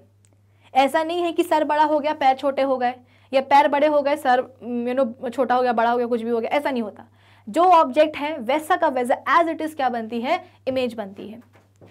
In other words, the image is neither enlarged, neither bigger than the object, nor diminished, nor smaller than the object. ना ही ऑब्जेक्ट के साइज़ से इमेज की साइज़ बड़ी होती है ना ही ऑब्जेक्ट के साइज़ से इमेज की साइज़ छोटी होती है। जैसा ऑब्जेक्ट वैसी की वैसी image for example if a person is one point seven metre tall then his image in the plane mirror will also be exactly one point seven metre tall अगर एक आदमी की लंबाई कितनी है वन पॉइंट सेवन मीटर की है तो उसकी जो इमेज बनेगी तो उस इमेज की भी लंबाई कितनी होगी उतनी ही होगी 1.7 मीटर्स ही होगी। ऐसा नहीं होगा कि हाइट छोटी हो जाए या और बड़ी हो जाए। The image of an object in the plane mirror is erect that is the image in the plane mirror is the same side up as the object the top of the object is the top of image and the bottom of the object is the bottom of the image ऐसा है कि जो भी image uh, बनती है plane mirror में वो कैसी होती है? इरेक्ट होती है। यानी कि अगर जैसे कि ये जो हमारे पास एग्ज़ाम्पल है कि अंकल जो हैं, वो प्लेन मिरर के सामने कैसे खड़े हैं? उनका सर ऊपर है और पैर नीचे हैं। तो उनकी जो इमेज बन रही है, वो भी कैसी है, ऐसी ही है कि जो उनकी इमेज बनी है, उसमें भी उनका सर ऊपर है और उनका पैर क्या है? उनके पैर नीचे हैं। ये जो हमने कैंडल की फ्लेम वाला एग्ज़ाम्पल लिया था, इसमें भी आप देख सकते हो, कहाँ गया? कि कैंडल की फ्लेम मतलब जो पूरी की पूरी कैंडल जलती हुई, वो आपने जैसे ही कहाँ रखी थी प्लेन मिरर के सामने रखी थी तो उसकी इमेज भी हमको एज इट इज़ दिखाई दी है। ऐसा नहीं हुआ कि जो वैक्स वाला पार्ट है, वो ऊपर आ गया और जो फ्लेम है, वो नीचे आ गई। यानी कि जो प्लेन मिरर है ना, वो जो भी इमेजेस बनाता है, वो कैसी होती हैं? वर्चुअल होती हैं। सॉरी वो इरेक्ट होती हैं, वो इन्वर्टेड नहीं होती हैं। ऐसी उल्टी नहीं रहती हैं। हम अपने आप को देख रहे हैं प्लेन मिरर में तो हमारी इमेज कैसी बन रही है? उल्टी बन रही है। यानी कि हमारे मुँह के सामने क्या है? हमारे पैर हैं। हमारे पैर के सामने क्या है? हमारा मुँह है। ऐसा नहीं होता। मुँह के सामने मुँह, पैर के सामने पैर। For example if we look into a big plane mirror we will see the image of our whole body our image in the plane mirror has head on the top and feet at the bottom just like us जैसे कि हम खड़े हैं plane mirror के सामने। ऊपर sir, नीचे पैर, वैसे ही इमेज भी बनेगी। हाँ उल्टे खड़े हो अगर तो बात अलग है। We say that our image in the plane mirror is erect. It is the same side up as we are. इसीलिए मैंने बोला था कि जो भी हम आ, अपने आप को मतलब अगर आपको कैरेक्टरिस्टिक्स बतानी है तो आप कैसे बता सकते हो? अपने आप को इमेजिन कर लो कि आप कहाँ खड़े हो? अपने घर के आईने के सामने खड़े हो। कि भाई हमारी जो इमेज बन रही है वो कैसी है? इरेक्ट है। हमारी जो इमेज बन रही है वो कैसी है? सेम साइज़ की है। है ना? हमारी जो हम जितने डिस्टेंस पे खड़े हैं मिरर से, उतने ही डिस्टेंस पे क्या हो रहा है? इमेज बन रही है from the plane mirror image कैसी बन रही है? वर्चुअल बन रही है. उसको आप स्क्रीन पे ऑप्टेन नहीं कर सकते. बिहाइंड द मिरर बन रही है. इसके अलावा the image in a plane mirror is laterally inverted जो इमेज बनती है प्लेन मिरर में, वो कैसी होती है? लेटरली इन्वर्टेड होती है. यानी कि we mean that the image in a plane mirror is sideways reversed with respect to the object ऐसा होता है ना कि प्लेन मिरर में मतलब आईने के सामने, जब आप खड़े रह करके अपना राइट हैंड वेव करते हो तो इमेज में आपका लेफ़्ट हैंड वेव करता हुआ दिखाई देता है। तो वैसे तो इमेज कैसी बन रही है? इरेक्टिव बन रही है। है ना? इन्वर्टेड नहीं बन रही है, लेकिन आप बोल सकते हो कि लेटरली उल्टी बन रही है। कि अगर आप अपना लेफ़्ट हैंड वेव करोगे मिरर के सामने तो आपकी जो इमेज बनेगी मिरर में, उसमें आपका राइट हैंड वेव करता हुआ नज़र आएगा। तो यहाँ पे आप बोल सकते हो कि लेटरल इन्वर्जन देखने को मिल रहा है। Actually if an image formed by a plane mirror if an sorry in an in an image formed by a plane mirror the left side of the object appears on the right side in the image whereas the right side of the object appears on the left side in the image जैसे कि आपको इस picture में भी दिखाई दे रहा होगा कि ये इंसान क्या है? एक प्लेन मिरर के सामने खड़ा हुआ है। बड़ा सा प्लेन मिरर है, जिसके कारण उसकी एक फुल साइज़ इमेज यहाँ पे आपको दिखाई दे रही होगी। हाथ, पाँव, नाक, आँख, है ना? सब कुछ दिखाई दे रहा है। तो इस समय बंदा क्या कर रहा है? अपना राइट हैंड वेव कर रहा है। लेकिन अगर आप उसकी इमेज को देखोगे तो उस इमेज में उसका जो लेफ़्ट हैंड है, वो वेव करता हुआ नज़र आएगा आपको। ऑब्जेक्ट तो अपना राइट हैंड हिला रहा है, लेकिन इमेज में उसका लेफ़्ट हैंड आपको हिलता हुआ नज़र आएगा। इसे हम क्या बोलते हैं? लेटरली इन्वर्टेड इमेजेस होना, उल्टा होना। This change of size of an object and its mirror image is called lateral inversion. For example, if we stand in front of a plane mirror like the one on a dressing table and lift our left hand, then our image in the plane mirror appears to lift its right hand. And if we lift our right hand, then हमारी जो image होगी plane mirror पे उसको देख के ऐसा लगेगा कि हम क्या कर रहे हैं अपना जो लेफ़्ट हैंड है वो मूव कर रहे हैं This means that the left side of our body becomes the right side in the mirror image whereas मतलब आप बोल सकते हो कि हमारी बॉडी का जो लेफ़्ट साइड होता है वो हमारी मिरर इमेज में राइट right साइड बन जाता है और हमारा जो राइट right साइड होता है वो हमारी मिरर इमेज में लेफ़्ट साइड बन जाता है we say that our image in the plane mirror is laterally inverted या sideways reversed होती है the change in the size of an object और तो basically इसको हम क्या बोलते हैं lateral inversion बोलते हैं सो आई होप आज के सेशन की सभी बातें सबको समझ में आई होंगी।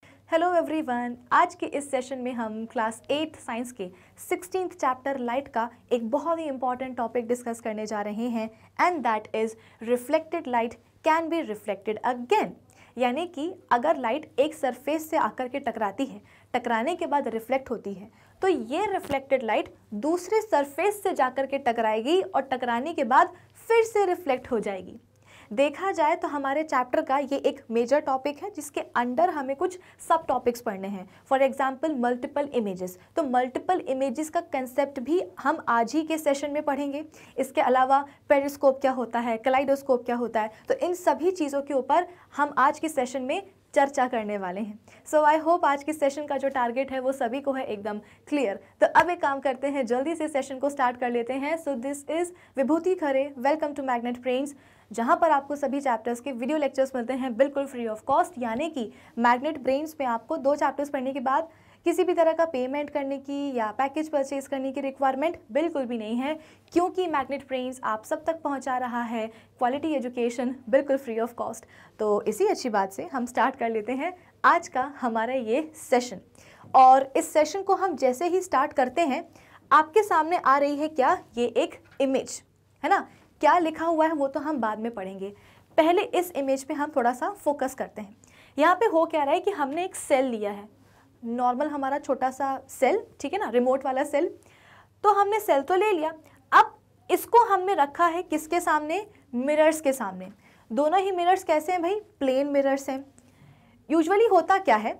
अच्छा आपने दो प्लेन मिरर्स के सामने सेल को रख तो दिया। लेकिन ज़रा मुझे ये बताओ कि इन दोनों ही प्लेन मिरर्स में इस एक सेल की टोटल कितनी इमेजेस बन रही हैं?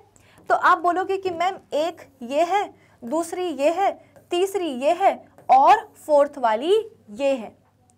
यूजुअली क्या होता है कि अगर हम प्लेन मिरर के सामने एक ऑब्जेक्ट को रखते हैं तो प्लेन मिरर क्या करता है? उस ऑब्जेक्ट की केवल एक ही इमेज बनाता है। भाई, ये चीज़ तो आप सभी ने नोटिस करी होगी ना ऑब्ज़र्व करी होगी। आपके घर में भी तो प्लेन मिरर होते हैं। कौन से वाले? अरे, हमारे घर के आईने। आईने क्या होते हैं? प्लेन मिरर ही होते हैं। तो जब हम एक प्लेन मिरर के सामने, अपने घर के आईने के सामने जाकर के खड़े होते हैं तो उस आईने में हमारी एक ही इमेज बनती है ना? जिस समय आप प्लेन मिरर के सामने खड़े हो, उस समय हम खुद क्या है? आप खुद क्या हो? एक ऑब्जेक्ट हो। तो अगर आप अपने घर के आईने के सामने जाकर के खड़े होते हो तो उस आईने में आपकी केवल एक ही इमेज बनती है ना? ऐसा थोड़ी होता है कि आईने में पाँच छः इमेजेस बन रही हैं और अब उन पाँच छः इमेजेस में से हमें केवल एक ऐसी इमेज चूज़ करनी है, जिसको कि हम देख करके अपने आप को रेडी कर सकें। ऐसा नहीं होता है ना कि एक प्लेन मिरर है, एक आईना है तो उसके सामने अगर एक ऑब्जेक्ट रखा है तो उसकी ऑब्जेक्ट की केवल एक ही इमेज बनेगी। इतना क्लियर है? चलो। तो यहाँ पे भी तो ऐसे ही होना चाहिए था ना? भाई, यहाँ पे हमने थोड़ा सा चीज़ों को कॉम्प्लेक्स बनाने के लिए क्या करा है? एक की जगह दो दो प्लेन मिरर्स ले लिए हैं। तो अगर दोनों ही प्लेन मिरर्स के सामने। हम एक ऑब्जेक्ट को रखेंगे, एक सेल को रखेंगे तो एक सेल की एक इमेज बननी चाहिए थी इस वाले मिरर में। उसी सेल की दूसरी इमेज बननी चाहिए थी इस वाले मिरर में। लेकिन यहाँ पे हुआ क्या? डेफिनेटली आपने एक ऑब्जेक्ट के सामने दो प्लेन मिरर्स रखे हैं। तो ये चीज़ तो एक्सपेक्टेड थी ही कि दोनों ही मिरर्स पे क्या होने वाला है, उस एक ऑब्जेक्ट की एक एक इमेज बनने वाली। लेकिन यहाँ पे तो एक्सपेक्टेशन से हमें कुछ ज़्यादा ही मिला। यहाँ पे हमें हर एक मिरर में ऑब्जेक्ट की दो दो इमेजेस मिल रही हैं। यहाँ पे भी एक दो, यहाँ पे भी एक दो। यानी कि ऑब्जेक्ट एक, मिरर दो और एक ऑब्जेक्ट की इमेजेस कितनी? चार। आई बात समझ में? तो यहाँ पे आप बोल सकते हो कि मल्टीपल इमेजेस आपको दिखाई दे रही है और ऑब्जेक्ट आपके पास एक ही है। अब देखो यहाँ पे क्या लिखा गया है कि इफ़ तो बेसिकली हमको आज के सेशन में यही चीज़ समझनी है ना? कि ये मल्टीपल इमेजेस कहाँ से आ रही है, क्यों आ रही है? Now if the rays of light reflected by a plane mirror are incident on another plane mirror then the reflected rays are reflected again अगर आपको याद हो तो प्रीवियस एक सेशन में हमने एक न्यूमेरिकल एक सैंपल क्वेश्चन जो है ना सॉल्व किया था। उसमें हुआ क्या था कि हमारे पास एक प्लेन मिरर था। ठीक है ना? ये था अपना एक प्लेन मिरर इसका नाम हम रख देते हैं क्या? पी क्यू अब इस पी क्यू प्लेन मिरर के नीचे आप बोल सकते हो कि हमने एक और प्लेन मिरर रखा था। चलो उसका हम नाम रख देते हैं क्या? क्यू आर तो आप देख सकते हो कि आपके पास जो दो प्लेन मिरर्स हैं P Q and Q R दोनों ही क्या है? एक दूसरे के साथ 90 डिग्री का एंगल बनाए हुए हैं। क्या आपको वाला क्वेश्चन याद आया? हमने ये किया हुआ है पहले भी। यानी कि आप बोल सकते हो कि इस टॉपिक को प्रॉपरली प्रॉपरली स्टार्ट करने के पहले इस टॉपिक के ऊपर ऑलरेडी हम एक न्यूमेरिकल लगा चुके हैं। और वो आपसे बना भी होगा कि हमारे पास दो प्लेन मिरर्स हैं और दोनों को ही हमने क्या करा है? एक दूसरे के साथ 90 डिग्री के एंगल पे रखा है। सवाल ऐसा था आपका कि इस प्लेन मिरर पे क्या हो रहा है? यहाँ तो दिखाई नहीं दे रहा। एक काम करते दूसरा कलर ले लेते हैं। ये लेते हैं, ठीक है ना? हुआ क्या कि इंसिडेंट रे आ गई। एक आई क्या? अपनी इंसिडेंट रे इस इंसिडेंट रे ने क्या करा है? पी क्यू प्लेन मिरर को स्ट्राइक किया है। तो ऑब्वियस ही बात है आ, हम मान लेते हैं कि जिस पॉइंट पे स्ट्राइक किया है आ, अपनी इंसिडेंट रे ने उस पॉइंट को हम क्या बोल रहे हैं? पी क्यू मिरर पे उसको हम बोल रहे हैं पॉइंट ऑफ़ इंसिडेंस और वो कितना हो गया है? ओ इतना है समझ में कि एक इंसिडेंट रे आई उसने प्लेन मिरर पी क्यू पर स्ट्राइक किया है पॉइंट ओ पे तो पॉइंट क्या हो जाएगा? पॉइंट ऑफ़ इंसिडेंस हो जाएगा। तो हम क्या करते हैं पॉइंट ऑफ़ इंसिडेंस पे? अपने कन्वीनियंस के लिए एक नॉर्मल ड्रॉ कर लेते हैं। इसके बाद में क्या करेंगे? भाई रिफ्लेक्टेड रे भी तो निकालेंगे ना। प्लेन मिरर से आकर के लाइट टकराई है तो वो रिफ्लेक्ट भी तो होगी। तो कुछ इस तरीके से आप बोल सकते हो कि हमारी लाइट क्या हो गई थी? रिफ्लेक्ट हो गई थी। रिफ्लेक्ट तो हो गई थी। इसके बाद में हुआ क्या था कि अब ये जो रिफ्लेक्टेड रे है, ये जहाँ जा रही थी, देखो रिफ्लेक्टेड रे को जो है ना, दोबारा से रिफ्लेक्ट होने का कोई शौक नहीं होता है। लेकिन अच्छी खासी यहाँ से इंसिडेंट रे आ रही थी। उसके रास्ते के बीच में प्लेन मिरर आ गया, जिसके कारण क्या हुआ? प्लेन मिरर से जाकर के वो टकरा गई बेचारी इंसिडेंट रे टकराने के बाद क्या हुआ? उसके प्रपोगेशन का डायरेक्शन चेंज हो जाएगा। भाई, वो आ ऐसे रही थी, जाना उसको ऐसे था, लेकिन बीच में रास्ते में प्लेन मिरर आ गया, जिसके कारण उस, वो जाकर के टकरा गई प्लेन मिरर से, और इस कारण लाइट के प्रपोगेशन का जो डायरेक्शन है, वो चेंज हो गया कि जाना उसको ऐसे था, अब वो कैसे जा रही है, कुछ इस तरीके से जा रही है। तो गड़बड़ हो गई कि नहीं हो गई? अब क्या हुआ? बड़े मुश्किल से रिफ्लेक्टेड रे रिफ्लेक्ट होकर के धक्का खा करके फिर से जो है ना, अपने आप बोल सकते हो कि रास्ते पे निकली थी। लेकिन जब वो रास्ते पे निकली तो उसके रास्ते में दूसरा प्लेन मिरर आ गया, कौन सा? क्यू आर नाम का। अब क्या होगा? अब यहाँ पे फिर से लाइट टकराएगी और टकराने के बाद आप सब जानते हो सपोज़ पी जो अपना क्यू आर प्लेन मिरर है, इस पे पॉइंट ओ पे। पॉइंट ओ तो हो चुका है ना? ओ डैश लेते हैं, चलो। पॉइंट ओ डैश पे क्या हुआ है? रिफ्लेक्टेड रे ने। पॉइंट ओ डैश पे रिफ्लेक्टेड रे ने क्या करा है? क्यू आर प्लेन मिरर को स्ट्राइक किया है।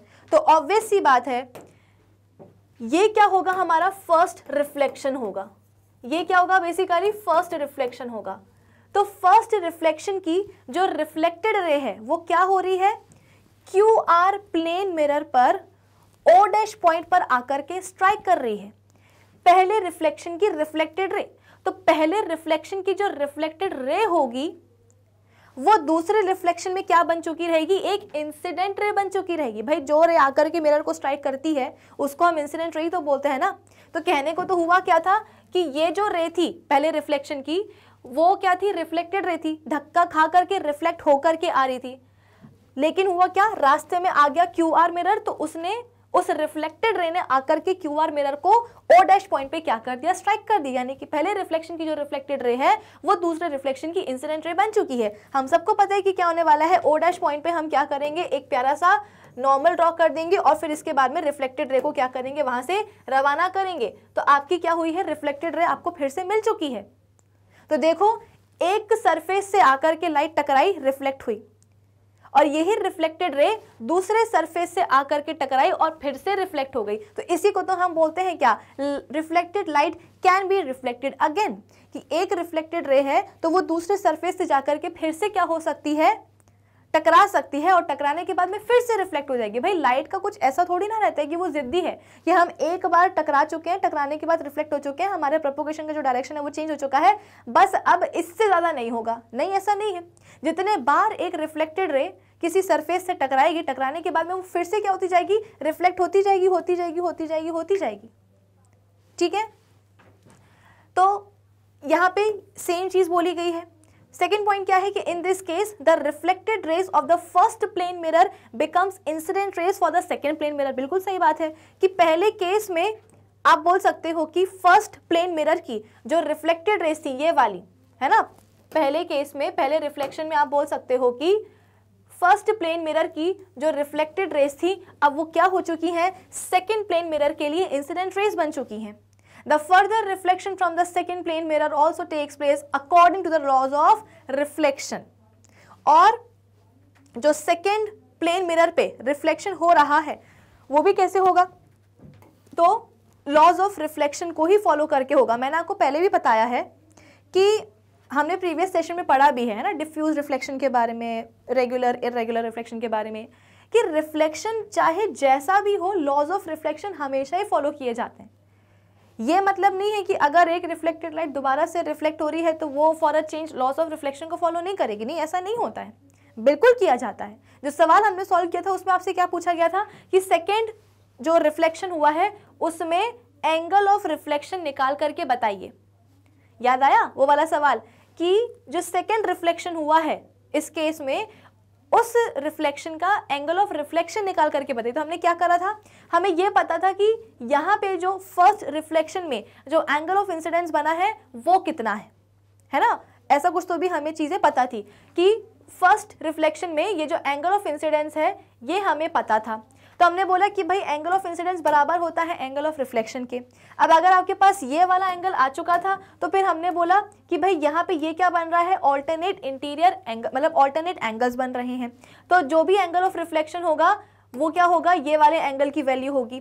यहाँ से लेकर के यहाँ तक का पूरा एंगल कितना होता है? 90 डिग्री का। तो 90 डिग्री में से इतना एंगल मास माइनस कर देंगे तो आपके पास एंगल ऑफ़ इंसिडेंस निकल करके आ जाएगा सेकंड रिफ्लेक्शन का। और सेकंड रिफ्लेक्शन में आप बोल सकते हो कि सिंस लॉज ऑफ़ रिफ्लेक्शन को फॉलो किया जाता है, इसलिए एंगल ऑफ़ इंसिडेंस बराबर है एंगल ऑफ़ रिफ्लेक्शन के तो वहाँ से हम सेकेंड रिफ्लेक्शन का एंगल ऑफ़ रिफ्लेक्शन निकाल लेते थे। तो ये बात तो हमको पहले से पता थी कि अगर रिफ्लेक्शन हो रहा है दूसरे पेन मिरर पे तो भी लॉज ऑफ़ रिफ्लेक्शन को फॉलो किया ही जाएगा। लॉज ऑफ़ रिफ्लेक्शन हमेशा ही फॉलो किए जाते हैं, इसमें कोई डाउट किसी को नहीं होना चाहिए। अब हम डिस्कस करते हैं क्या बार्बर शॉप का मिरर बाल कटवाने जाते हैं हेयर स्टाइल बनवाने हम जा रहे हैं, ठीक है? अब आगे से आपको जितने भी आपको आपके बाल दिखाई दे रहे हैं, उनकी गारंटी तो आप ले सकते हो, है ना? क्योंकि सपोज़ आपने बोला है ब्यूटिशियन को कि बाल जो ना स्ट्रेट कर दो। अब उसने उठाया स्ट्रेटनर और लगे सारे उसने आगे के बाल सीधे कर दिए। लेकिन पीछे क्या चल रहा है? पीछे के बाल प्रॉपरली स्ट्रेट हुए हैं या नहीं हुए हैं, या कर्ली जो भी आपको करवाना है, वो हुए हैं या नहीं हुए हैं, इस बात का पता आपको कैसे चलता है? तो कुछ इस तरीके से चलता है कि हम बैठे हैं यहाँ पे चेयर पे, आगे जो भी चल रहा है, उसकी इमेज मतलब आगे जो भी चल रहा है, वो आपको कैसे पता चलेगा? क्योंकि हमारे स्टेयर के सामने क्या लगा होता है? एक प्लेन मिरर लगा होता है। प्लेन मिरर पे क्या होता है? हमारी इमेज बनती रहती है। आई बात समझ में? तो आगे जो भी हो रहा है, उसका पता आपको कैसे चलेगा? तो आगे जो प्लेन मिरर आपको दिखाई दे रहा होगा, उसमें आपकी शक्ल आपको दिखाई दे जाएगी। अब मुद्दा आता है कि पीछे क्या चल रहा है, ये देखना है। तो पीछे क्या चल रहा है इसको देखने के लिए? सपोज़ हेयर स्टाइल बन चुकी है हेयर कट हो चुका है, सब हो चुका है स्टाइलिंग वगैरह सब हो गई है। अब उस चीज़ को दिखाने के लिए कि देखो भाई, हमने ऐसा किया है। ब्यूटी पार्लर वाले क्या करेंगे? ब्यूटिशियन क्या करेगी? कुछ इस तरीके से आप बोल सकते हो कि एक और प्लेन मिरर वो लेकर के आएगी और उसको कहाँ रखेगी? हमारे सर के पीछे कुछ इस तरीके से। आई बात समझ में? तो यहाँ पे जो दूसरा प्लेन मिरर लिया गया है हमारे सर के पीछे उस प्लेन मिरर से होने क्या वाला है? आपको यहीं पे, सामने जो प्लेन मिरर रखा है, वहीं पे आपको अपने सर के पीछे का भी जो भी चीज़ हो रही है, वो दिखाई दे जाएगी। भाई, यही तो होता है ना। आपको देखना है कि भाई, क्या हुआ है क्या पीछे? कुछ करा भी है या नहीं करा बस ऐसे ही, छोड़ दिया आधे में। तो पीछे एक प्लेन मिरर लेकर के आया जाता है। तो प्लेन मिरर से होता क्या है? कि हमारे आँखों के सामने, हमारे सामने जो प्लेन मिरर लगा होता है उस पे ही हमको अपने पीछे के हिस्से अपने पीछे का जो हिस्सा है, वो भी दिखाई दे जाता है। We are able to see the back of the head with the help of two mirrors हम दो मिरर्स की मदद से क्या कर सकते हैं? अपने सर के पीछे का जो पार्ट है, वो भी देख सकते हैं। The light reflected from our hair on the small mirror हुआ क्या कि यहाँ पे जो आपके सर के पीछे जो स्मॉल मिरर आप बोल सकते हो कि लगाया गया है है ना? जैसे कि आप देख सकते हो कि यहाँ पे क्या कर रहा है एक इंसान? छोटा सा मिरर सर के पीछे लेकर के खड़ा है। तो हमारे बालों से जो भी लाइट रेज निकलेंगी, हमारे बालों से लाइट रेज कैसे निकल रही हैं? क्योंकि सनलाइट है ट्यूबलाइट है बल्ब है तो उसकी जो रोशनी है, वो हमारे बालों पर पड़ रही है। तो हमारे बालों से जो भी लाइट रेज निकलेंगी, वो कहाँ जाएँगी? ये जो हमारे सर के पीछे स्मॉल मिरर रखा हुआ है ना मतलब पकड़ा, पकड़ के कोई खड़ा हुआ है तो हमारे सर से निकलने वाली जो लाइट रेज होंगी, वो लाइट रेज सबसे पहले इस छोटे मिरर को जाकर के क्या करेंगी? स्ट्राइक करेंगी। जैसे कि यहाँ पे लिखा गया है कि the light is reflected from our hair on the small mirror this light is automatically reflected to the main mirror main mirror कौन सा है? जो कि हमारे सामने है। ये आप देख सकते हो कि यहाँ पे कितना बड़ा सा मिरर है। और यहाँ पे आप देख सकते हो कि एक छोटा सा मिरर हमारे सर के पीछे लेकर के इंसान खड़ा है। तो सबसे पहले हमारे बालों से जो भी लाइट रेज निकलेंगी, वो कहाँ जाएँगी? इस छोटे वाले मिरर में जाएँगी। अब यहाँ पे गई light rays light rays mirror पे जाकर के करेंगी क्या? बैठ जाएँगी क्या? या अंदर चली जाएँगी? रिफ्लेक्ट होंगी ना? तो हमारे बालों से जो भी लाइट रेज निकल रही हैं, वो इस छोटे से मिरर के ऊपर जाकर के स्ट्राइक करेंगी। स्ट्राइक करने के बाद में क्या होगा? रिफ्लेक्शन होगा। तो ये निकली क्या अपनी रिफ्लेक्टेड रे अभी ये रिफ्लेक्टेड रे बेसिकली कहाँ जा रही है? ये रिफ्लेक्टेड रे इसका एंगल थोड़ा सा गड़बड़ हो गया है। ये जो रिफ्लेक्टेड रे है, ये बेसिकली कहाँ जा रही है? ये जा रही है जो हमारे मुँह के सामने रखा ना, बड़ा वाला मेन मिरर उस पे जाकर के लग रही है। तो अगेन क्या होने वाला है? रिफ्लेक्शन होने वाला है। और रिफ्लेक्शन होकर के कहाँ जाएगा? हमारी आँखों तक लाइट रेज आ जाएँगी। पूरा किस्सा समझ में आया? भाई, मैंने आपको हमेशा क्या समझाया है? कि आपको कोई भी चीज़ तभी दिखाई देती है जब उससे निकलने वाली लाइट रेज हमारी आँखों तक पहुँचती हैं। अगर ऑब्जेक्ट से निकलने वाली लाइट रेज आपकी आँखों तक नहीं पहुंचेंगी तो आपको वो ऑब्जेक्ट कभी भी दिखाई नहीं देगा। अब मैं इस समय आपको बोल रही हूँ कि बार बार की दुकान पर अगर आप जाओगे तो आ, हमारे बालों का हमारे सर का जो पीछे का हिस्सा है वो भी आपको दिखाई देता है। कैसे दिखाई देगा? इसका मतलब क्या? अगर आपको अपने हेड के पीछे वाला रीजन दिखाई दे रहा है इसका मतलब क्या?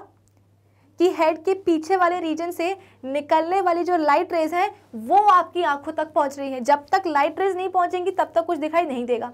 तो अगर सर के पीछे का हिस्सा दिखाई दे रहा है, इसका मतलब सर के पीछे से निकलने वाली जो लाइट रेज है, वो आपकी आँखों तक पहुँच रही हैं। कैसे पहुँच रही हैं? तो वो यहाँ पे बताया जा रहा है कि भाई हमारे बालों से जो लाइट रेज है, वो निकली।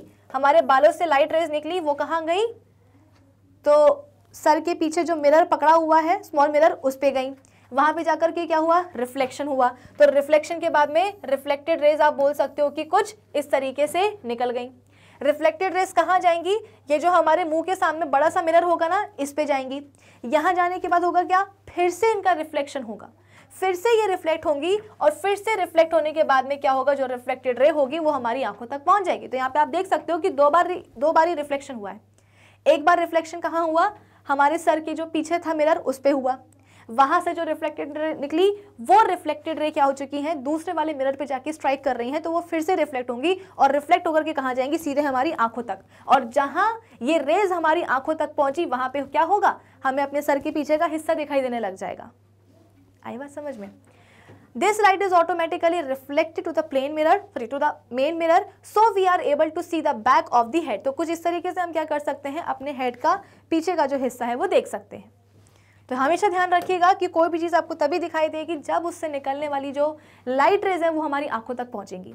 सर के पीछे का हिस्सा कैसे दिखाई दे रहा है? क्योंकि इससे जो निकलने वाली लाइट रेज है वो हमारी आँखों तक पहुँच रही है। कैसे पहुँच रही है? तो यहाँ से निकली, पीछे रिफ्लेक्शन हुआ।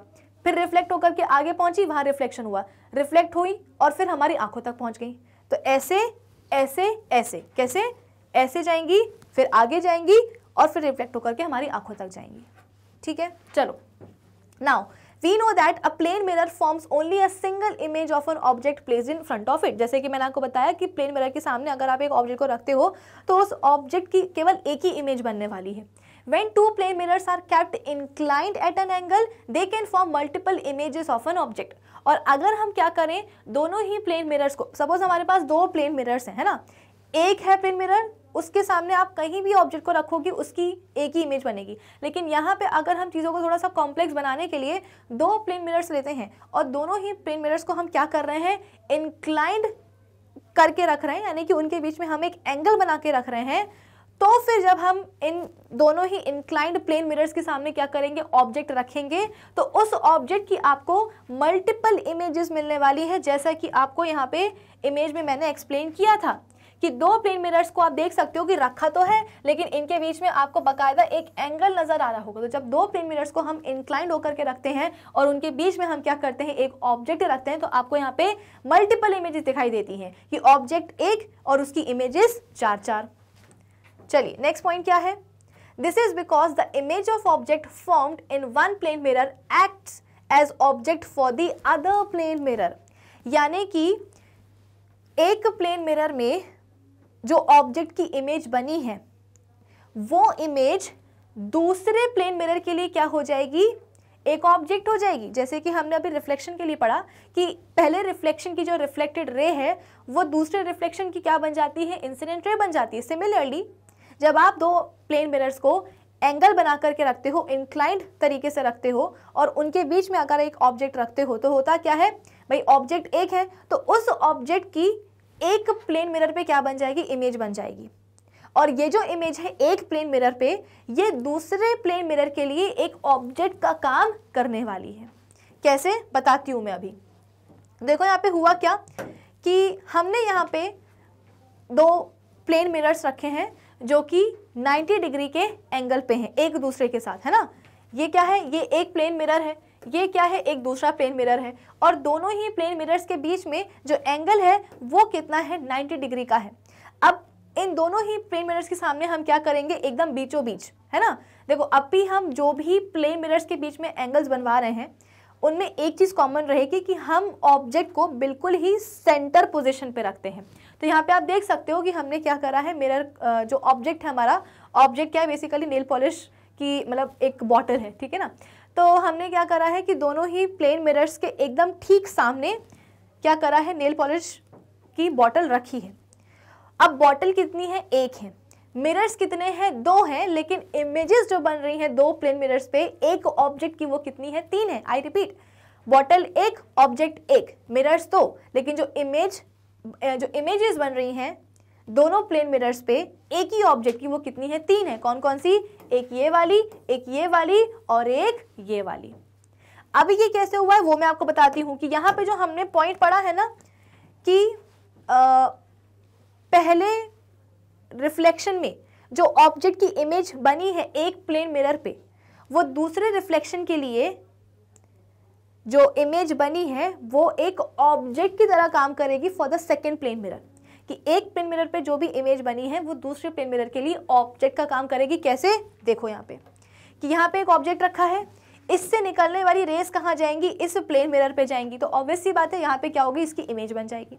सिमिलरली इस ऑब्जेक्ट से निकलने वाली रेस कहाँ जाएँगी? इस वाले प्लेन मिरर पे जाएगी। तो यहाँ पे क्या होगा? इस ऑब्जेक्ट की एक इमेज बन जाएगी। अब आपके पास आप बोल सकते हो कि क्या आ चुके हैं?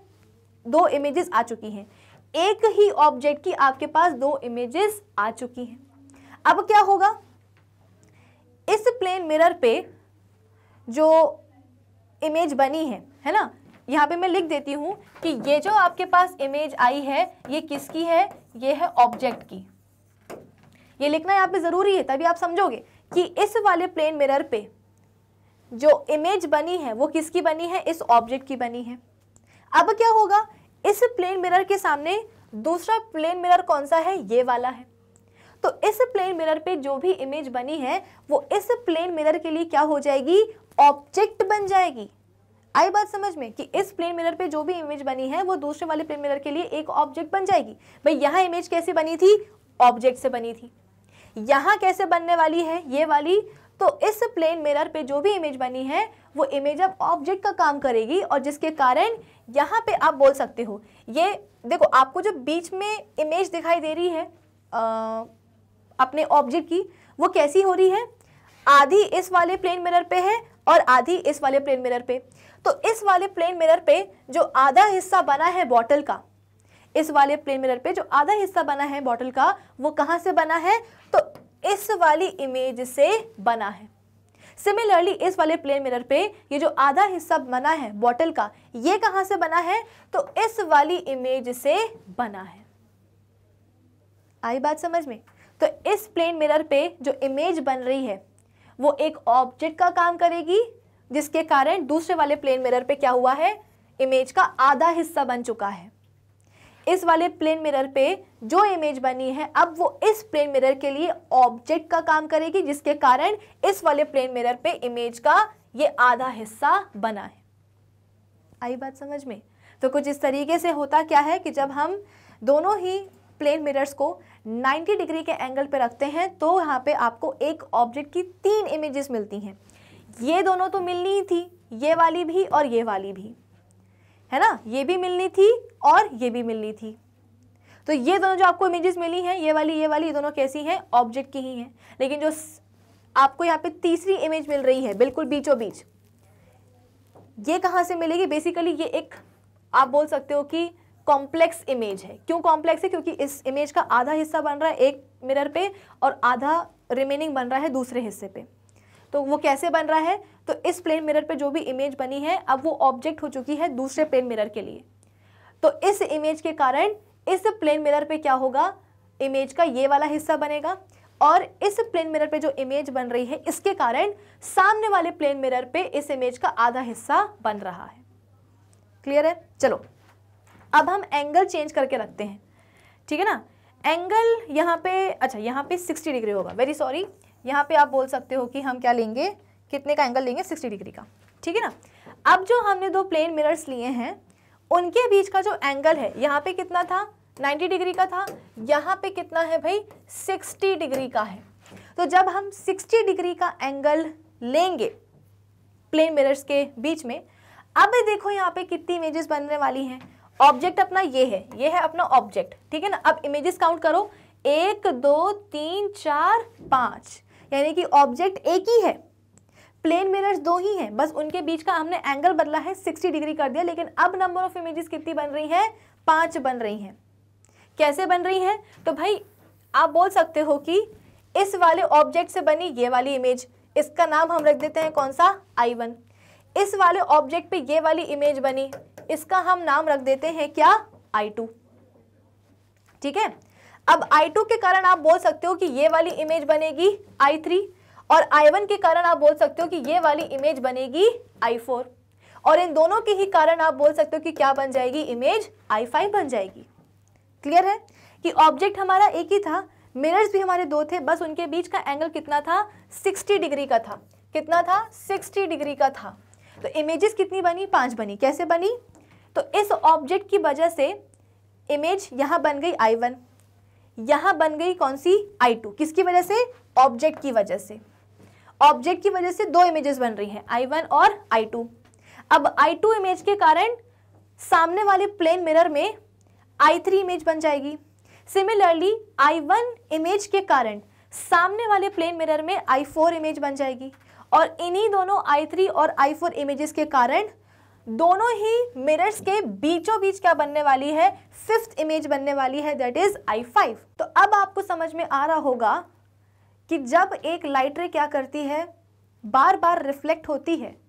तो जो इमेजेस बनती हैं, वो भी कैसी होती हैं? एक से ज़्यादा होती हैं। मल्टीपल इमेजेस आपको मिलने वाली हैं एक ही ऑब्जेक्ट की।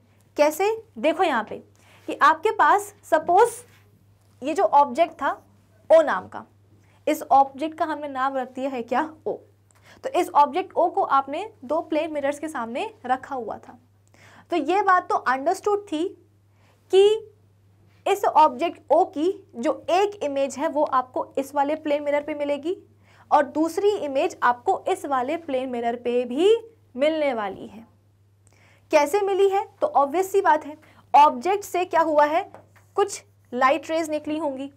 लाइट रेज निकली, इस वाले प्लेन मिरर को लाइट रेज ने स्ट्राइक करा। प्लेन मिरर क्या करेगा? रिफ्लेक्ट करवा देगा। तो क्योंकि रिफ्लेक्शन हुआ, इसीलिए प्लेन मिरर पे, ये वाले प्लेन मिरर पे आपको ये आई वन इमेज मिल गई। सिमिलरली ऑब्जेक्ट से निकलने वाली जो लाइट रेज हैं, वो कहाँ गई? वो आप बोल सकते हो कि इस वाले प्लेन मिरर पे भी गई। तो इसने क्या करा? इन लाइट रेज का रिफ्लेक्शन करवा दिया। अब क्योंकि यहाँ पे रिफ्लेक्शन हुआ है तो यहाँ पे भी आपको क्या मिलने वाली है? इमेज मिलने वाली है। तो उस हिसाब से आपके पास आई टू इमेज आ चुकी है। ठीक है? तो ऑब्जेक्ट से निकलने वाली जो रेस थी वो दोनों ही प्लेन मिरर्स पे पड़ी रिफ्लेक्शन हुआ, जिसके कारण दोनों ही प्लेन मिरर्स पे एक एक इमेज बन गई। कौन सी वाली? आई वन और आई टू अब क्या होगा कि इस प्लेन मिरर पे ये जो इमेज बनी है, अब सेकेंड प्लेन मिरर के लिए ये एक ऑब्जेक्ट का काम करेगी। यानी कि यहाँ पे आकर के आप बोल सकते हो कि जो लाइट रे थी, वो रिफ्लेक्ट हुई थी ना? तो अब ये जो रिफ्लेक्ट जैसे कि ऑब्जेक्ट से रे निकली ऑब्जेक्ट से लाइट रे निकली यहाँ पे आकर के टकराई रिफ्लेक्शन हुआ। तो रिफ्लेक्शन के बाद में जो रिफ्लेक्टेड रे होगी वो कहीं जाएगी भी तो तो वो कहाँ गई? तो आप बोल सकते हो कि वो चली गई यहाँ सामने वाले प्लेन मिरर पे। आ रही है बात सम, समझ में ना? कि ऑब्जेक्ट से इंसिडेंट रेज निकली इस वाले प्लेन मिरर पे टकराई रिफ्लेक्शन हुआ इमेज बन गई आई वन फिर क्या हुआ? जो रिफ्लेक्टेड रेज थी वो ऐसा थोड़ी कि हवा में जाके मिल जाएँगी। नहीं, वो आगे जाएँगी। आगे कहाँ गई? तो सामने एक और प्लेन मिरर था। उस पर जाकर के टकरा गई। अब टकरा गई तो फिर से क्या हो गया? रिफ्लेक्शन हो गया। और रिफ्लेक्शन हो गया तो यहाँ पे फिर से आपको आई फोर इमेज मिल गई। सिमिलरली यहाँ पे जो लाइट रेस गई थी, इस वाले प्लेन मिरर पे जाकर के टकराई थी। रिफ्लेक्शन हुआ था तो आई टू इमेज बनी थी। अब जो रिफ्लेक्टेड रेज होंगी, वो कहाँ चली जाएँगी भाई? वो चली जाएँगी रिफ्लेक्ट होकर के सामने। सामने जाकर के वो सामने वाले पिन मिरर से टकराएँगी। टकराने के बाद फिर से रिफ्लेक्शन होगा, जिसके कारण फिर से क्या होगा? एक इमेज बन जाएगी सामने वाले प्लेन मिरर पे। तो उस हिसाब से I one I two I three और आई फोर इमेजेस तो बनी चुकी हैं। अब क्या होगा? यहाँ से भी रिफ्लेक्टेड रेस फिर से क्या होंगी? रिफ्लेक्ट होंगी और फिर से रिफ्लेक्ट होकर के बेसिकली आप बोल सकते हो कि आई फाइव इमेज मिलके बना देंगी। तो बार बार यहाँ पे आप बोल सकते हो कि लाइट रेस का रिफ्लेक्शन हो रहा है, जितने बार रिफ्लेक्शन हो रहा है, उतने बार आपको इमेजेस मिल रही हैं। आई बात समझ में? चलिए।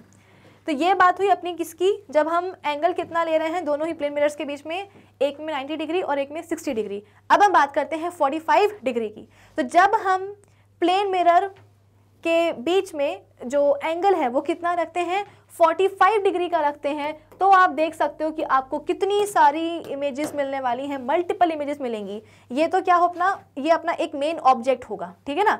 इमेजेस अगर हम काउंट करते हैं एक दो तीन चार पाँच छः सात यानी कि जब प्लेन मिरर्स के बीच का एंगल होगा 45 डिग्री तो इमेजेस आपको कितनी मिलेंगी? सात मिलेंगी।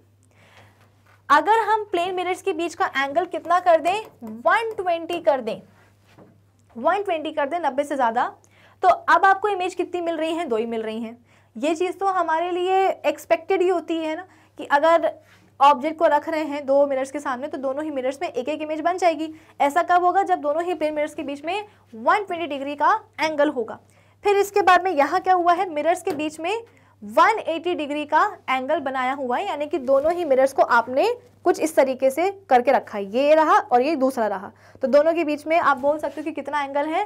तो 180 डिग्री का। दोनों ही मिरर्स सीध में है, एक लाइन में है। तो एक ऑब्जेक्ट है तो बिल्कुल बीचों बीच क्या होगी? एक कॉम्पोजिट इमेज बन जाएगी। यहाँ क्या हो रहा है? जब मिरर्स कैसे हो? पैरल हो। है ना? मिरर्स कैसे हो? पैरेलल हो। ये भी आपने जो है ना ब्यूटी पार्लर वगैरह में देखा होगा कि हम जो है ना, एक शीशे के सामने खड़े हुए हैं। दीवार पे एक बड़ा सा जो मिरर है, वो माउंटेड है। और उस मिरर में हमको हमारा मुँह दिखाई दे रहा होगा, हमारे शक्ल की इमेज दिखाई दे रही होगी। सिमिलरली हमारे सर के पीछे क्या है? एक और बड़ा सा मिरर है। तो इस समय क्या हुआ कि हम दो प्लेन मिरर्स के एकदम बीचों बीच खड़े हैं। एक मिरर सामने और दूसरा पीछे। और हम क्या इस समय ऑब्जेक्ट हैं? तो एक ऑब्जेक्ट को हमने कहाँ रखा है? दो प्लेन मिरर्स के सामने रखा है और दोनों ही प्लेन मिरर्स अब कैसे हैं? पैरेलल है एक दूसरे के। अभी तक तो इंक्लाइंड थे, कुछ ना कुछ एंगल बन रहा था, लेकिन अब कोई एंगल नहीं बन रहा है। अब आप बोल सकते हो कि प्रॉपर्ली दोनों ही प्लेन मिरर्स कैसे हैं? पैरल हैं। तो जब पैरल इमेज जब पैरल होते हैं प्लेन मिरर्स एक दूसरे के और बीच में अगर ऑब्जेक्ट रखा होता है तो फिर यहाँ पे आपको बहुत सारी इमेजेस मिलने वाली हैं। जैसे कि आप यहाँ पे देख सकते हो कि ऑब्जेक्ट असली में कहाँ है, ये पता ही नहीं है। इमेजेस आपको लाइन से बॉटल्स जो है ना नेल पॉलिश की, वो दिखाई दे रही होंगी। तो मल्टीपल इमेजेस आपको मिलती हैं। कब? जब दोनों ही पेन मिरर्स कैसे हों, एक दूसरे के पैरल हों। अब आप बोलोगे कि मैम ऐसे तो हम एंगल्स बनाते जाएँगे बनाते जाएँगे बनाते जाएँगे और इमेजेस जो है उनका नंबर भी चेंज होता ही जाएगा। तो कुछ तरीका होना चाहिए जिसकी मदद से हम क्या करें? आ, आसानी से पता कर लें कि भाई अगर दो प्लेन मिरर्स के बीच में एंगल ये होगा तो नंबर ऑफ़ इमेजेस हमको इतनी मिलेंगी। तो देखो यहाँ पे क्या लिखा गया है कि the number of images formed depends on the angle between the mirrors obviously बात है कि कितना एंगल हो रहा है मिरर्स के बीच में उसी के हिसाब से नंबर ऑफ़ इमेजेस मिलती हैं। Formula to calculate the number of images अब फॉर्मूला क्या होता है? इमेजेस का नंबर कैलकुलेट करने के लिए तो 360 डिग्री हो जाएगा ये divided by theta minus one theta क्या है भाई? दो प्लेन मिरर्स के बीच का एंगल है। भाई प्लेन मिरर्स के बीच में जब एंगल रखा हुआ हो कोई एंगल बना हुआ हो तो हमें कितने नंबर ऑफ़ इमेजेस मिलने वाली हैं, उसको निकालने के लिए हम ये वाला फॉर्मूला यूज़ करते हैं कि 360 degree divided by theta angle minus one. ये थीटा क्या है? दो प्लेन मिरर्स के बीच में कितना एंगल है? ये वो है थीटा। तो by using the formula we can calculate the number of images formed या seen when two plane mirrors are inclined at angles 180 degree 120 degree 90 degree 60 degree 45 degree 0 degree respectively देखो यहाँ पे एक चार्ट आपको यहाँ पे दिया गया है। जब एंगल कितना होता है? 180 डिग्री का होता है। तो हम एक काम करते हैं ना फॉर्मूला यूज़ करते हैं। फॉर्मूला क्या है? 360 degree divided by theta minus one तो थीटा क्या है? दो प्लेन मिरर्स के बीच का एंगल यहाँ पे बोला जा रहा है कितना है एंगल फ़र्स्ट वाले में 180 डिग्री है। तो हम थीटा की जगह पे क्या रख देंगे? 180 डिग्री रख देंगे। तो कितना हो जाएगा भाई यहाँ पे? ज़ीरो से ऊपर वाला ज़ीरो कट जाएगा। 18 टू सा कितना होता है? 36 टू माइनस वन कितना हो जाएगा? वन तो नंबर ऑफ़ इमेज भी मिलेगी कितनी? आपको वन अब आसान हो गया ना? नेक्स्ट क्या है? अब प्लेन मिरर्स के बीच का एंगल है 120 डिग्री तो 360 डिवाइडेड बाय अब हम क्या करेंगे? 120 कर देंगे माइनस वन तो ज़ीरो से ज़ीरो कट जाएगा. ट्वेल्व वन ज़ा ट्वेल्व ट्वेल्व टू ज़ा ट्वेंटी फोर ट्वेल्व थ्री ज़ा थर्टी सिक्स तो ट्वेल्व थ्री ज़ा thirty six three minus one कितना होता है? टू तो नंबर ऑफ़ इमेजेस आपको कितनी मिल गई? टू अब एंगल कितना है? नब्बे डिग्री है. तो थ्री सिक्सटी बाय नब्बे माइनस वन कर देते हैं। नीचे का एक ज़ीरो, ऊपर के एक ज़ीरो से कट जाएगा। नाइन फोर से कितना होता है? थर्टी सिक्स होता है तो फोर माइनस वन कितना हो जाएगा? थ्री, यानी कि नंबर ऑफ़ इमेजेस आपको मिलेंगी थ्री। सिमिलरली, अगर एंगल कितना हो? साठ डिग्री का हो तो three sixty three sixty divided by sixty minus one. नीचे का एक ज़ीरो, ऊपर के एक ज़ीरो से कट जाएगा। होगा कितना? Six six thirty six six minus one, five. तो नंबर ऑफ़ इमेजेस कितनी मिलेंगी? फाइव। जब दोनों ही प्लेन मिरर्स के बीच का एंगल कितना हो ज़ीरो डिग्री हो तो इमेजेस कितनी मिलने वाली हैं? इनफाइनाइट मिलने वाली हैं। मतलब क्या जब दोनों ही प्लेन मिरर्स कैसे रखे हो? पैरेलल रखे हो? भाई, दोनों प्लेन मिरर्स के बीच का अगर एंगल आप बोल रहे हो कितना है? ज़ीरो डिग्री है। तो ज़ीरो कब होगा? जब आप दोनों को पैरेलल रखोगे। तो इमेजेस आपको कितनी मिलेंगी? मल्टीपल इनफाइनाइट आई बात समझ में? तो कुछ इस तरीके से आप क्या कर सकते हो? इस फॉर्मूले का यूज़ करके आप ये पता कर सकते हो कि भाई जब प्लेन मिरर्स के बीच का एंगल जो भी है तो उस एंगल पे हमें एक ऑब्जेक्ट की कितनी इमेजेस मिलेंगी? बस ये वाला फॉर्मूला मैंने आपको बता दिया है। यूज़ कैसे करना है वो भी मैंने आपको बता दिया है। ठीक है? चलो अब क्या है? From the above table, we can see that as the angle between the two plane mirrors decreases, the number of images formed increases. जब हम दो प्लेन मिरर्स के बीच का एंगल क्या करते हैं? डिक्रीज करते जाते हैं तो नंबर ऑफ़ इमेजेस क्या होती जाती हैं? बढ़ती जाती हैं। फॉर एग्ज़ाम्पल देखो यहाँ पे, जब एंगल कैसा है? ज़्यादा है 180 डिग्री है तो इमेज केवल एक ही मिल रही है। जब एंगल कितना है? काफ़ी कम है 45 डिग्री है तो इमेजेस देखो कितनी मिल रही हैं? सेवन मिल रही हैं। ऐसा क्यों हो रहा है? देखो भाई मल्टीपल इमेजेस का कंसेप्ट यही है कि बार बार रिफ्लेक्शन से ही आपको मल्टीपल इमेजेस मिल रही हैं। जब प्लेन मिरर्स को आप क्या करते हो? एकदम इंक्लाइंड रखते हो, उनके बीच का एंगल आप काफ़ी हद तक कम कर देते हो तो लाइट रेस क्या होती हैं? बार बार रिफ्लेक्ट होती हैं। बार बार रिफ्लेक्ट होती है। और जितने बार रिफ्लेक्ट होंगी, उतने बार इमेजेस बनेंगी। लेकिन जब आप एंगल बढ़ा देते हो सपोज़ आपने 180 डिग्री का एंगल करके रखा हुआ है दोनों प्लेन मिरर्स के बीच में तो आप बोल सकते हो कि लाइट रेस को उतना रिफ्लेक्ट करने का मौका मिलता नहीं है। मौका कम मिलेगा रिफ्लेक्शन कम होगा तो नंबर ऑफ़ इमेजेस भी क्या होंगी? कम बनेंगी। तो जब 180 डिग्री का एंगल रखा है तो इमेज कितनी बनती है? वन ही बनती है। जैसे जैसे आप एंगल कम करोगे नंबर ऑफ़ इमेजेस जो होंगी, वो इंक्रीज होती जाएँगी। When the angle between the two plane mirrors become 0 degree, that is, when the two plane mirrors become parallel to each other, then an infinite number of images are formed. अगर आपने parallel रख दिया है तो बात अलग है। फिर तो इनफाइनाइट नंबर ऑफ़ इमेजेस आपको मिलेंगी। दस if an object is placed between two parallel plane mirrors facing each other. Then theoretically, an infinite number of images, very infinite number of images का मतलब क्या है? Very very large number of images should be formed आई बात समझ में? क्यों? अच्छा अभी आप बोलोगे कि मैम ये बात तो आपकी बिल्कुल सही है कि अगर हम एंगल कम करते जाएँगे तो नंबर ऑफ़ इमेजेस क्या होती जाएँगी? बढ़ती जाएँगी। पर अब आप बोल रहे हो कि जब हमने पैरल रखा है तो इनफाइनाइट नंबर ऑफ़ इमेजेस मिलेंगी। हाँ बिल्कुल। क्यों? क्योंकि आप फिर से देख लो ना कि जब आप प्लेन मिरर को क्या करते हो, आपस में पैरल रखते हो तो उनके बीच का एंगल क्या होता है? ज़ीरो होता है। तो जैसे जैसे एंगल कम कर रहे हो नंबर ऑफ़ इमेजेस तो इंक्रीज होती जा रही है ना। जब ज़ीरो ही कर दोगे एंगल तो फिर तो भैया इनफाइनाइट नंबर ऑफ़ इमेजेस मिल जाएँगे और क्या? आई बात समझ में? चलिए। फिर क्या है? तो इन रियलिटी ये हो गया ना, ये वाला पॉइंट हाँ। In reality only a limited number of images are seen लेकिन असली में क्या होता है कि हमें केवल लिमिटेड नंबर ऑफ़ इमेजेस ही देखने को मिलती हैं। This is because some light is absorb by the mirrors at each successive reflection due to which many images are so faint that they can not be seen by us अब जैसे कि मैंने आपको ये वाली इमेज दिखाई थी इस वाली इमेज में क्या हुआ है कि ऑब्जेक्ट को हमने दो पैरेलल प्लेन मिरर्स के सामने रखा है, यानी कि प्लेन मिरर्स के बीच का एंगल कितना है? ज़ीरो डिग्री है। तो आपको इनफाइनाइट नंबर ऑफ़ इमेजेस मिलेंगी, है ना? ऐसा क्या बोलती है? ऐसी थ्योरी बोलती है कि अगर ज़ीरो डिग्री रखा है एंगल प्लेन मिरर्स के बीच का तो आपको नंबर ऑफ़ इमेजेस कैसी मिलेंगी? इनफाइनाइट मिलेंगी। लेकिन असली में आपको लिमिटेड नंबर की ही इमेजेस दिखाई देती हैं, ऐसा क्यों? क्योंकि जब बार बार रिफ्लेक्शंस होते हैं ना तो मिरर क्या करता है? देखो यहाँ पे लिखा गया है कि, अरे कहाँ गया? In reality only limited number of images can be seen this is because some light क्या होती है? अब्जॉर्ब हो जाती है। कौन करता है? मिरर ही करते हैं। कब? सक्सेसिव रिफ्लेक्शन के कारण ड्यू टू विच इमेजेस जो हैं, वो काफ़ी फेंट होती हो जाती हैं। इतनी फेंट हो जाती है कि हमको वो दिखाई देती ही नहीं है। We can see a large number of images of ourselves if you stand before two plane mirrors hanging on the opposite walls. अगर हम दो प्लेन मिरर्स के सामने खड़े हैं, जो कि अपोजिट वॉल्स पे लगे हुए हैं तो हमको हमारी बहुत सारी इमेजेस दिखाई देंगी। This is because are image formed in one mirror acts as object for the second mirror and this process goes on and on, resulting in the large number of images कि हम कहाँ खड़े थे? बीच में खड़े थे। तो हमारे बॉडी से जो भी रेज निकली, उनसे क्या हुआ? इस वाले मिरर पे भी इमेज बन गई और पीछे वाले इमेज पीछे वाले मिरर पे भी एक इमेज बन गई।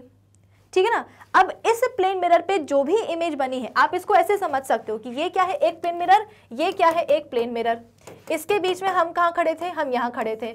हमारे बॉडी से जो भी रेज निकली, उन, वो कहाँ गई? इस वाले प्लेन मिरर पे गई और इस वाले पे भी गई। तो क्या हुआ? रिफ्लेक्शन हुआ। रिफ्लेक्शन से क्या हुआ? यहाँ पे भी इमेज बन गई और यहाँ पे भी इमेज बन गई। अब इस मिरर पे जो भी इमेज बनी है, वो सामने वाले प्लेन मिरर के लिए क्या होगा? एक ऑब्जेक्ट का काम करेगा, जिसके कारण ये रिफ्लेक्टेड रेज क्या होंगी? यहाँ जाएँगी, इससे टकराएँगी, यहाँ भी इमेज बनेगी। यहाँ तो बनी हुई थी, यहाँ भी यहाँ भी। यहाँ पे क्या होगा? फिर से एक इमेज बनेगी। अब यहाँ पे जो इमेज बनी है, वो सामने वाले प्लेन मिरर के लिए एक ऑब्जेक्ट का काम करने वाली है। तो फिर से रिफ्लेक्टेड रेज निकलेंगी, यहाँ जाएँगी। ऐसे ऐसे ऐसे ऐसे ऐसे। यहाँ से भी जो रेज निकली थी, वो भी क्या करने वाली है? कुछ इसी तरीके से ऐसे ऐसे ऐसे ऐसे डांस करने वाली हैं। तो जितने बार रिफ्लेक्शन होगा, उतने बार आपको इमेजेस मिलेंगी।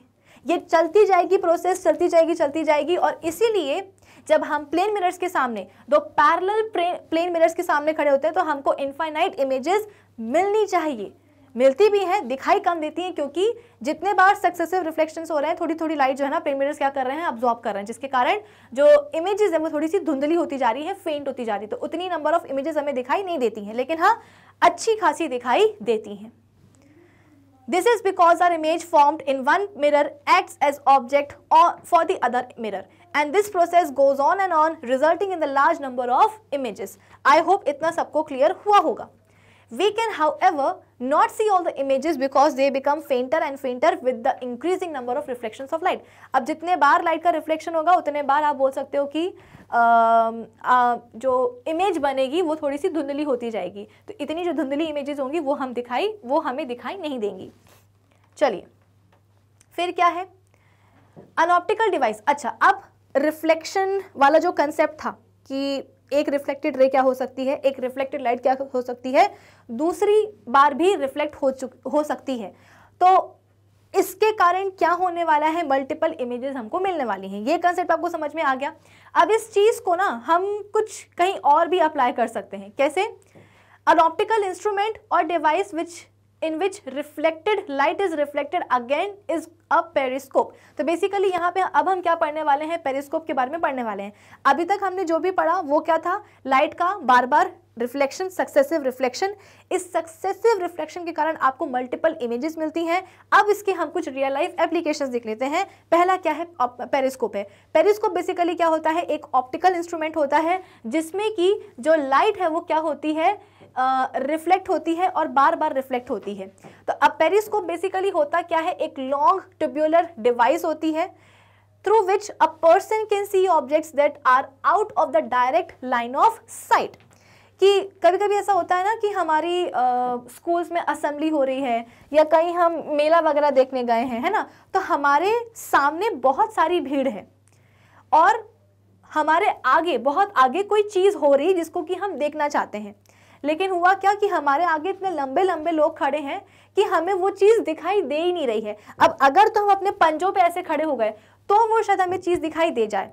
लेकिन कभी कभी ऐसा होता है कि पंजों पे भी खड़े होने के बाद में जो है ना, चीज़ें दिखाई नहीं देती हैं। यानी कि चीज़ें जो हैं, वो हमारे डायरेक्ट लाइन ऑफ़ साइट में नहीं हैं। चीज़ें, हमारी ऑब्जेक्ट्स हमारे डायरेक्ट लाइन ऑफ़ साइट में नहीं है कि ये हमारी आँखें हैं इनके बिल्कुल स्ट्रेट लाइन में क्या होना चाहिए ऑब्जेक्ट को होना चाहिए तो हमें वो चीज़ दिखाई दे जाएगी लेकिन ऐसा हो नहीं रहा है। चीज़ें जो भी हैं वो हमारे डायरेक्ट आप बोल सकते हो कि आ, क्या यहाँ पे बोला गया है लाइन ऑफ़ साइट में नहीं है। लेकिन फिर भी चीज़ तो हमें देखनी है है ना? मैचेस वगैरह जो होते हैं स्पेशली उनमें कि भीड़ इतनी ज़्यादा होती है चक्का छक्का चौका पड़ा नहीं कि लोग उछलने लग जाते हैं डांस करने लग जाते हैं। तो पीछे पीछे जो इंसान बैठा उसको कुछ दिखाई देता ही नहीं है। तो इसके लिए हम क्या करते हैं? पेरिस्कोप का यूज़ करते हैं। आपने देखा होगा कार्टून्स वगैरह में टॉम एंड जेरी में भी देखा होगा, और एक और वो एक और आता था कार्टून मुझे इसका नाम याद नहीं आ रहा है। तो उसमें क्या होता था कि जैसे ही सामने वाले को अपने दुश्मन को देखना है कि भाई दुश्मन आ रहा है या नहीं आ रहा है, अगर आ रहा होगा तो उस पर हम क्या करेंगे? अटैक करेंगे। तो इसके लिए हम क्या करते हैं? अगर सामने से जाकर के हम उसको ऐसे देखेंगे तो वो भी हमको देख लेगा। हम उसको पीटना चाह रहे थे, पता चला वही हमको पीट दिया तो ये तो उल्टा हो जाएगा। तो हम उसको चोरी से देखते हैं। चोरी से कैसे देखते हैं? तो ऐसे पेरिस्कोप से। आपने देखा होगा कि जैसे कि टॉम है, उसको जेरी को ढूंढना है तो वो क्या कर रहा है? टॉम पानी में छिप करके बैठा हुआ है। अब उसको देखना है कि जो जेरी है, वो कहाँ तक आया तो वो क्या करेगा? ऐसे पानी के नीचे से एक ऐसी ट्यूब निकालेगा, बिल्कुल इसके जैसी। है ना? यहाँ पे आप बोल सकते हो कि आँख हमें लगता है कि बनी हुई है, और यहाँ पे एक पतली सी ट्यूब होती है। है ना? तो टॉम क्या करेगा? पानी से ऐसी एक पतली सी ट्यूब निकाल करके देखेगा। और जैसे ही वो ट्यूब अब इसमें क्या हुआ? टॉम तो बाहर आया नहीं, लेकिन उसको बाहर चल क्या रहा है? वो दिखाई देगा। भाई, पानी टॉम तो पानी में था, है ना? तो उसके आप बोल सकते हो कि डायरेक्ट जो लाइन ऑफ़ साइट है, उसमें जेरी नहीं था, लेकिन फिर भी उसको देखना तो वो क्या करेगा? पेरिस्कोप का यूज़ करेगा। क्या होता है पेरिस्कोप में? आप देखो। A periscope gives a higher view than normal जो पेरिस्कोप है वो नॉर्मल uh, से बढ़कर एक हायर व्यू देता है. For example by using a periscope we can see the objects on the other side of the high wall which can not be seen by us directly अब एक पड़ोसी का झगड़ा हो रहा है? ठीक है ना? अब पड़ोसी क्या झगड़ा होता है तो बड़ा इंटरेस्ट आता है कि मसाला मिलेगा है ना? तो आ, उसको देखना है हमें कैसे देखने को मिलेगा? नहीं मिल सकता। क्यों नहीं मिल सकता? क्योंकि दोनों ही मतलब हमारे और उनके बीच में एक बड़ी सी कॉमन वॉल है। और वो वॉल उतनी लंबी है कि हम उसको जो है ना ऐसे झाँक करके देख नहीं सकते। तो हम क्या करेंगे? टॉम की तरह एक ऐसा पाइप निकालेंगे। पाइप जो है, हम नीचे खड़े हैं, लेकिन जो पाइप वो कहाँ जा रहा है? ऊपर जा रहा है। ऊपर कहाँ जा रहा है? तो वॉल के लेवल तक जा रहा है। तो वहाँ जो भी हो रहा होगा, वो हमें दिखाई दे जाएगा। ठीक है ना? जैसे कि हम कहाँ खड़े हैं? हम यहाँ खड़े हैं। इसको मैं ड्रॉ करके बताऊँ क्या? हम कहाँ खड़े हैं? यहाँ खड़े हैं। ये हमारी क्या है? आँख है। और आप बोल सकते हो कि यहाँ पूरा नहीं और नीचे बनाते हैं। हम कहाँ खड़े हैं? यहाँ खड़े हैं। ये हमारी आँख है और ये क्या है? पूरी वॉल है। और वॉल के आ, हाँ गलत बनाया है। वॉल यहाँ होगी। वॉल यहाँ है। ठीक है ना? और वॉल के उधर क्या हो रहा लड़ाई हो रही तो हम क्या करेंगे? यहाँ से पेरिस्कोप लेकर के जाएँगे। तो पेरिस्कोप जो है ऐसे दीवार के ऊपर चला जाता है। तो यहाँ पे जो भी हो रहा है, यहाँ पे जो भी हो रहा है, उस पूरी घटना का अंदाज़ा आपको यहाँ मिल जाता है। आई बात समझ में? तो पेरिस्कोप आप बोल सकते हो कि काफ़ी मज़ेदार और काफ़ी आप बोल सकते हो कि बढ़िया इंस्ट्रूमेंट होता है ऑप्टिकल इंस्ट्रूमेंट होता है। For example by using a periscope we can see the objects on the other side of a high wall which can not be seen by us directly the periscope makes use of two plane mirrors to see over the top of things तो basically periscope काम कैसे करता है? गुण तो बता दिया हमने पेरिस्कोप की अच्छा यहाँ भी यूज़ कर सकते हैं। पड़ोसी का झगड़ा हो रहा है तो वह, वो देख सकते हैं। अगर किसी अपने दुश्मन को यू नो ताकना है तो उसको जो है ना, हम देख सकते हैं। लेकिन ऐसा होता क्यों है? क्योंकि पेरिस्कोप में आप बोल सकते हो कि दो प्लेन मिरर्स का यूज़ किया जाता है। ठीक है ना? A periscope works on the reflection of light from two plane mirrors arranged parallel to one another. Periscope में हम दो प्लेन मिरर्स यूज़ करते हैं और पेरिस्कोप किस प्रिंसिपल पे काम करता है कि लाइट का रिफ्लेक्शन होता है from the two plane mirrors arranged parallel to one another कि हमने जो दो प्लेन मिरर्स लिए हैं, वो कैसे हैं? एक दूसरे के साथ पैरेलली अरेंज्ड होते हैं, जिसके कारण जो भी लाइट रेज आएँगी, उन लाइट रेज का क्या होने वाला है? रिफ्लेक्शन होने वाला है। और रिफ्लेक्शन के कारण ही क्या होगा? आप बोल सकते हो कि हमें चीज़ें दिखाई देंगी। A periscope consists of a long tube T having two plane mirrors M1 and M2 fitted as its two sorry fitted at its two ends.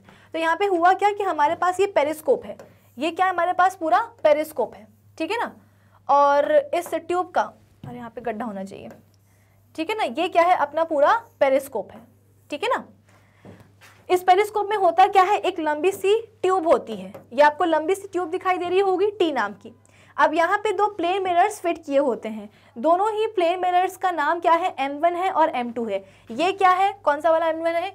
ये वाला M1 है और ये वाला क्या है? M2 है। ये वाला M2 और ये वाला क्या है बच्चों? M1 है। आई बात समझ में? नेक्स्ट पॉइंट क्या है? The two plane mirrors are fitted in such a way that they are parallel to one another and their reflecting surfaces face each other. दोनों ही plane mirrors को आपने basically ले तो लिया है और जो long tube है periscope की टी उसके एंड में फिट कर दिया। जैसे कि आप यहाँ पे देख सकते हो कि ये वाला एक एंड है पेरिस्कोप का और ये वाला दूसरा एंड है किसका? पेरिस्कोप का। तो दोनों ही एंड्स में हम क्या करेंगे? एक एक प्लेन मिरर फिट कर देंगे। कैसे फिट करेंगे? तरीका होता है कि दोनों ही प्लेन मिरर्स कैसे होने चाहिए? एक दूसरे के पैरल होने चाहिए। देखो यहाँ पे, अरे कैसे बताऊँ? देखो, ये वाला एक प्लेन मिरर और दूसरा वाला ये प्लेन मिरर तो दोनों ही प्लेन मिरर क्या है? एक दूसरे के पैरल है कि नहीं है? है ना? तो दोनों ही प्लेन मिरर्स कैसे हैं? एक दूसरे के पैरल हैं। अब क्या एक दूसरे से रूट के खड़े होंगे क्या? कि मेरा रिफ्लेक्टिंग सरफेस अगर ऐसा है तो आ, उसका जो रिफ्लेक्टिंग सरफेस होगा वो ऐसा होगा? नहीं। दोनों का जो रिफ्लेक्टिंग सरफेस है वो क्या होना चाहिए? आमने सामने होना चाहिए। देखो इसका रिफ्लेक्टिंग सरफेस ये वाला है इस वाले के सामने ये M2 जो अपना प्लेन मिरर है उसका रिफ्लेक्टिंग सरफेस कुछ इस तरीके का है। तो दोनों ही प्लेन मिरर्स को हम पेरिस्कोप की ट्यूब टी के एंड्स में फिट करते हैं। कैसे फिट करते हैं कि दोनों ही प्लेन मिरर्स क्या हो जाए? एक दूसरे के पैरल हो जाए। दोनों ही मिरर्स के जो रिफ्लेक्टिंग सरफेसेस हैं वो आमने सामने होने चाहिए। इसका भी है इसका भी है। और दोनों ही प्लेन मिरर्स का हमने नाम क्या रखा है? M one and M two Now, each plane mirror, however, makes an angle of 45 degree with the side of the tube. अब यहाँ पे क्या बोला गया है कि दोनों ही प्लेन मिरर्स क्या करते हैं? ट्यूब का जो एक साइड है, उसके साथ 45 डिग्री का एंगल बनाते हैं। तो आप देख सकते हो कि ये क्या है प्लेन मिरर है। और आप देख सकते हो कि इस प्लेन मिरर ने क्या करा है 45 डिग्री का एंगल बनाया हुआ है ट्यूब के साइड के साथ। सिमिलरली ये जो प्लेन मिरर है, इसने भी क्या करा है, ट्यूब की एक साइड के साथ 45 डिग्री का एंगल बनाया है। तो पेरिस्कोप में प्लेन मिरर्स को फिट करने के तरीके होते हैं कि दोनों ही एंड्स पे हम एक एक प्लेन मिरर फिट करेंगे। दोनों ही प्लेन मिरर आपस में पैरल होने चाहिए हैं। दोनों के ही रिफ्लेक्टिंग सरफेसेस एक दूसरे के सामने होने चाहिए हैं। प्लस आप बोल सकते हो कि आ, हर एक प्लेन मिरर क्या करता है? ट्यूब की साइड के साथ में 45 डिग्री का एंगल बनाता है। तो ये तीन कंडीशंस फॉलो करके ही आप क्या कर सकते हो? पेरिस्कोप में प्लेन मिरर्स को फिट कर सकते हो। Now there are two holes in the periscope tube one hole is in front of the top mirror M1 and the other hole is in the front of the bottom mirror M2 तो हुआ क्या कि दोनों ही tube में अब दो दो holes होते हैं। पहला होल कहाँ है? तो आपको दिखाई दे रहा होगा कि ये जो आपकी लॉन्ग ट्यूब है टी उसमें जो प्लेन मिरर M1 है, इसके सामने आपको ये होल दिखाई दे रहा होगा, ये वाला होल। सिमिलरली ये जो आपकी ट्यूब टी है, इसमें जो बॉटम वाला मिरर है M2 इसके सामने भी आपको दो होल्स दिखाई दे रहे होंगे। ठीक है? फिर क्या बोला है? अब वर्किंग हम समझते हैं कि suppose there is a tree behind a high wall which we can not see directly अब वॉल के दूसरे साइड में क्या है भाई? वॉल के दूसरे साइड में आप बोल सकते हो कि एक लंबा सा पेड़ है जो कि हमें डायरेक्टली दिखाई नहीं दे रहा है। है ना? डायरेक्ट हमारी आँखों के सामने नहीं है। लेकिन इतना पता है कि वो दीवार के उस तरफ़ है हाई वॉल के उस तरफ़ है। तो we can however see this tree by using a periscope This can be done as follows. The upper hole of the periscope is turned towards the object to be seen, here a tree, so that the top mirror M1 faces the object. अब हुआ क्या कि जिस भी object को आपको देखना हो इस समय हमारे पास ऑब्जेक्ट क्या है ट्री है ये कहाँ है तो हाई वॉल के दूसरे साइड में है हम कहाँ खड़े हैं भाई हम हाई वॉल के यहाँ खड़े हुए हैं ट्री कहाँ है, यहाँ है और इसी को हमें देखना है। ये हमारे डायरेक्ट साइट ऑफ़ आप बोल सकते हो कि विजन के उसमें नहीं है, ठीक है? इस वजह से हम पेरिस्कोप का यहाँ पे यूज़ कर रहे हैं। तो हम पेरिस्कोप का यूज़ करेंगे कैसे? हम पेरिस्कोप को कुछ इस तरीके से रखेंगे कि, क्या बोला जा रहा है यहाँ पे? कि the upper hole of the periscope is turn towards the object to be seen जिस ऑब्जेक्ट को आपको देखना है, उसकी तरफ़ आप क्या करने वाले हो? पेरिस्कोप का जो अपर वाला होल है उसको आप वहाँ करोगे। जैसे कि मुझे आपको देखना है तो मेरे पास ये जो पेरिस्कोप होगा, इसका जो अपर होल होगा, वो कहाँ होगा? आपकी तरफ़ होगा। या अगर मुझे ट्री देखना है तो पेरिस्कोप का जो अपर होल होगा, वो कहाँ होगा?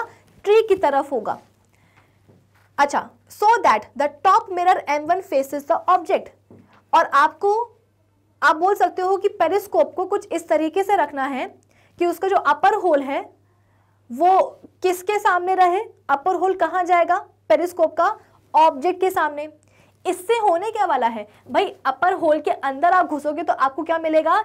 एम वन प्लेन मिरर मिलेगा। तो आपको पेरिस्कोप को कुछ इस तरीके से रखना है कि जो एम वन प्लेन मिरर है, वो किसके सामने आ जाए? ऑब्जेक्ट टू बी सीन के सामने आ जाए। इस ऑब्जेक्ट को आप देखना चाहते हो ट्री को आप देखना चाहते हो, ठीक उसके सामने आप क्या करोगे? प्लेन मिरर एम वन लेकर के आओगे। कैसे लेकर के आओगे पेरिस्कोप का M1 प्लेन मिरर जब आप उसके अपर होल को क्या करोगे?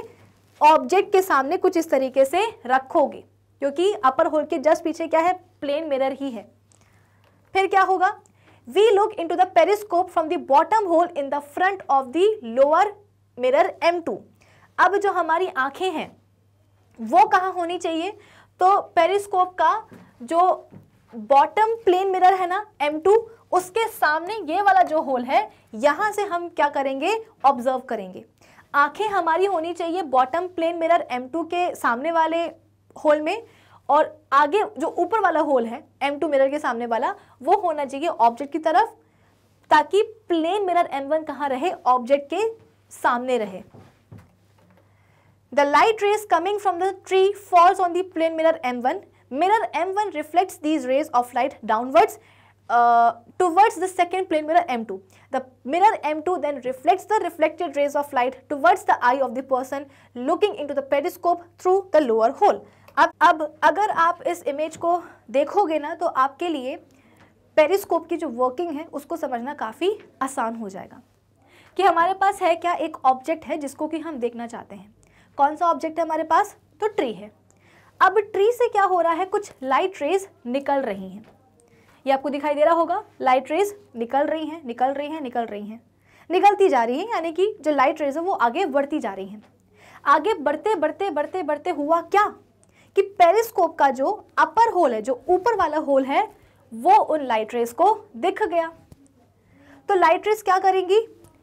इस अपर होल की ही मदद से पेरिस्कोप के अंदर चली जाएँगी। भाई गड्ढा है ना होल है ना तो इस गड्ढे की मदद से, इस होल की मदद से जो लाइट रेज होंगी ट्री से निकल करके कहाँ आ जाएँगी? पेरिस्कोप के अंदर चली जाएँगी। अब अंदर कहाँ जाएँगी? तो ये जो लाइट रेज है, ये आ कहाँ से रही हैं? ऊपर वाले होल से आ रही हैं। ऊपर वाले होल के जस्ट सामने है क्या? अपर मिरर कौन सा? M1 नाम का। M1 है या नहीं है? है ना? तो अपर होल से जैसे ही लाइट रेज अंदर एंटर करेंगी पेरिस्कोप में तो उनको सबसे पहले क्या मिलने वाला है? M1 प्लेन मिरर मिलने वाला है। अब ये बात तो हम सबको पता ही है ना, ये बात तो अंडरस्टूड है कि लाइट रेज अगर मिरर पे आकर के स्ट्राइक करती हैं तो क्या होने वाला है भाई? रिफ्लेक्शन होने वाला है। तो प्लेन मिरर M1 पे आकर के जब लाइट रेज क्या करेंगी? स्ट्राइक करेंगी तो प्लेन मिरर M1 क्या करने वाला है? उन लाइट रेस का रिफ्लेक्शन करवाने वाला है। तो रिफ्लेक्शन के बाद में आपको यहाँ पे रिफ्लेक्टेड रेस कुछ इस तरीके से जाती हुई मिलेंगी। ये रिफ्लेक्टेड रेस बेसिकली आप बोल सकते हो कि आई कहाँ से थी? तो आप बोलोगे कि मैम, ट्री से लाइट रेस निकल रही थी, जो कि इंसिडेंट रेस की तरह काम कर रही थी और इनने जाकर के प्लेन मिरर M1 पे क्या किया था? स्ट्राइक किया था। तो रिफ्लेक्शन हुआ। रिफ्लेक्शन होने के बाद में रिफ्लेक्टेड रे आप बोल सकते हो कि कुछ इस तरीके से पेरिस्कोप के नीचे चली जाएगी। उसकी पूरी लेंथ के अलोंग क्या होने वाला है? पेरिस्कोप की पूरी लेंथ के अलोंग जो रिफ्लेक्टेड रेज हैं, वो दौड़ने वाली हैं। अल्टीमेटली होगा क्या? कि जो लाइट रेज होंगी या आप बोल सकते हो कि जो रिफ्लेक्टेड रेज होंगी, वो कहाँ पहुँचेंगी? पेरिस्कोप के बॉटम एंड की तरफ़ पहुँचेंगी।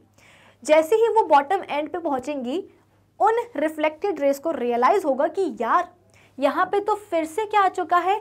एक प्लेन मिरर आ चुका है, कौन सा? M2 नाम का। तो रिफ्लेक्टेड रेस बेसिकली क्या करने वाली हैं? सेकेंड वाले जो प्लेन मिरर है M2 इसके ऊपर स्ट्राइक करने वाली हैं। अब ऑब्वियस सी बात है, अभी हम पढ़ के आ रहे हैं। कि पहले रिफ्लेक्शन की जो रिफ्लेक्टेड रेज होती हैं, वो दूसरे सरफेस पे पहुँचने के बाद में दूसरे रिफ्लेक्शन की क्या बन जा, क्या बन जाती हैं? इंसिडेंट रेज बन जाती हैं। पहले रिफ्लेक्शन की रिफ्लेक्टेड रेज दूसरे रिफ्लेक्शन की इंसिडेंट रेज बन जाती हैं। तो बेसिकली यहाँ पे जो पहला रिफ्लेक्शन हुआ है एम वन मिरर पे, उससे जो भी रिफ्लेक्टेड रेज निकली हैं, वो reflected rays M two mirror पे आकर के स्ट्राइक करेंगी। क्या होगा? रिफ्लेक्शन होगा। तो रिफ्लेक्शन होने के बाद में कुछ इस तरीके से क्या होगा? रिफ्लेक्टेड रेज बाहर निकलेंगी। बाहर कैसे, कहाँ से निकलेंगी, कैसे निकलेंगी? तो भाई सेकेंड प्लेन मिरर M2 के सामने क्या है? नीचे वाला होल भी तो है। तो उस होल से क्या होंगी? वो रिफ्लेक्टेड रेज बाहर निकल जाएँगी। यानी कि रेज एंटर यहाँ से कर रही थी अपर होल से, और एग्जिट कहाँ से कर रही है? लोअर एंड से। लोअर एंड से करने से फ़ायदा क्या होगा? एग्जिट कि भाई लोअर एंड पे लोअर होल पे आप बोल सकते हो कि हमारी आँखें हैं। हम कहाँ थे? हम यही तो थे। तो जो भी रेज सेकेंड रिफ्लेक्शन के बाद में निकल रही हैं रिफ्लेक्टेड रेज वो कहाँ जाएँगी? सीधे हमारी आँखों तक जाएँगी। और जहाँ ट्री से निकलने वाली जो आप बोल सकते हो कि रेज है, वो हमारी आँखों तक पड़ेंगी, वहाँ पे हमको ट्री दिखाई देने लग जाएगा। तो जिस ट्री को, जिस ऑब्जेक्ट को हमारे लिए डायरेक्टली देखना क्या था? डिफ़िकल्ट था। अब उसको हम क्या कर रहे हैं? पेरिस्कोप की मदद से, बड़े ही आसानी से देख रहे हैं।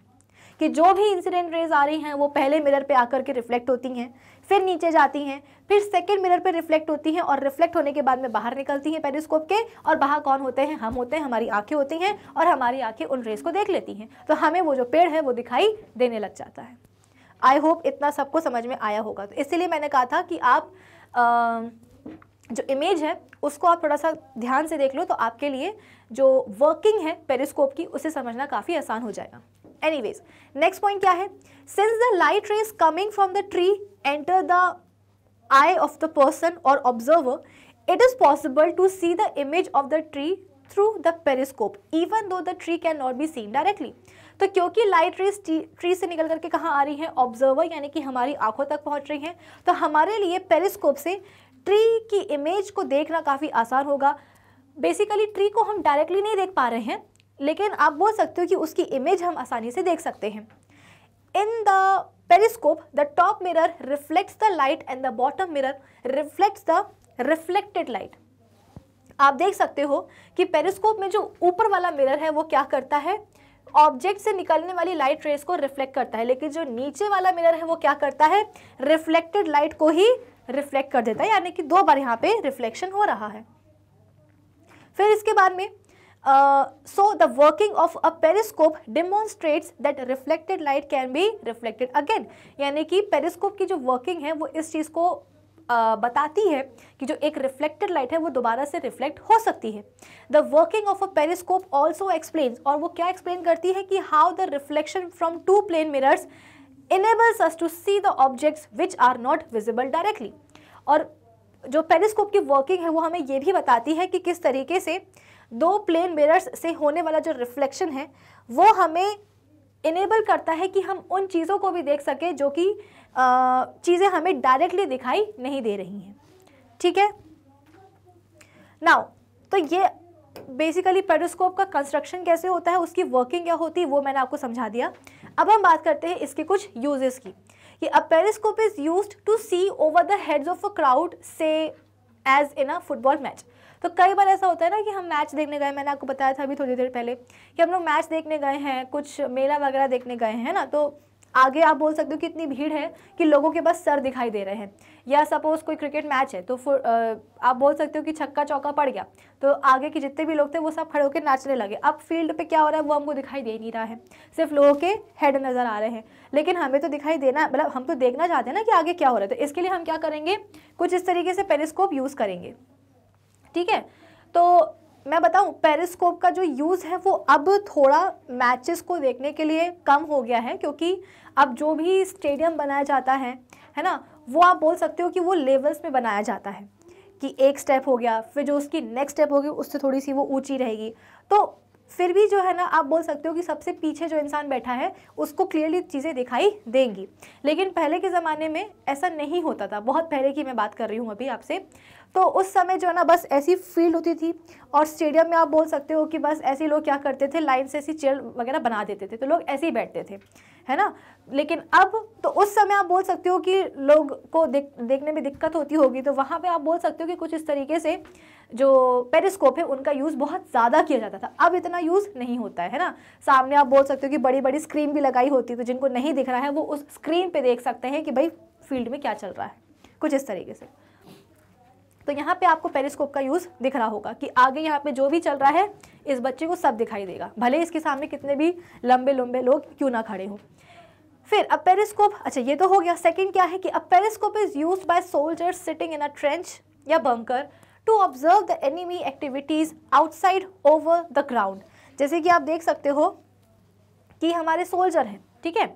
अब इनको, ये अपने सपोज़ बंकर में बैठे हैं या ट्रेंच वगैरह में हैं अब इनको अपने दुश्मनों के ऊपर नज़र रखनी है कि हमारे जो दुश्मन हैं, वो कहीं पास तो नहीं आ रहे हैं, कुछ गड़बड़ तो नहीं कर रहे हैं। तो इसके लिए क्या करना पड़ेगा? इनको नज़र रखनी होगी। अब अगर ये नॉर्मली जो है ना, ऐसे घूम घूम के, घूम घूम के जो है ना नज़र रखेंगे तो फिर इनकी जान को भी खतरा है। पता चला सामने वाले ने गोली चला दी तो मुश्किल हो जाएगी। तो इसलिए ये क्या करते हैं? ये छुप के जो है ना, नज़र रखते हैं। तो छुप के कैसे? अब जैसे ये सोल्जर है, ये एक वॉल के पीछे छुपे हुए हैं, ठीक है? इनको ये पता करना है कि वॉल के दूसरे साइड में जो उनका दुश्मन है, वो एग्जैक्टली क्या कर रहा है? तो अगर वो खुद ऐसे झाँक के देखेंगे सामने आएँगे तो फिर तो गड़बड़ हो जाएगी। तो छुप के देखने के लिए क्या करेंगे? देखना तो है ही ना। कुछ इस तरीके से आप बोल सकते हो कि पेरिस्कोप का यूज़ किया जाएगा। कि ये क्या करते हैं? पेरिस्कोप को ऐसे डाल देते हैं। तो जैसे कि मैं सोल्जर हूँ, है ना? मेरे सामने ये दीवार है। दीवार के उस तरफ़ क्या चल रहा है, ये मुझे देखना है। तो मैं क्या करूँगी? ऐसे पेरिस्कोप को डालूँगी। ठीक है ना? तो पेरिस्कोप क्या करेगा? वहाँ पे जो भी चीज़ें चल रही होगी, दुश्मन जो भी कर रहा होगा, उसकी इमेज मुझे कहाँ मिल जाएगी? दीवार के पीछे मिल जाएगी। ठीक है ना?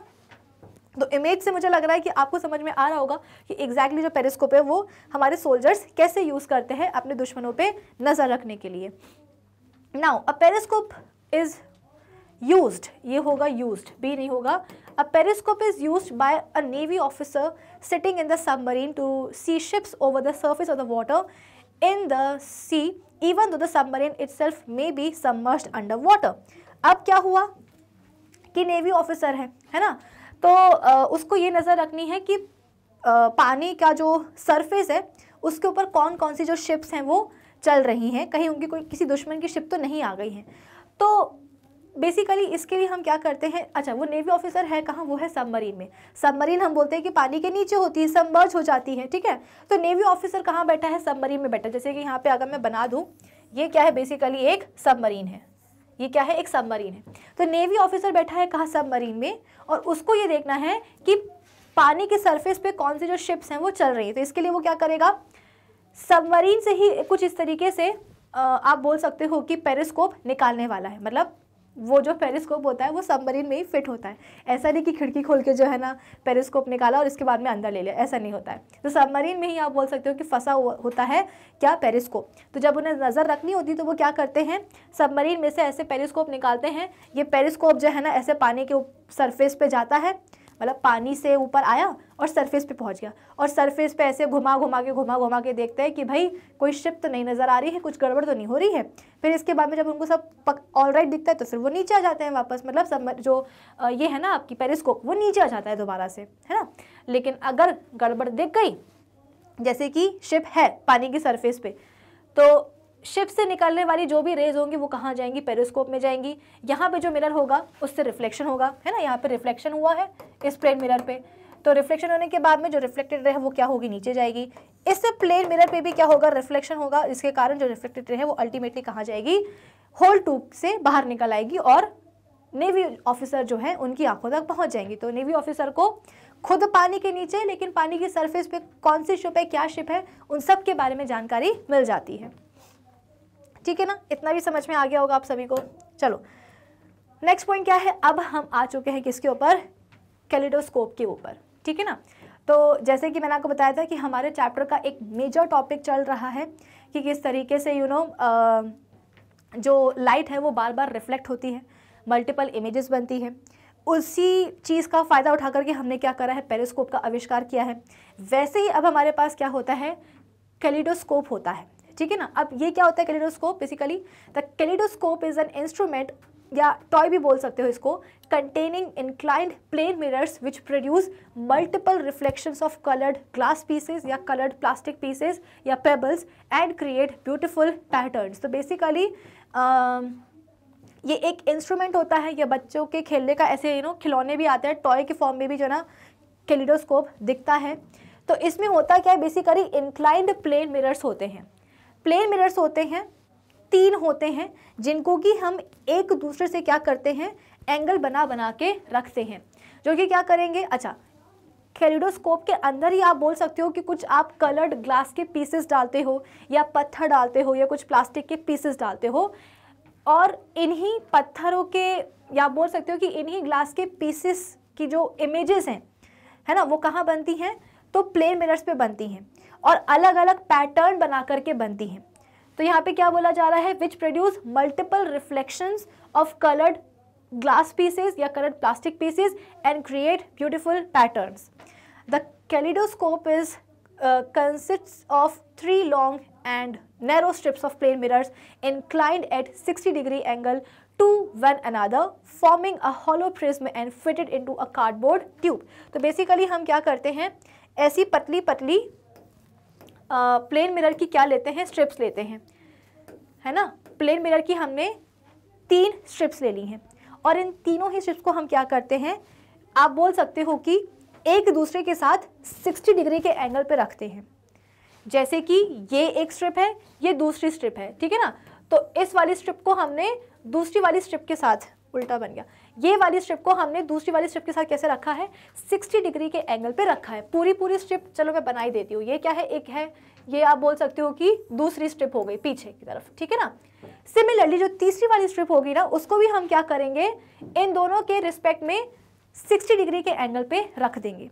तो आपके पास प्लेन मिरर की जैसे कि यहाँ पे बोला गया है कि प्लेन मिरर की आपके पास लॉन्ग नैरो स्ट्रिप्स होती हैं, जिनको कि आप एक दूसरे के साथ 60 डिग्री का एंगल बना करके रखते हो। तो बेसिकली आपके पास एक प्रिज्म बन जाता है, एक हॉलो प्रिज्म आ जाता है और इस पूरे हॉलो प्रिज्म को आप क्या करते हो? एक कार्डबोर्ड की ट्यूब में अंदर रख देते हो कुछ इस तरीके से। है ना? ये आपको प्रिज्म दिखाई दे रहा होगा। ये क्या करा है हमने? तीनों ही प्लास्टिक प्लास्टिक बोल रही हूँ। जो लॉन्ग नैरो प्लेन मिरर की स्ट्रिप्स हैं, उनको हमने क्या करा है? 60 डिग्री का एंगल बना बना के रखा है, जिसके कारण इनसे देखो क्या बन चुका है, एक हॉलो प्रिज्म बन चुका है। ये दिखाई दे रहा होगा आपको हॉलो प्रिज्म ठीक है ना? तो एक स्ट्रिप ये है, एक उसके सामने वाली है और एक नीचे वाली है। आ रही बात समझ में? एक ये वाली है एक उसके सामने होगी और एक ये नीचे वाली। है तो, तो तो तीन प्लेन मिरर्स की स्ट्रिप से एक हॉलो प्रिज्म बन गया जिसको कि आपने क्या करा है कुछ इस तरीके से जो कार्डबोर्ड ट्यूब है उसमें लगा करके रखा है। बेसिकली ट्यूब पूरी कंप्लीट होती है समझाने के लिए कि कैसे हमें रखना है। ट्यूब को जो है आधा बनाया गया है कार्डबोर्ड के ट्यूब को। बाकी वो क्या करते हैं हम? कुछ इस तरीके से देखो। ये आपने प्रिज्म बना लिया ना अब इसको हम क्या करते हैं? कार्डबोर्ड की जो पूरी ट्यूब है उसके अंदर हम इसको रख देते हैं। ठीक है? चलो। फिर इसके बाद में नेक्स्ट स्टेप क्या होने वाला है? कि one end of the cardboard tube is closed by an opaque disc या कार्डबोर्ड डिस्क तो एक एंड जो होता है कार्डबोर्ड ट्यूब का उसको हम क्लोज करते हैं किसके साथ? एक ओपेक डिस्क के साथ या कार्डबोर्ड डिस्क के साथ जिसमें कि हम क्या करते हैं? बीच में एक छोटा सा होल भी बना देते हैं। यानी कि जैसे कि एक आ, आपके पास क्या है? जो आपके पास सिलेंड्रिकल ट्यूब आई है उसको कवर भी तो करना पड़ेगा ना? तो उसके एक एंड को कवर करने के लिए हम कार्डबोर्ड का ही एक आप बोल सकते हो कि कवर बनाते हैं डिस्क बनाते हैं और डिस्क है इसका मतलब क्या कि बीच में आपको एक होल भी उसमें करना होगा, तभी तो अंदर देखोगे ना झाँक के, वरना देखोगे कैसे? फिर the other end of the cardboard tube is closed with two circular disc of glasses अब हम क्या करेंगे? जो दूसरा एंड होता है उसका कैलेडोस्कोप का, उसको हम क्या करते हैं? दो सर्कुलर डिस्क से कवर करते हैं, लेकिन वो दोनों ही सर्कुलर डिस्क किसकी बनी होती हैं? ग्लास की बनी होती है। जो इनर डिस्क होती है, वो ट्रांसपेरेंट होती है और जो आउटर डिस्क होती है, बाहर की तरफ़, वो ट्रांसलूसेंट ग्लास की बनी होती है। A number of small pieces of different coloured glass या plastic and having different shapes are kept between the two glass disc which can be which can move around freely in the space between the two glass disc तो basically हुआ क्या? जैसे कि इस diagram को अगर आप देखोगे तो एक एंड पे ये क्या है? आपकी सिलेंड्रिकल ट्यूब है, जिसके अंदर आपने प्लेन मिरर की तीन स्ट्रिप्स का क्या रखा हुआ है? प्रिज्म रखा हुआ है। तो इस आप बोल सकते हो कि जो सिलेंड्रिकल ट्यूब है ना, इसका जो एक एंड होगा, उसको आप क्या करोगे? आप बोल सकते हो कि एक कार्डबोर्ड की डिस्क से कवर करोगे, जिसमें बीच में क्या होगा? छेद होगा। वहीं जो दूसरा एंड होगा इसका, जो दूसरा एंड होगा, इसको आप कवर करोगे दो सर्कुलर डिस्क से, और दोनों किसकी बनी होंगी? ग्लास की बनी होंगी। आउटर वाली आप बोल सकते हो कि ट्रांसलूसेंट होगी, और अंदर वाली कैसी होगी? ट्रांसपेरेंट होगी। और दोनों ही ग्लास डिस्क के बीच में क्या होने वाला है? कुछ कलरफुल ग्लास के पीसेस होने वाले हैं प्लास्टिक के पीसेस होने वाले हैं। और कुछ इस तरीके से आपको रखना है कि जितने भी आप पीसेस डाल रहे हो, वो क्या करें? दोनों ही ग्लास डिस्क के बीच में फ्रीली जो है ना मूव कर पाएँ। ठीक है ना? तो अंदर वाली होती है ट्रांसपेरेंट बाहर वाली होती है ट्रांसलूसेंट और दोनों के ही बीच में ग्लास डिस्क के बीच में डिफरेंट शेप्स के कलर ग्लासेस के पीसेस हम डालते हैं ताकि वो दोनों ही क्या कर मतलब दोनों ही डिस्क के बीच में वो फ्रीली मूव कर पाएँ। फिर इसके बाद में when when we hold the kaleidoscope toward, tube towards the light and look into it and look inside it through the small hole we see beautiful patterns of colored glass. तो basically हुआ क्या कि जब हम kaleidoscope को आ, कुछ इस तरीके जैसे कि यहाँ पे लाइट है ठीक है ना? तो लाइट की डायरेक्शन में हम क्या करते हैं? कैलिडोस्कोप को रखते हैं। जैसे कि यहाँ पे क्या है? ये आपका सपोज़ एक बल्ब है ठीक है ना? ये क्या है? आपका एक बल्ब है। यहाँ से क्या हो रहा है? रोशनी आ रही है। ये आ गई रोशनी। तो हम जो हमारा कैलिडोस्कोप होगा ना, वो कैसे रखेंगे? कुछ इस तरीके से रखेंगे। देखेंगे कहाँ से? तो जैसे कि मैंने आपको बताया कि एक एंड जो होता है कैलिडोस्कोप का, उसको हम कार्डबोर्ड की डिस्क से कवर करते हैं, जिसमें कि एक छोटा सा होल होता है है ना? तो उस होल वाले एंड से ही हम क्या करने वाले हैं? कैलिडोस्कोप के अंदर देखने वाले हैं कि यहाँ पे क्या है होल है तो हम इसको ऐसे देखेंगे। तो इसके लिए आपको कैलिडोस्कोप को क्या करना पड़ेगा? लाइट की तरफ़ रखना पड़ेगा। उसका जो दूसरा एंड होगा, उसको आपको ऐसे रखना पड़ेगा लाइट की तरफ़। Now the coloured glass pieces act as objects and the inclined plane mirrors from for multiple images of these glass pieces by repeated reflection which look like beautiful pattern अच्छा अब क्या होगा? यहाँ पे जो बोला गया ना कि लाइट की तरफ़ रखना है। लाइट की तरफ़ क्यों रखना है? क्योंकि भाई लाइट यहाँ है ना तो दूसरे एंड से क्या होने वाला है? लाइट एंटर करने वाली है। अब ये जो एंटर्ड लाइट है, ये कहाँ पहुँचेगी? भाई, यहाँ पे आपके पास दो ग्लास की डिस्क है। और इन दोनों ही ग्लास की डिस्क के बीच में क्या है? कलरफुल आप बोल सकते हो कि ग्लास के पीसेस हैं। अब क्या होगा? अब आप बोल सकते हो कि लाइट रेज जो हैं, जो लाइट रेज हैं, वो क्या हो रही हैं? अंदर आ रही हैं। अंदर आ रही हैं। अंदर कहाँ आएँगी? इन ग्लास के पीसेस पे स्ट्राइक करेंगी। स्ट्राइक करेंगी? फिर इन ग्लास पीसेस से जो लाइट रेज निकलेंगी, वो कहाँ जाने वाली हैं? वो जो आपने तीन प्लेन मिरर की जो स्ट्रिप्स बना करके रखी है ना, उन पे लाइट रेज स्ट्राइक करने वाली हैं। जिसके कारण प्लेन मिरर की जो, आप बोल सकती हो कि जो स्ट्रिप्स होंगी, वो क्या करेंगी? अलग अलग इमेजेस बनाएँगी पैटर्न बनाएँगी। किसके? ग्लास पीसेस के तो आप बोल सकते हो कि आपके पास जो कैलिडोस्कोप आया है, उसमें जो ग्लास पीसेस है कलरफुल वो ऑब्जेक्ट की तरह बिहेव कर रहे हैं। लाइट आ रही है दूसरे एंड से, लाइट उन पर पड़ती है। पढ़ने के बाद में कहाँ जाती है उन पीसेस से निकल करके प्लेन मिरर की स्ट्रिप्स पे जाती है, जिसके कारण जो प्लेन मिरर की स्ट्रिप्स हैं वो क्या करती हैं? ब्यूटीफुल इमेजेस बनाती हैं मल्टीपल इमेजेस बनाती हैं इन ग्लास पीसेस के। और कैसे? By repeated reflection which look like beautiful pattern तो आपको कुछ इस तरीके के सुंदर सुंदर पैटर्न जो है दिखाई देने लग जाते हैं। तो if we turn the kaleidoscope cube slightly the glass piece will rearrange and produce a new pattern और फिर हम क्या करेंगे? अगर हमने कैलिडोस्कोप को ऐसे घुमा दिया थोड़ा सा तो जो ग्लास पीसेस होंगे, वो तो फ्रीली मूव हो रहे हैं ना, दोनों ही डिस्क के बीच में। तो वो क्या हो जाएँगे? अपने आप को रीअरेंज कर लेंगे। रीअरेंज करने से क्या होता है? एक नया पैटर्न बेसिकली बनने लगता है। तो हर बार जो है ना, जितने बार आप कैलिडोस्कोप को घुमाते हो, उतने बार नया नया पैटर्न आपको दिखाई देने लग जाता है। The kaleidoscope produces hundreds of ever changing colored patterns or designs. An interesting feature of kaleidoscope is that we can never see the same pattern again एक बार जो पैटर्न आपको दिखाई दिया है, वो दोबारा से आपको उसमें कभी दिखाई नहीं देने वाला है। Every time a new pattern is formed kaleidoscopes are use by designers of wall papers and fabrics as well as by artist to go to get ideas for new patterns आपने देखा होगा ना कभी कभी हमें ऐसा लगता है कि हमारे जो डिज़ाइनर्स होते हैं, है ना, इनके पास आखिर इतनी सारी डिज़ाइंस आती कहाँ से हैं? भाई, किसके पास इतना दिमाग होता है कि हर दिन क्या कर रहा है, वो अलग अलग तरह के सौ डिज़ाइन बना के दे रहा है? तो यहाँ पे आप बोल सकते हो कि कैलिडोस्कोप का ही यूज़ किया जाता है। कि जितने बार देखोगे, उतने बार आपको नया पैटर्न मिलेगा। और कभी भी वो जो पैटर्न है, वो चेंज नहीं होने वाला मतलब रिपीट नहीं होने वाला है। तो उस हिसाब से हमारे सभी आर्टिस्ट को, डिज़ाइनर्स को फ़ायदा होता है नए नए पैटर्न्स के आइडिया आते हैं।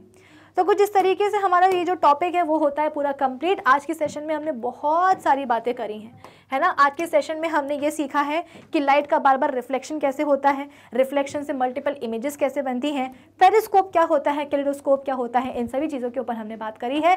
उम्मीद करती हूँ आज की सारी बातें सबको समझ में आए हेलो एवरीवन आज के इस सेशन में हम क्लास एट साइंस के सिक्सटीन चैप्टर लाइट का एक और नया टॉपिक डिस्कस करने जा रहे हैं and that is sunlight white और कलर्ड प्रीवियस सेशन में हमने बात करी थी reflected light can be reflected again topic के ऊपर, जहाँ पर हमने ये चीज़ समझने की कोशिश करी थी कि हमारी जो रिफ्लेक्टेड लाइट होती है ना, अगर किसी दूसरे सरफेस से जाकर के टकराती है तो टकराने के बाद वो फिर से रिफ्लेक्ट हो जाती है। तो लाइट के बार बार रिफ्लेक्ट होने के कारण ही हमें एक ऑब्जेक्ट की मल्टीपल इमेजेस मिलती हैं।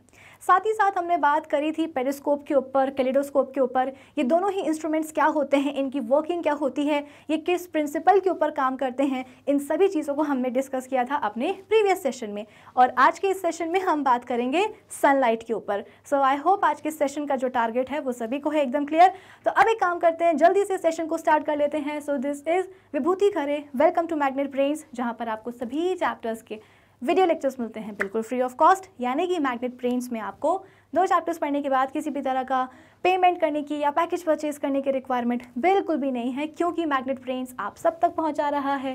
क्वालिटी एजुकेशन बिल्कुल फ्री ऑफ़ कॉस्ट तो इसी अच्छी बात से हम स्टार्ट कर लेते हैं आज का हमारा ये सेशन जहाँ पर हम बात करेंगे सनलाइट की। आप देखो यहाँ पे क्या लिखा गया है कि the sunlight is referred to as white light अगर मैं आपसे पूछूँ कि स्टूडेंट्स मुझे ये बताइए कि हमारी जो सनलाइट होती है, सूरज की जो रोशनी होती है, वो एग्जैक्टली exactly किस कलर की होती है? मतलब वो वाइट कलर की होती है या फिर वो कलरफुल होती है? तो आप बोलोगे कि मैम ये कैसा बच्चों जैसा सवाल है? हम सबको पता है कि जो सनलाइट होती है, वो कैसी होती है? एक वाइट लाइट होती है। लेकिन क्या आपको पता है कि एक वाइट लाइट जो है ना, वो बहुत सारे कॉम्पोनेंट कलर की लाइट्स से बनी होती है? क्या आपने रेनबो के कलर्स देखे हैं? हमारे रेनबो के कलर्स कौन कौन से होते हैं? विब ग्योर, है ना? विब ग्योर। विब ग्योर का मतलब क्या है? वी मतलब कि वॉयलेट आई मतलब कि इंडिगो पी मतलब कि ब्लू जी मतलब कि ग्रीन वाई मतलब येलो ओ मतलब ऑरेंज और आर मतलब रेड तो ये क्या होता है हमारे? सभी के सभी रेनबो कलर्स होते हैं। अगर मैं आपसे बोलूँ कि जितने भी आपको रेनबो कलर्स दिखाई देते हैं ना इन सभी रेनबो कलर्स को अगर हम क्या कर दें कंबाइन कर दें तो हमें क्या मिलती है? एक वाइट लाइट मिलती है। तो शायद आपके लिए इस चीज़ को समझना थोड़ा सा मुश्किल हो जाए। डाइजेस्ट करना हजम करना मुश्किल हो जाए कि मैम ये क्या बात हुई? कि अगर हम सभी के सभी इन रेनबो कलर्स को कहाँ ग्रीन कहाँ येलो कहाँ ऑरेंज कहाँ रेड कहाँ वॉयलेट अगर इन सभी कॉम्पोनेंट कलर्स को हम क्या कर दें मिला दें तो क्या हमको एक वाइट कलर की लाइट मिलती है? सो so, यस yes, ये बात सही है।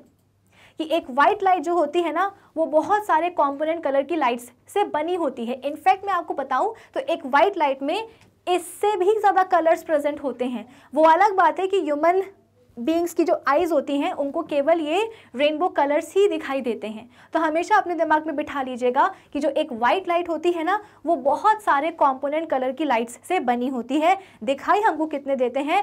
सेवन कलर्स देते हैं। तो इसीलिए यहाँ पे क्या बोला गया है कि जो एक वाइट लाइट है उसके पास सेवन कलर्स होते हैं जो कि आपस में बेहतरीन तरीके से मिक्सड होते हैं। सो so, सनलाइट क्या होती है? It is referred to as white light तो हमारी जो सनलाइट है वो बेसिकली क्या है? एक वाइट लाइट है। और ये जो वाइट सनलाइट है ये सेवन कॉम्पोनेंट कलर्स कलर्स की बनी होती है।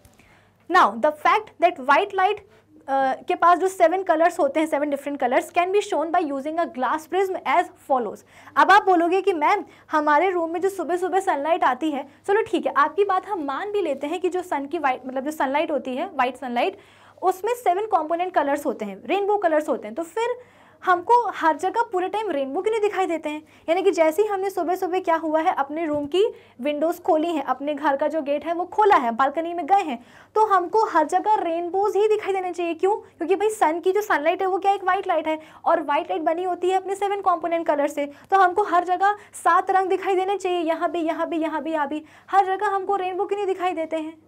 वो इसलिए नहीं देते हैं क्योंकि जिस समय हमारी वाइट सनलाइट एयर में ट्रैवल करती है, उस समय जो जितने भी सेवन कंपोनेंट कलर की लाइट्स प्रेजेंट होती है ना वाइट लाइट में, उन सभी कलरफुल लाइट की जो स्पीड है ना, वो कैसी होती है? एक जैसी होती है। इसको अगर मैं आपको ऐसे समझाऊं कि जैसे मैं खड़ी हूँ और मेरे साइड में पाँच छः बच्चे और खड़े हैं, या मेरे पाँच छः फ्रेंड्स और खड़ी हुई हैं अब हम लोग क्या कर रहे हैं? हम लोग एक साथ भागना शुरू कर रहे हैं। मैं यहाँ खड़ी हूँ, मेरे लेफ़्ट हैंड साइड में बहुत सारी मेरी फ्रेंड्स खड़ी हुई हैं। और आप हम लोग को मतलब आप जो है ना, हम लोग को कहाँ से देख रहे हो? आप हम लोग को कुछ इस तरीके से देख रहे हो, साम, इधर से साइड में से खड़े होकर के। तो अब हम क्या करेंगे? एक साथ ऐसे भागना शुरू करेंगे। तो होगा क्या कि जब आप हम लोग को देखोगे ना तो मेरे साइड में मेरी और कितनी फ्रेंड्स हैं या मेरे साइड में कितने और बच्चे हैं आप ये चीज़ डिफ्रेंशिएट नहीं कर पाओगे। क्यों? क्योंकि जिस समय हम लोग दौड़ रहे हैं उस समय हम सबकी स्पीड कैसी है? एक जैसी है। तो आप ये नहीं बता पाओगे कि मैम के साइड में आ, और कितने बच्चे हैं। लेकिन अगर मैंने बोला कि जैसे ही हम लोग ने दौड़ना शुरू करा है तो सपोज़ मेरे बगल में पाँच मेरी सहेलियाँ और थी। तो मुझे मिलाकर के टोटल कितनी होगी? छः हो गई लड़कियाँ, है ना? तो अब सभी की सभी छः की छः लड़कियाँ क्या कर रही हैं? अलग अलग स्पीड के साथ दौड़ रही है। तो एक सबसे आगे रहेगी, एक सबसे पीछे रहेगी, बाकी के बीच में कहीं रहेंगी। तो फिर क्या होगा? आप सभी लड़कियों को डिफ्रेंशिएट कर पाओगे कि अच्छा मैम के साइड में इतनी सारी लड़कियाँ क्या कर रही हैं, दौड़ रही हैं। लेकिन अगर हम सबकी स्पीड कैसी हो गई, एक जैसी हो गई तो फिर आप कभी हमको डिफ्रेंशिएट नहीं कर पाओगे कि मैम के बगल में एग्जैक्टली exactly कितनी लड़कियाँ क्योंकि हम सबकी स्पीड कैसी है? एक जैसी है। तो हम सभी के सभी एक स्पीड के साथ क्या कर रहे हैं? दौड़ रहे हैं। सेम बात किसकी होती है? व्हाइट लाइट के कॉम्पोनेंट कलर्स की होती है। कि व्हाइट लाइट में जितनी भी कॉम्पोनेंट कलर की लाइट्स छुपी होती है ना, जो कि मिल करके एक व्हाइट लाइट बनाती हैं, जब ये व्हाइट लाइट एयर में ट्रैवल करती है मैंने आपको पहले भी बताया है कि एयर को ट्रैवल करने के लिए एक मीडियम चाहिए होता है। तो जब बेसिकली uh, आपको पता ही है कि सन का हमारा स्पेस में है। तो सन से जब सनलाइट आती है तो सनलाइट uh, हमारे अर्थ के एटमॉस्फेयर में आती है ठीक है ना? तो अर्थ के एटमॉस्फेयर में बेसिकली क्या मिलेगा? एयर मिलेगी कि नहीं मिलेगी?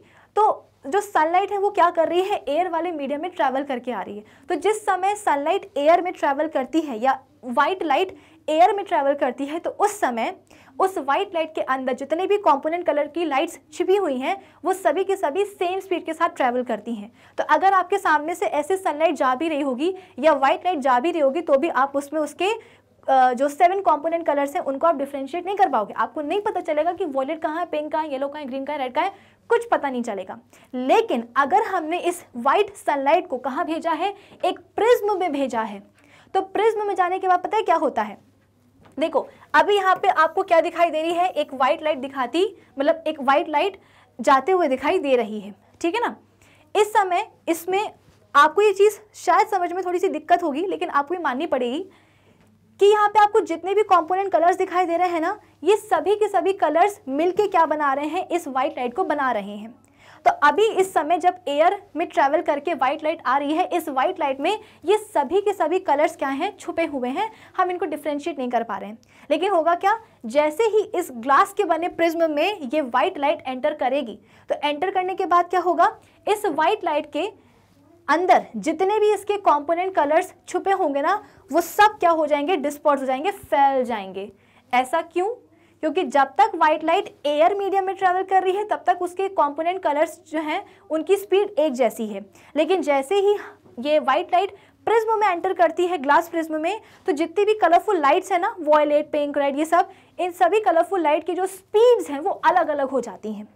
तो वॉयलेट अलग स्पीड के साथ ट्रैवल करेगी रेड लाइट अलग स्पीड के साथ ट्रैवल करेगी ग्रीन अलग येलो अलग ऑरेंज अलग सभी की सभी कलरफुल लाइट्स अपनी अलग अलग स्पीड पकड़ लेती हैं। और जहाँ उनकी अलग अलग स्पीड आई वहाँ समझ लीजिए कि आप आ, मतलब वो जो कंपोनेंट कलर्स हैं वो एक दूसरे से सेपरेट हो जाते हैं फिर आप उनको डिफ्रेंशिएट कर पाते हो।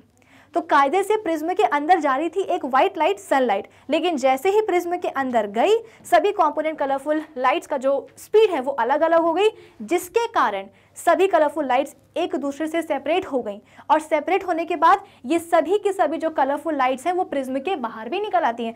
ऐसा थोड़ी है कि व्हाइट लाइट को प्रिज्म के अंदर भेजा तो वो हमेशा के हमेशा प्रिज्म में ही रहेंगी। अरे बाहर भी तो निकलेंगी। तो जब ये कलरफुल लाइट्स बाहर निकलेंगी तो आपको कुछ इस तरीके का एक कलरफुल कलर्स का एक बैंड मिलेगा, है ना? कलर्स का क्या मिलेगा? एक बैंड मिलेगा, इसे हम क्या बोलते हैं? बेसिकली स्पेक्ट्रम बोलते हैं। क्या बोलते हैं? स्पेक्ट्रम और सीक्वेंस हमेशा यही होता है। सबसे नीचे वॉयलेट फिर ऊपर इंडिगो फिर ब्लू फिर ग्रीन फिर येलो फिर ऑरेंज फिर रेड कुछ इस तरीके से। आई होप इतना सभी को समझ में आया होगा। तो हमेशा ध्यान रखिएगा कि जब व्हाइट लाइट एयर मीडियम में ट्रैवल कर रही है तो सभी कॉम्पोनेंट कलर की जो लाइट्स हैं, उनकी स्पीड एक जैसी है। तो आप डिफ्रेंशिएट नहीं कर पाओगे एयर में कि व्हाइट लाइट में कौन कौन से कॉम्पोनेंट कलर्स हैं। लेकिन जब ये व्हाइट लाइट किसी ग्लास फ्रिज में एंटर करती है तो सभी जो कॉम्पोनेंट कलर्स होते हैं जो कंपोनेंट कलर की लाइट्स होती हैं, उनकी उन सब की स्पीड अलग अलग हो जाती है। जिसके कारण वो सभी कलरफुल लाइट्स जो है, वो एक दूसरे से सेपरेट हो जाती हैं। तो फिर हम इनको अब डिफ्रेंशिएट कर पाते हैं कि अच्छा ये है रेड अच्छा ये है वॉलेट ये है इंडिगो ये है ग्रीन ये है येलो सॉर्टेड चलिए। अब इसके बाद में अगर आपको ये समझ में आया है तो अब आपके लिए रेनबो फॉर्मेशन को समझना बिल्कुल भी नहीं होगा। ठीक है? रेनबो में आप सबने कभी ना कभी रेनबो तो ज़रूर देखा होगा, बड़ा अच्छा सा लगता है ना स्काई में। जब बारिश हो चुकी रहती है थोड़ी थोड़ी धूप निकल रही होती है, तब रेनबो ज़रूर से दिखाई देता है। अब सवाल ये है कि रेनबो फॉर्मेशन में मतलब इस चीज़ का क्या काम है? तो होता यह है कि जब भी बारिश होती है तो हमारे एटमॉस्फेयर में पानी की बूंदें आ जाती हैं, है ना? पानी की ड्रॉपलेट्स आ जाती हैं और हर एक पानी की जो ड्रॉपलेट होती है ना, वो एक छोटे से प्रिज्म की तरह बिहेव करती हैं। पानी की हर एक जो छोटी सी ड्रॉपलेट होती है, वो एक प्रिज्म की तरह बिहेव करती है। तो हुआ क्या कि जब बारिश हुई तो एटमॉस्फेयर में क्या आ गई है? पानी की बूंदें आ गई हैं ड्रॉपलेट्स आ गई हैं छोटे छोटे से प्रिज्म आ गए हैं, ठीक है? और धूप भी निकल रही है, यानी कि एटमॉस्फेयर में आप बोल सकते हो कि वाइट सनलाइट भी है और छोटे छोटे से क्या है? प्रिज्म भी हैं। तो यहाँ से क्या हुआ? सन से आने वाली सनलाइट आई जो एटमॉस्फेयर में जो छोटी सी पानी की बूंद है ड्रॉपलेट है जो कि एक प्रिज्म की तरह बिहेव कर रही है इस ड्रॉपलेट के अंदर क्या हुआ? सन की वाइट लाइट चली गई। चली तो गई लेकिन हुआ क्या? जैसे ही ये white light sun white light आप बोल सकते हो कि ड्रॉपलेट के अंदर गई व्हाइट लाइट के अंदर जितने भी उसके कंपोनेंट कलर्स थे उन सभी कलरफुल लाइट्स की जो स्पीड थी वो क्या हो गई? अलग अलग हो गई है ना? व्हाइट लाइट अच्छी खासी चली आ रही थी। एटमॉस्फेयर में जो आ, पानी की ड्रॉपलेट थी एक उससे वो टकरा गई। टकराने के बाद हुआ क्या? जो व्हाइट लाइट है वो कहाँ चली गई? ड्रॉपलेट के अंदर चली गई। अंदर तो गई, लेकिन अंदर जाने के बाद हुआ क्या कि व्हाइट लाइट के अंदर जितने भी कॉम्पोनेंट कलर्स थे, उन सभी कलरफुल लाइट्स की जो स्पीड है वो क्या हो गई? अलग अलग हो गई। ठीक है? अलग अलग हो गई, जिसके कारण जो जितने भी कलर्स थे वो क्या हो चुके हैं? जितनी भी कलरफुल लाइट्स थी, वो एक दूसरे से सेपरेट हो चुकी हैं। अब क्या होगा? ये सभी की जो आपके पास जो कलरफुल लाइट्स आ रही हैं, ये अंदर ही अंदर क्या होने वाली हैं? मतलब यहाँ से क्या हो चुकी है? बेसिकली देखो व्हाइट लाइट का जो ग्लास प्रिज्म में जाकर स्कैटरिंग होती है, उसे हम क्या बोलते हैं? डिस्पर्जन बोलते हैं। ठीक है? व्हाइट लाइट जब अपने, जब एक ग्लास प्रिज्म में एंटर करने के बाद अपने कॉम्पोनेंट कलर की लाइट्स में स्प्लिट हो जाती है। स्कैटरिंग इनफैक्ट मुझे स्प्लिटिंग बोलना चाहिए राइस एक वाइट लाइट जब एक ग्लास प्रिज्म के अंदर एंटर करती है तो एंटर करने के बाद जब वो अपने सेवन कलरफुल लाइट्स में स्प्लिट हो जाती है तो इस प्रोसेस को हम क्या बोलते हैं? लाइट का डिस्पर्जन बोलते हैं।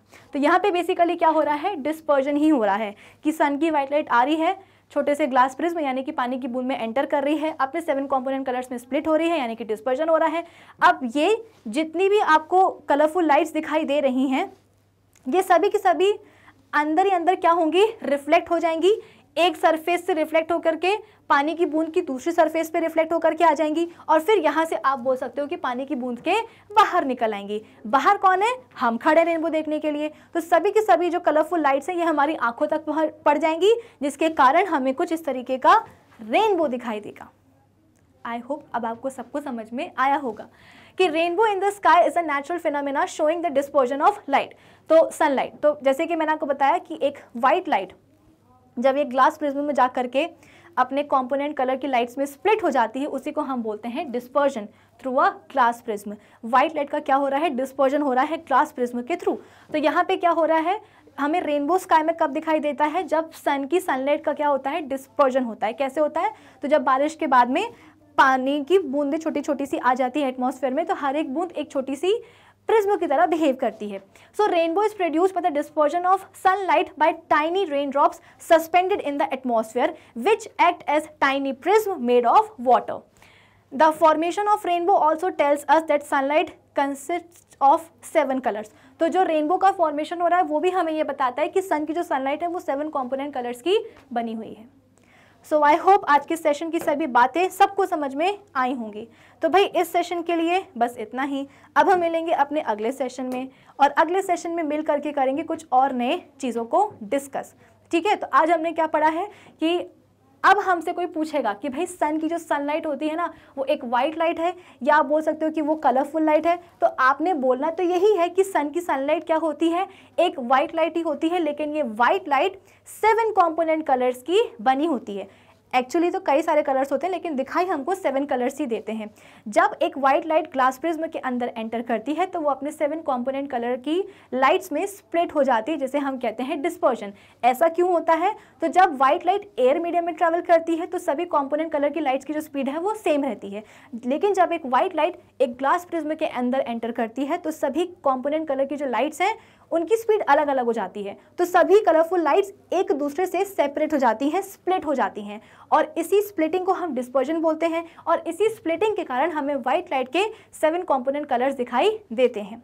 ठीक है? और इसी के कारण क्या होता है? रेनबो का फॉर्मेशन भी होता है कि हमारे एटमॉस्फेयर में बारिश के बाद में पानी की छोटी छोटी बूंदें आ जाती हैं। हर एक बूंद एक छोटे से प्रिज्म की तरह बिहेव करती है, पानी का बना हुआ प्रिज्म तो जब सन से आने वाली सनलाइट इन वाटर ड्रॉपलेट्स पे पड़ती हैं अंदर जाती हैं डिस्पर्जन होता है, फिर अंदर की ही, अंदर सभी के सभी जो कलरफुल लाइट्स है वो रिफ्लेक्ट होती हैं। रिफ्लेक्ट होकर के सभी कलरफुल लाइट्स वाटर ड्रॉपलेट के बाहर निकल आती हैं और हमको रेनबो दिखाई दे जाता है। तो कुछ इस तरीके से आज के इस पूरे सेशन को हम करते हैं। हेलो एवरीवन आज के इस सेशन में हम क्लास एट्थ साइंस के सिक्सटीन चैप्टर लाइट का एक और नया टॉपिक डिस्कस करने जा रहे हैं and that is types of reflection of light previous sessions में हमने बात करी है रिफ्लेक्शन ऑफ़ लाइट टॉपिक के ऊपर, जहाँ पर हमने ये चीज़ समझने की कोशिश करी है कि लाइट का रिफ्लेक्शन क्या होता है, कैसे होता है, और जब भी होता है तो कौन से लॉस को फॉलो किया जाता है। तो ये पूरी कहानी रही है अपने प्रीवियस सेशंस की, लेकिन क्या आपको पता है कि लाइट के रिफ्लेक्शन के दो टाइप्स होते हैं? मतलब ये कि जब भी एक लाइट रिफ्लेक्ट करती है तो वो दो तरीक़ों से रिफ्लेक्ट कर सकती है।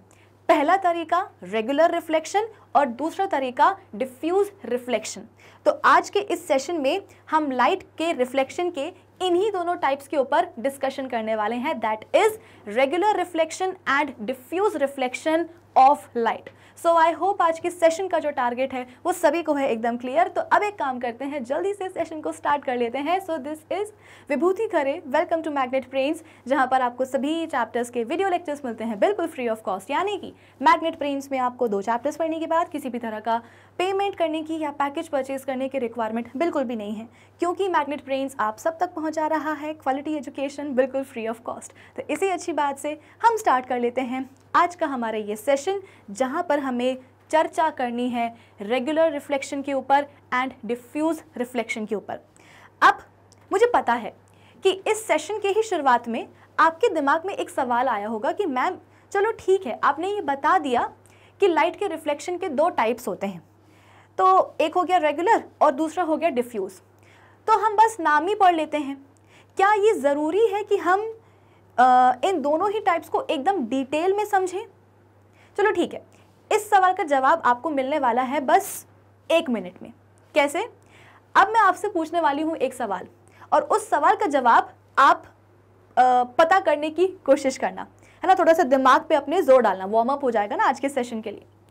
मेरा सवाल आपसे ये है कि देखो, ये बात हम सबको पता है कि अगर हम एक प्लेन मिरर के सामने जाकर के खड़े हो जाएँगे तो उस प्लेन मिरर में हमको हमारी इमेज नज़र आएगी। है ना? ये बात तो सबको पता है। और अगर नहीं पता है तो एक काम करो, आपके घर में आईना लगा होगा ना, उस आईने के सामने जाकर के खड़े हो जाओ। आपको आपका चेहरा दिखाई देगा, आपको आपकी इमेज दिखाई देगी। ठीक है? चलो, अब क्या हुआ कि मुझे लगा कि यार, आईने के सामने तो हम रोज़ ही जाके खड़े होते हैं। एक काम करते हैं आज हम दीवार के सामने जाकर के खड़े होते हैं। तो मैं जाकर के खड़ी हो गई एक वॉल के सामने। पर अब मेरी मुसीबत यह है कि मैं वॉल के सामने खड़ी तो हो गई, लेकिन वॉल पर मुझे मेरी इमेज नज़र आ ही नहीं रही है। तो आप बोलोगे कि मैम, ये भी क्या बात हुई? आपको पता होना चाहिए कि वॉल में हमको हमारी इमेज नहीं मिलने वाली है। चलो ठीक है, वॉल में नहीं मिली ना? अब वॉल के मतलब वॉल से ही सटी हुई थोड़ी सी एक वो रखी हुई थी, वुडन अलमीरा रखी हुई थी, लकड़ी की अलमारी रखी हुई थी। तो मैंने सोचा कि वॉल पे तो इमेज मिल नहीं रही है, एक काम करते हैं, वुडन, जो वुडन अलमीरा है, उसके सामने जाकर के मैं खड़ी हो जाती हूँ। तो मैं खड़ी हो गई अलमीरा के सामने जा के। लेकिन अब मेरी मुसीबत यह है कि मुझे इसमें भी अपनी इमेज नज़र नहीं आ रही तो आप बोलोगे कि मैम, आप कर ही गलत रही हो। भाई ये जो चीज़ें होती हैं, दीवार हो गया, लकड़ी की अलमारी हो गई, लोहे की अलमारी हो गई उनमें मिरर नहीं लगा है ना? बिना मिरर वाली अलमारियाँ हैं हमारे पास। तो वॉल हो गई वुडन अलमीरा हो गई, लोहे की अलमीरा हो गई, फर्श हो गया ग्राउंड हो गया रोड हो गई बेड हो गया चेयर टेबल फ्रिज इन सब में हमको हमारी इमेज नहीं नज़र आती है। अगर आपको इमेज चाहिए है तो आप जाकर के मिरर के सामने खड़े हो जाओ इमेज मिल जाएगी। लेकिन इन चीज़ों में हमको हमारी इमेज नज़र नहीं आएगी। बात तो सही है। लेकिन आखिर ये बात सही क्यों है? मेरा सवाल आपसे यही है कि प्लेन मिरर में क्यों हमको हमारी इमेज नज़र आती है और इन सब चीज़ों में, दीवारों में, अलमीरा में, इन सब चीज़ों में हमें हमारी इमेज नज़र क्यों नहीं आती है? तो आप बोलोगे कि मैम आपने समझाया है कि प्लेन मिरर में क्या होता है? लाइट का रिफ्लेक्शन होता है। कि हमारे बॉडी से जो भी लाइट रेज निकल रही हैं, वो बेसिकली जहाँ, कहाँ जाती है? मिरर में जाती हैं। मिरर में जाकर के आप बोल सकते हो कि रिफ्लेक्ट हो जाती हैं और रिफ्लेक्ट होने के बाद में दोबारा से वो रेस कहाँ जाती है? हमारी आँखों तक आ जाती है तो हमको हमारी इमेज मिरर में आईने में दिखाई दे जाती हैं। तो प्लेन मिरर में आप बोल सकते हो कि लाइट रेस का रिफ्लेक्शन हो रहा है, इसीलिए हमको हमारी इमेज नज़र आ रही है। अब अगर वॉल में हमको हमारी इमेज नज़र नहीं आ रही है तो हो सकता है कि वॉल में लाइट रेस का रिफ्लेक्शन ही ना हो रहा हो। मतलब हुआ ये कि जैसे कि मैं खड़ी हो गई हूँ वॉल के सामने तो मेरे बॉडी से जो भी लाइट रेस निकल रही हैं, वो वॉल में जा तो रही हैं वॉल को स्ट्राइक तो कर रही है, लेकिन वॉल उन लाइट रेस के रिफ्लेक्शन को एंटरटेन कर ही नहीं रही है, यानी कि जो वॉल है, वो लाइट रेस को रिफ्लेक्ट कर ही नहीं रही है। शायद इसलिए मुझे दीवार में अपनी इमेज अपनी शक्ल दिखाई नहीं दे रही है। है ना? यही लगा होगा। जबकि ऐसा बिल्कुल भी नहीं है। अगर प्लेन मिरर में लाइट रेस का रिफ्लेक्शन हो रहा है तो वॉल में भी लाइट रेस का रिफ्लेक्शन हो रहा है। लेकिन जैसे कि मैंने आपको बताया कि लाइट के रिफ्लेक्शन के दो तरीके होते हैं। लाइट को अगर रिफ्लेक्शन करना है तो वो दो तरीकों से रिफ्लेक्ट कर सकती है। एक रेगुलर रिफ्लेक्शन और दूसरा डिफ्यूज रिफ्लेक्शन तो आप बोल सकते हो कि मिरर में जो रिफ्लेक्शन हो रहा है, वो एक अलग टाइप का है और वॉल में जो लाइट रेस का रिफ्लेक्शन हो रहा है, वो एक अलग टाइप का है। तो क्योंकि रिफ्लेक्शन के दो अलग अलग टाइप्स हो रहे हैं यहाँ पे इसीलिए कहीं आपको इमेज मिल रही है और कहीं आपको अपनी इमेज नहीं मिल रही है।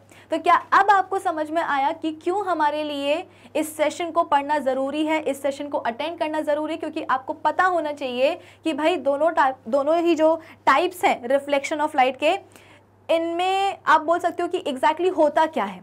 क्या इन दोनों में कोई सिमिलैरिटीज़ होती हैं? कुछ डिफरेंसेस होते हैं? एग्जैक्टली exactly होता क्या है?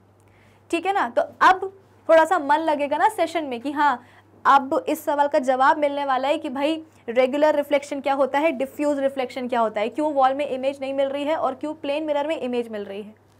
ठीक है? चलो। तो सबसे पहले हम बात एक एक करके दोनों ही रिफ्लेक्शंस जो हैं टाइप्स जो हैं, उनको हम निपटा देंगे, ठीक है? तो सबसे पहले हम बात करते हैं रेगुलर रिफ्लेक्शन की। So in regular reflection a parallel beam of incident light is reflected as a parallel beam in one direction हुआ क्या कि रेगुलर रिफ्लेक्शन में क्या होता है? इंसिडेंट लाइट की एक पैरेलल बीम आती है। रिफ्लेक्शन होता है और रिफ्लेक्शन के बाद में पैरेलल बीम क्या लिखा है यहाँ पे?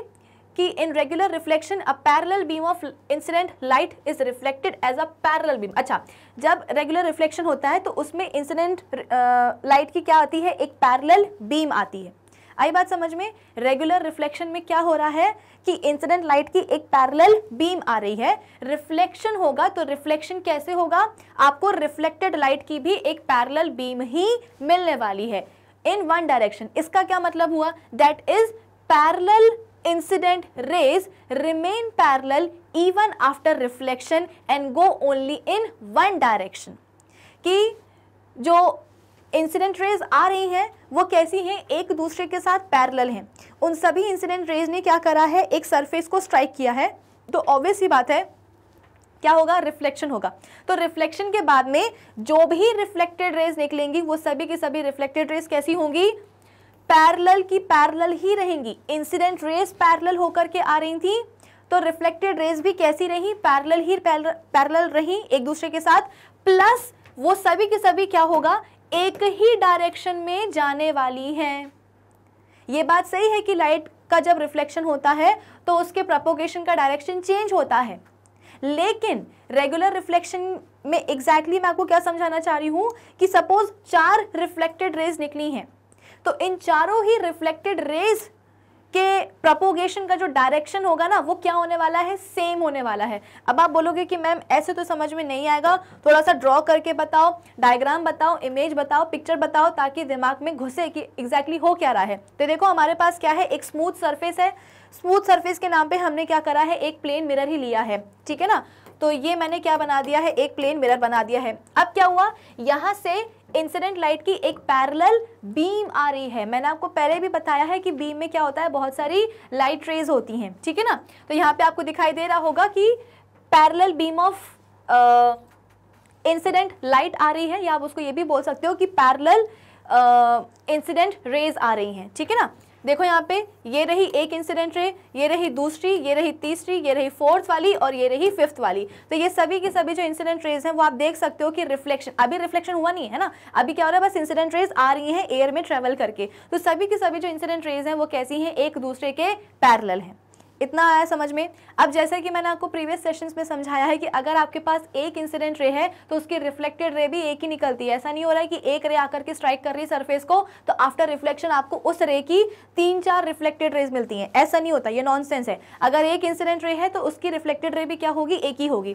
तो यहाँ पे आप देख सकते हो कि टोटल आपके पास कितनी इंसिडेंट रेज हैं? पाँच इंसिडेंट रेज हैं। सब कैसी हैं? एक दूसरे के साथ में पैरल हैं। अब सभी की सभी क्या करेंगी? इस स्मूथ सर्फेस इस प्लेन मिरर पे आकर के स्ट्राइक कर रही हैं। स्ट्राइक करा ऑब्वियस सी बात क्या होने वाला है? रिफ्लेक्शन होने वाला है। तो यहाँ पे आपको कुछ इस तरीके से रिफ्लेक्टेड रेज भी मिल जाएँगी, देखो। ये रही एक, ये रही दो, ये रही तीन, ये रही चार और ये रही पाँच। तो ये बात तो हम सबको पता थी कि अगर पाँच इंसिडेंट रेस हैं तो रिफ्लेक्टेड रेस भी हमको कितनी मिलने वाली हैं? पाँच ही मिलने वाली हैं। तो यहाँ पे वही तो हो रहा है, कुछ अलग थोड़ी ना हो रहा है। तो देखो, लेकिन खास बात क्या है कि ये जितनी भी रिफ्लेक्टेड रेज हैं ये रिफ्लेक्शन के बाद में कैसी हो रही हैं? एक दूसरे के साथ पैरेलल बनी हुई हैं। रिफ्लेक्शन के पहले जो लाइट की बीम आई थी, वो कैसी थी? पैरेलल थी। और रिफ्लेक्शन के बाद में जो रिफ्लेक्टेड बीम ऑफ़ लाइट हमें मिली है, वो भी क्या है? पैरेलल ही है। यानी कि जो भी पैरेलल इंसिडेंट रेज आई थी रिफ्लेक्शन के बाद में जो उनकी रिफ्लेक्टेड रेज बनी, वो रिफ्लेक्टेड रेज भी कैसी हैं? एक दूसरे से पैरेलल ही हैं। कोई फ़र्क नहीं आया कि रिफ्लेक्शन के पहले भी पैरल हो रही थी और रिफ्लेक्शन के बाद में भी क्या हो रही हैं? पैरल हो रही हैं। और आप देख सकते हो कि सभी की सभी जो रिफ्लेक्टेड रे हैं, वो क्या हो रही हैं? एक ही डायरेक्शन में जा रही हैं। तो अब आपको ये वाला पॉइंट समझ में आया होगा। ठीक है ना? अब आपको ये वाला पॉइंट समझ में आया होगा कहाँ गया? कि parallel incident rays remain parallel even after reflection and go only in one direction सभी की सभी जो रिफ्लेक्टेड रेज हैं, वो क्या हो रही हैं? एक ही डायरेक्शन में जा रही हैं। ऐसा नहीं हो रहा कि एक रिफ्लेक्टेड रे रूट करके जो है ना यहाँ चली गई हो, एक यहाँ चली गई हो और एक सीधे जा रही हो। ऐसा नहीं हो रहा। रिफ्लेक्शन के पहले भी हो क्या रहा था कि हमारे पास पैरल इंसिडेंट रेस थी। रिफ्लेक्शन के बाद में उन इंसिडेंट रेस की जो रिफ्लेक्टेड रेस बनी, वो रिफ्लेक्टेड रेस भी कैसी हैं? एक दूसरे के साथ पैरल हैं। पैरल तो हैं ही, लेकिन साथ ही साथ सभी की सभी रिफ्लेक्टेड रेस क्या हो रही हैं? एक ही डायरेक्शन में जा रही हैं। ये बात सही है कि जब भी लाइट का रिफ्लेक्शन होता है तो उसका जो प्रपोगेशन का डायरेक्शन होता है वो चेंज हो जाता है। कि आप खुद ही सोचो ना लाइट कहाँ से आ रही मतलब लाइट जो है बीम ऑफ़ लाइट वो कुछ इस डायरेक्शन में ट्रैवल कर रही थी, इस डायरेक्शन में प्रोपोगेशन कर रही थी। लेकिन हुआ क्या, बीच रास्ते में एक स्मूथ सरफेस आ गया। मतलब क्या होगा कि जो भी बीम होगी लाइट की, वो उस सरफेस से टकरा जाएगी। टकराने के बाद क्या होगा रिफ्लेक्शन होगा। तो अब जो हमारे पास रिफ्लेक्टेड बीम ऑफ़ लाइट आएगी, वो कैसी जाएगी, इस डायरेक्शन में जाने लगेगी। तो यहाँ पे आप बोल सकते हो कि रिफ्लेक्शन में हमेशा ही लाइट के प्रोपोगेशन का डायरेक्शन चेंज होता है कि लाइट आ ऐसे रही थी, जाना उसको ऐसे था, अब वो कैसे जा रही है, ऐसे जा रही है। मीडियम तो वही रहेगा मीडियम चेंज नहीं होता है। मीडियम तो वही रहेगा, लेकिन आप बोल सकते हो कि प्रोपोगेशन का डायरेक्शन चेंज हो जाता है। लेकिन अगर हम रेगुलर रिफ्लेक्शन के अंदर एकदम डीपली घुसेंगे तो हमको ये रियलाइज़ होगा कि भाई बात तो सही है। लाइट की बीम का जो आप बोल सकते हो कि प्रोपोगेशन का डायरेक्शन है, वो क्या हुआ है? चेंज हुआ है आफ्टर रिफ्लेक्शन लेकिन जितनी भी रिफ्लेक्टेड रेज निकल करके आई हैं, वो सभी की सभी अब एक ही दिशा में जा रही है। भाई रिफ्लेक्शन होगा तो लाइट का जो प्रोपोगेशन का डायरेक्शन है, वो चेंज होगा। लाइट रेस को जाना ऐसा था, लेकिन अब सब ऐसी जा रही हैं। जा तो रही हैं, लेकिन सब एक साथ, एक जैसे तरीके से जा रही हैं।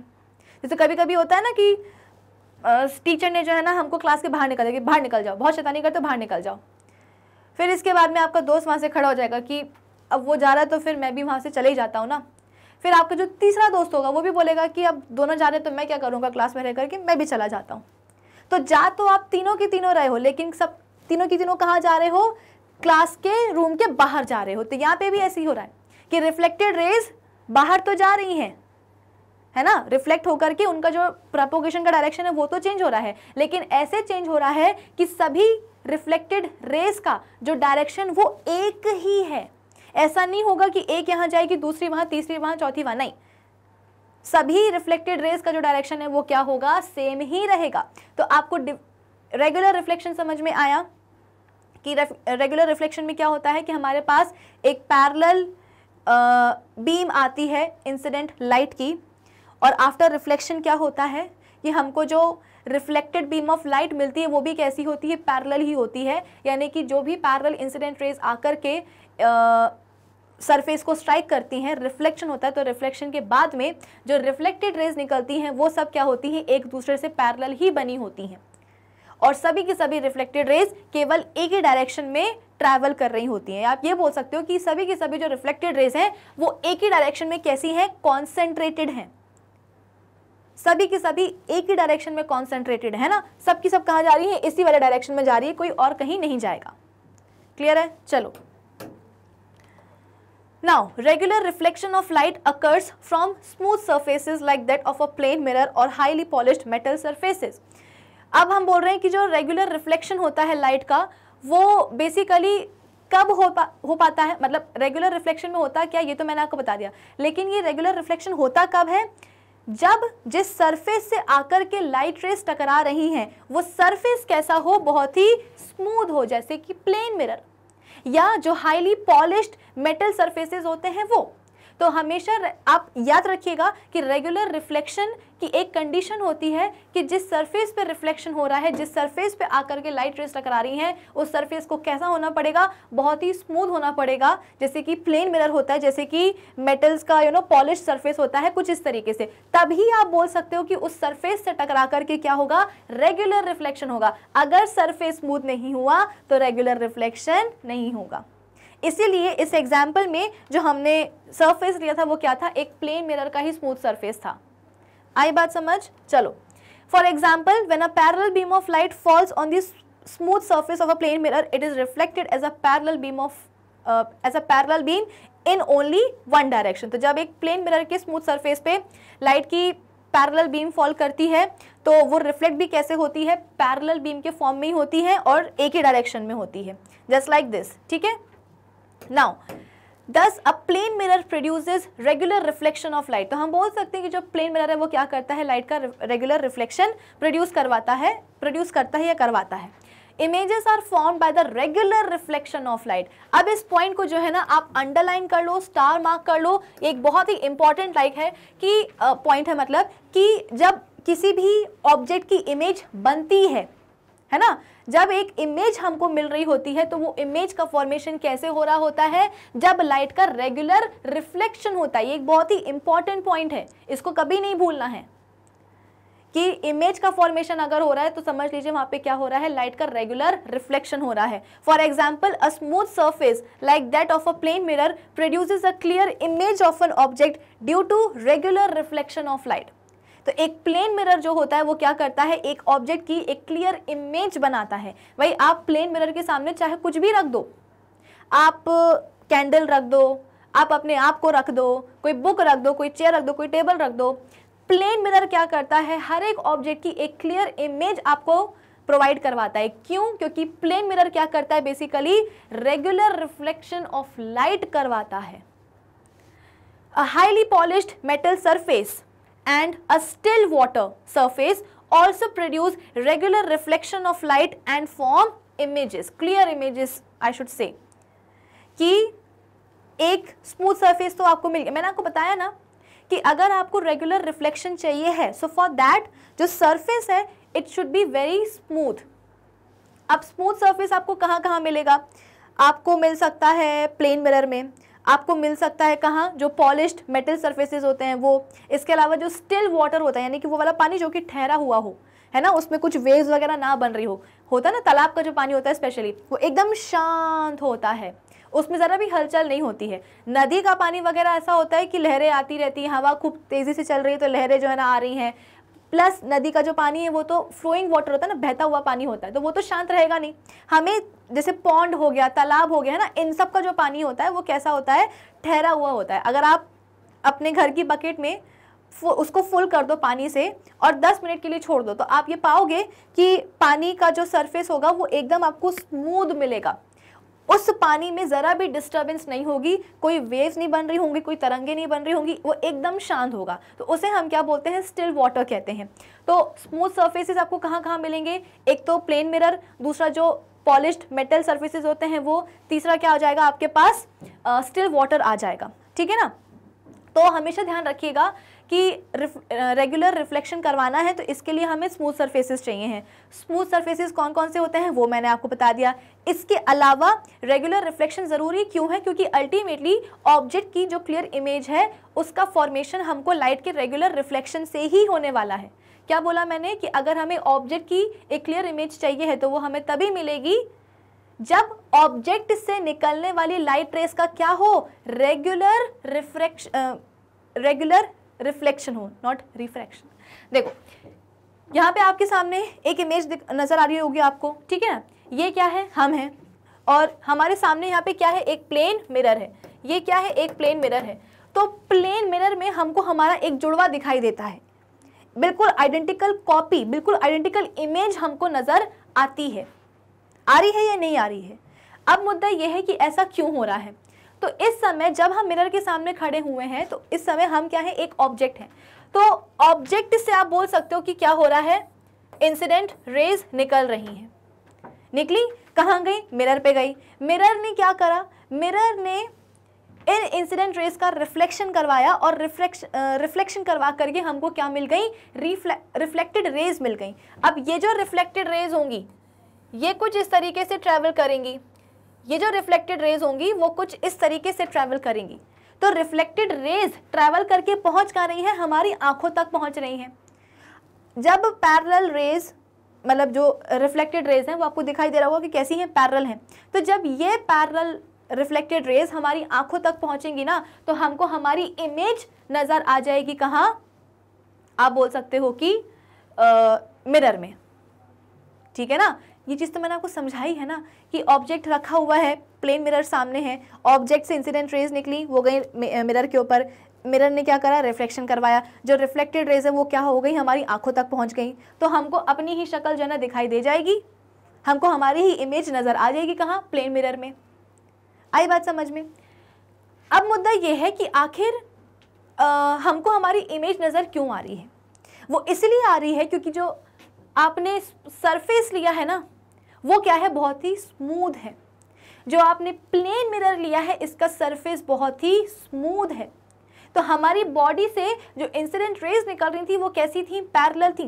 जब ये पैरेलल इंसिडेंट रेज पड़ी इस स्मूथ सरफेस के ऊपर तो यहाँ पे क्या हुआ? रेगुलर रिफ्लेक्शन हुआ और इसी रेगुलर रिफ्लेक्शन के चलते जो रिफ्लेक्टेड रेज निकली, वो कैसी निकली? पैरेलल निकली। इंसिडेंट रेस पैरेलल थी और रिफ्लेक्शन के बाद में क्या हुआ? क्योंकि सरफेस स्मूथ था तो रिफ्लेक्शन के बाद में रिफ्लेक्टेड रेस भी आपस में पैरेलल ही निकली। और निकल करके हुआ क्या? सभी के सभी एक ही डायरेक्शन में जाने लगी। और सभी के सभी, यहाँ तो मैंने आपको बताने के लिए केवल दो ही बनाई है इंसिडेंट रेस और रिफ्लेक्टेड रेस बहुत सारी रिफ्लेक्टेड रेस क्या होने वाली हैं? एक साथ निकलने वाली हैं। सब एक दूसरे के पैरेलल होंगी। सभी के सभी एक ही डायरेक्शन में क्या करेंगी? मूव करेंगी। और सभी की सभी reflected rays parallel reflected reflected rays एक ही डायरेक्शन में मूव करते करते कहाँ पहुंचेंगी? हमारी आँखों तक पहुंचेंगी। अब आप खुद ही बताओ, जब इतनी सारी रेज हमारी आँखों तक पहुंचेंगी एक ऑब्जेक्ट से निकलने वाली तो उस ऑब्जेक्ट की आपको एक क्लियर इमेज नज़र आएगी या नहीं आएगी? इसीलिए तो जब हम एक प्लेन मिरर के सामने जाकर के खड़े होते हैं तो हमको हमारी एकदम क्लियर कट इमेज नज़र आती है। क्योंकि वहाँ पे क्या हो रहा है रेगुलर रिफ्लेक्शन हो रहा है। बहुत सारी रिफ्लेक्टेड रेज जो कि पैरेलल होती है एक दूसरे के, सभी की सभी रिफ्लेक्टेड रेज एक ही डायरेक्शन में क्या करती हैं ट्रैवल करती हैं। और ट्रैवल करते करते करते करते कहाँ पहुँचती हैं? हमारी आँखों तक पहुँच जाती हैं। बहुत सारी रिफ्लेक्टेड रेज एक साथ। जैसे कि मैंने आपको बताया कि रेगुलर रिफ्लेक्शन में क्या होता है कि जो रिफ्लेक्टेड रेज होती हैं, वो एक ही डायरेक्शन में कॉन्सेंट्रेटेड रहती हैं। तो जब इतनी सारी रिफ्लेक्टेड रेज आएँगी एक साथ हमारी आँखों में तो इमेज तो नज़र आएगी ना? आई बात समझ में? चलो। हाँ तो हम थे कहाँ?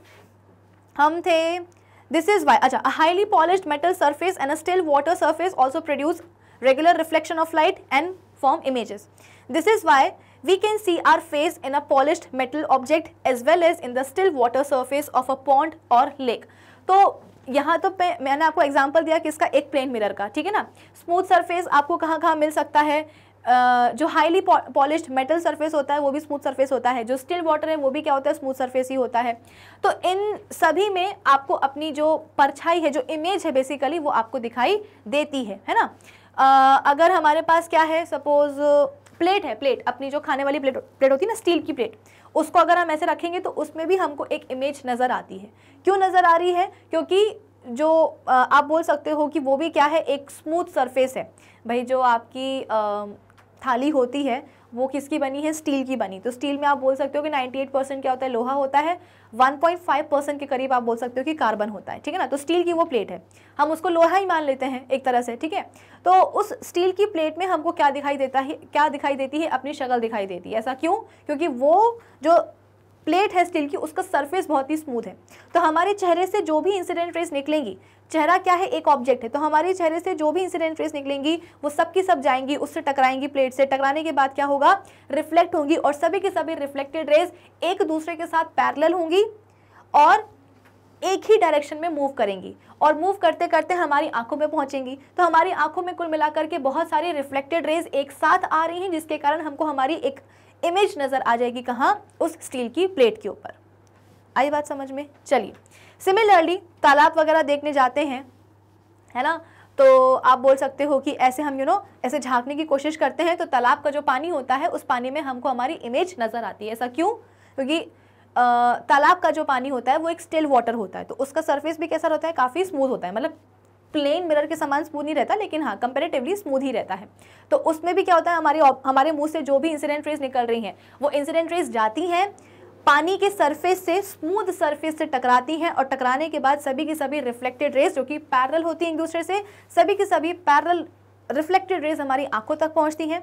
एक साथ ढेर सारी तो हमको पानी में अपनी शक्ल दिखाई दे जाती है। अब यहाँ पे आपको दो इमेजेस नज़र आ रही होंगी। यहाँ पे क्या है?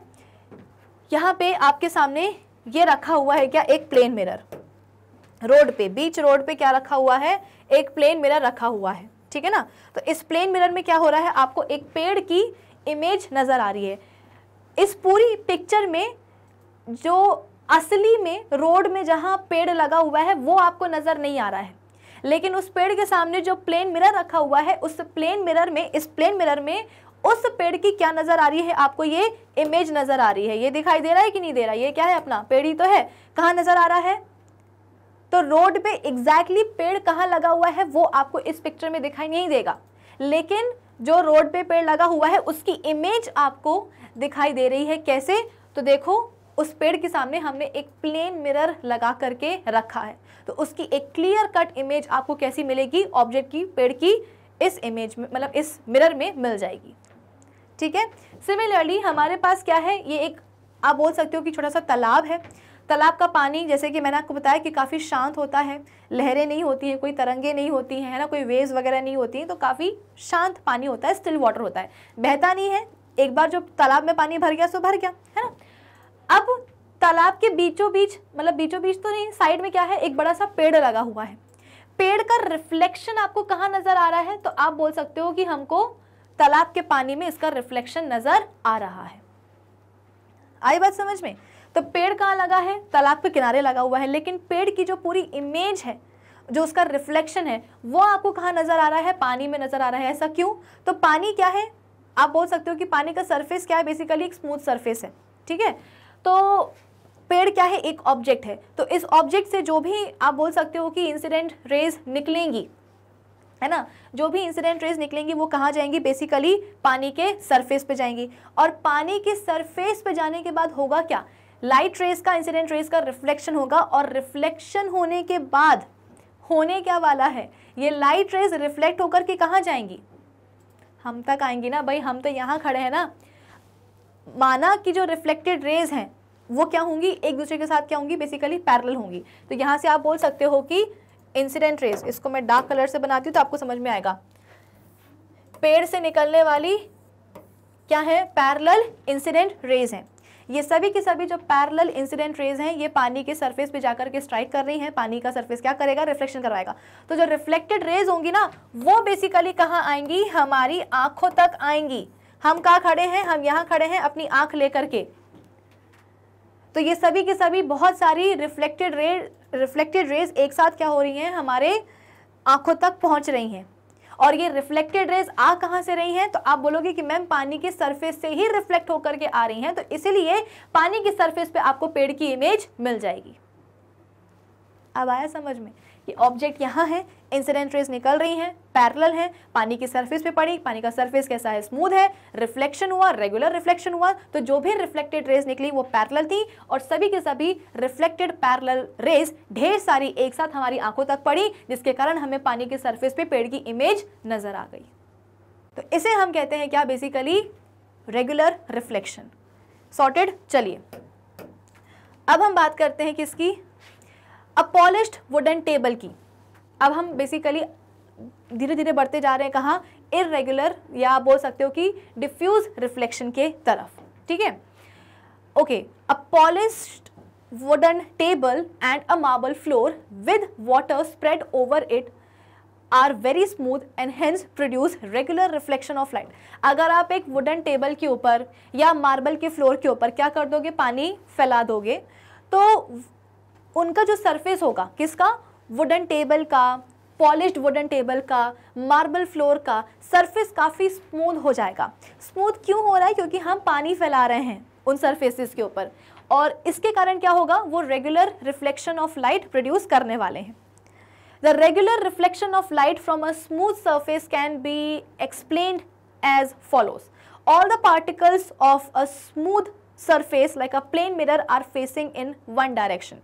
ठीक है? बेसिकली यहाँ पे अब चीज़ों को समराइज करा जा रहा है कि एग्जैक्टली रेगुलर रिफ्लेक्शन में क्या होता है। तो आप बोलोगे कि जितने भी पार्टिकल्स होते हैं स्मूथ सरफेस के, जैसे कि प्लेन मिरर हो गया, वो सभी के सब पार्टिकल्स क्या करते हैं? एक ही डायरेक्शन में फेस कर रहे होते हैं। Due to this the angle of incidence of all the parallel uh, rays of light falling on a smooth surface is the same and hence the angle of reflection for all the rays of light is also the same कि जो भी incident raise आ रही हैं देखो यहाँ पे जो भी इंसिडेंट रेज आ रही हैं सपोज़ ये है फ़र्स्ट रे ये सेकेंड ये थर्ड ये फोर्थ और ये फिफ्थ ठीक है तो आप बोल सकते हो कि पहली वाली इंसिडेंट रे ने क्या करा है? पॉइंट ओ पे स्ट्राइक किया है। दूसरी वाली ने पॉइंट ए पे, तीसरी वाली ने पॉइंट बी पे, चौथी वाली ने सी पे और फिफ्थ वाली ने डी पॉइंट पे क्या करा है? प्लेन मिरर की सरफेस को स्ट्राइक किया है। अब बेसिकली क्या होने वाला है यहाँ पे? कि पॉइंट ओ क्या हो जाएगा? पॉइंट ओ हो जाएगा point of incidence for first incident ray अब इस पॉइंट ऑफ़ इंसिडेंस ओ पे हम बेसिकली क्या करने वाले हैं? एक नॉर्मल ड्रॉ करने वाले हैं। तो हमने क्या करा? कुछ इस तरीके से नॉर्मल ड्रॉ कर दिया। नॉर्मल तो हमने ड्रॉ करा। अब हम क्या करेंगे? एंगल ऑफ़ मतलब जो रिफ्लेक्टेड रे है, वो निकालेंगे। तो हम सबको पता है कि जो लॉज ऑफ़ रिफ्लेक्शन है, उसके हिसाब से angle of incidence is always equal to angle of reflection तो ये वाला एंगल और ये वाला एंगल क्या हो जाएगा? बराबर हो जाएगा।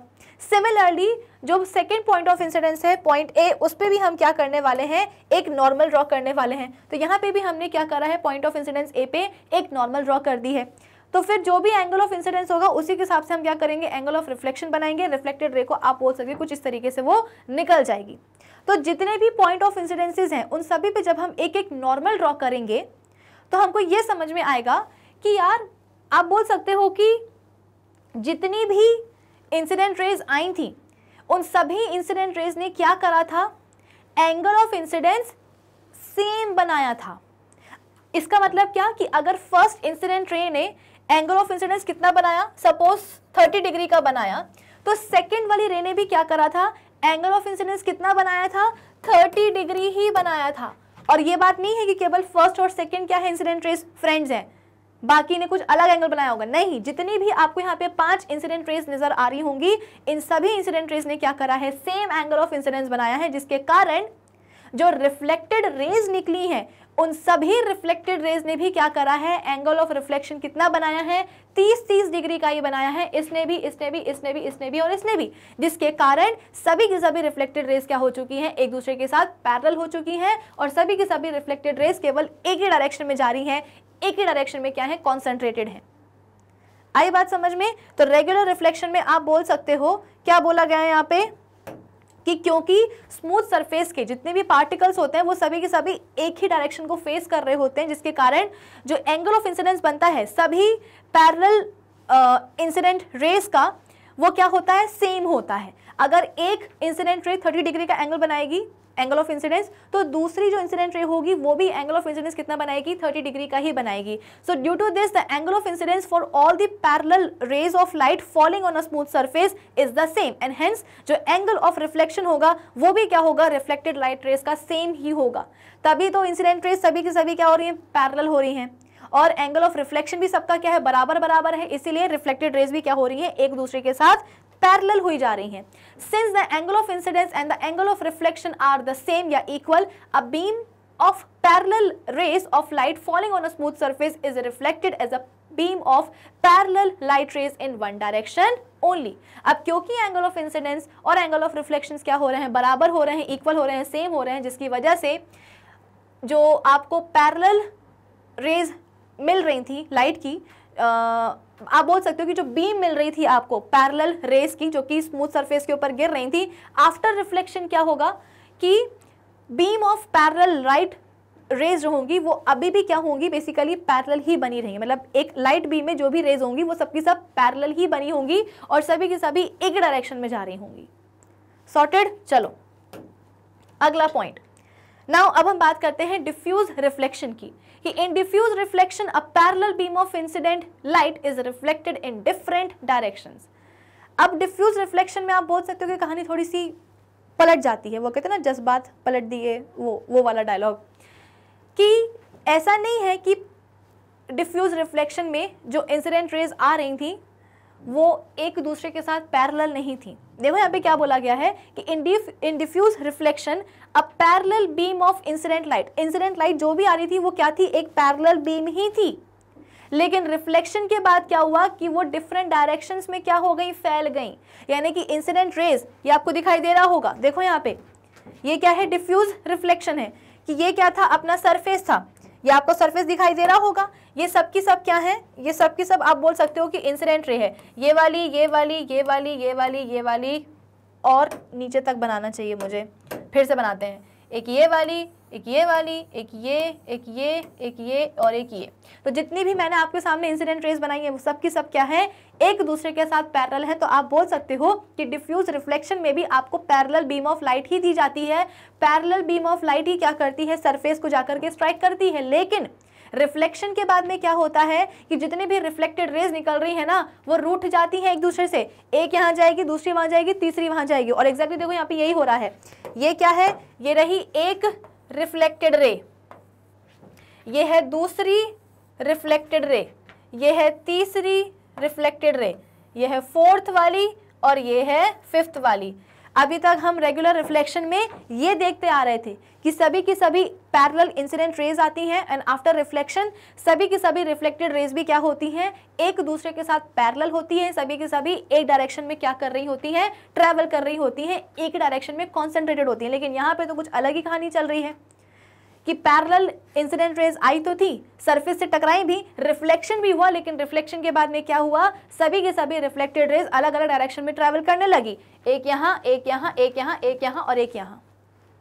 इसे हम बोलते हैं क्या? Diffuse reflection In this case, the parallel incident rays do not remain parallel. After reflection. They are scattered in different direction. कि हमारे पास आ, आप बोल सकते हो कि रिफ्लेक्शन के पहले है ना? डिफ्यूज रिफ्लेक्शन में क्या होता है कि रिफ्लेक्शन के पहले हमारे पास जो पैरल इंसिडेंट रेज आती हैं तो रिफ्लेक्शन के बाद में क्या होता है? जो रिफ्लेक्टेड रेज हैं, वो एक दूसरे के साथ पैरल नहीं रह जाती हैं। बार बार बोल रही हूँ, दिमाग में बिठा लो कि इंसिडेंट रेज जो भी आ रही हैं, वो तो पैरल होंगी, लेकिन रिफ्लेक्शन के बाद में रिफ्लेक्टेड रेज पैरल नहीं रह जाती हैं। वो सभी डिफरेंट डायरेक्शंस में क्या हो जाती हैं? फैल जाती हैं स्कैटर हो जाती हैं। और इसी को हम प्यार से बोलते हैं क्या?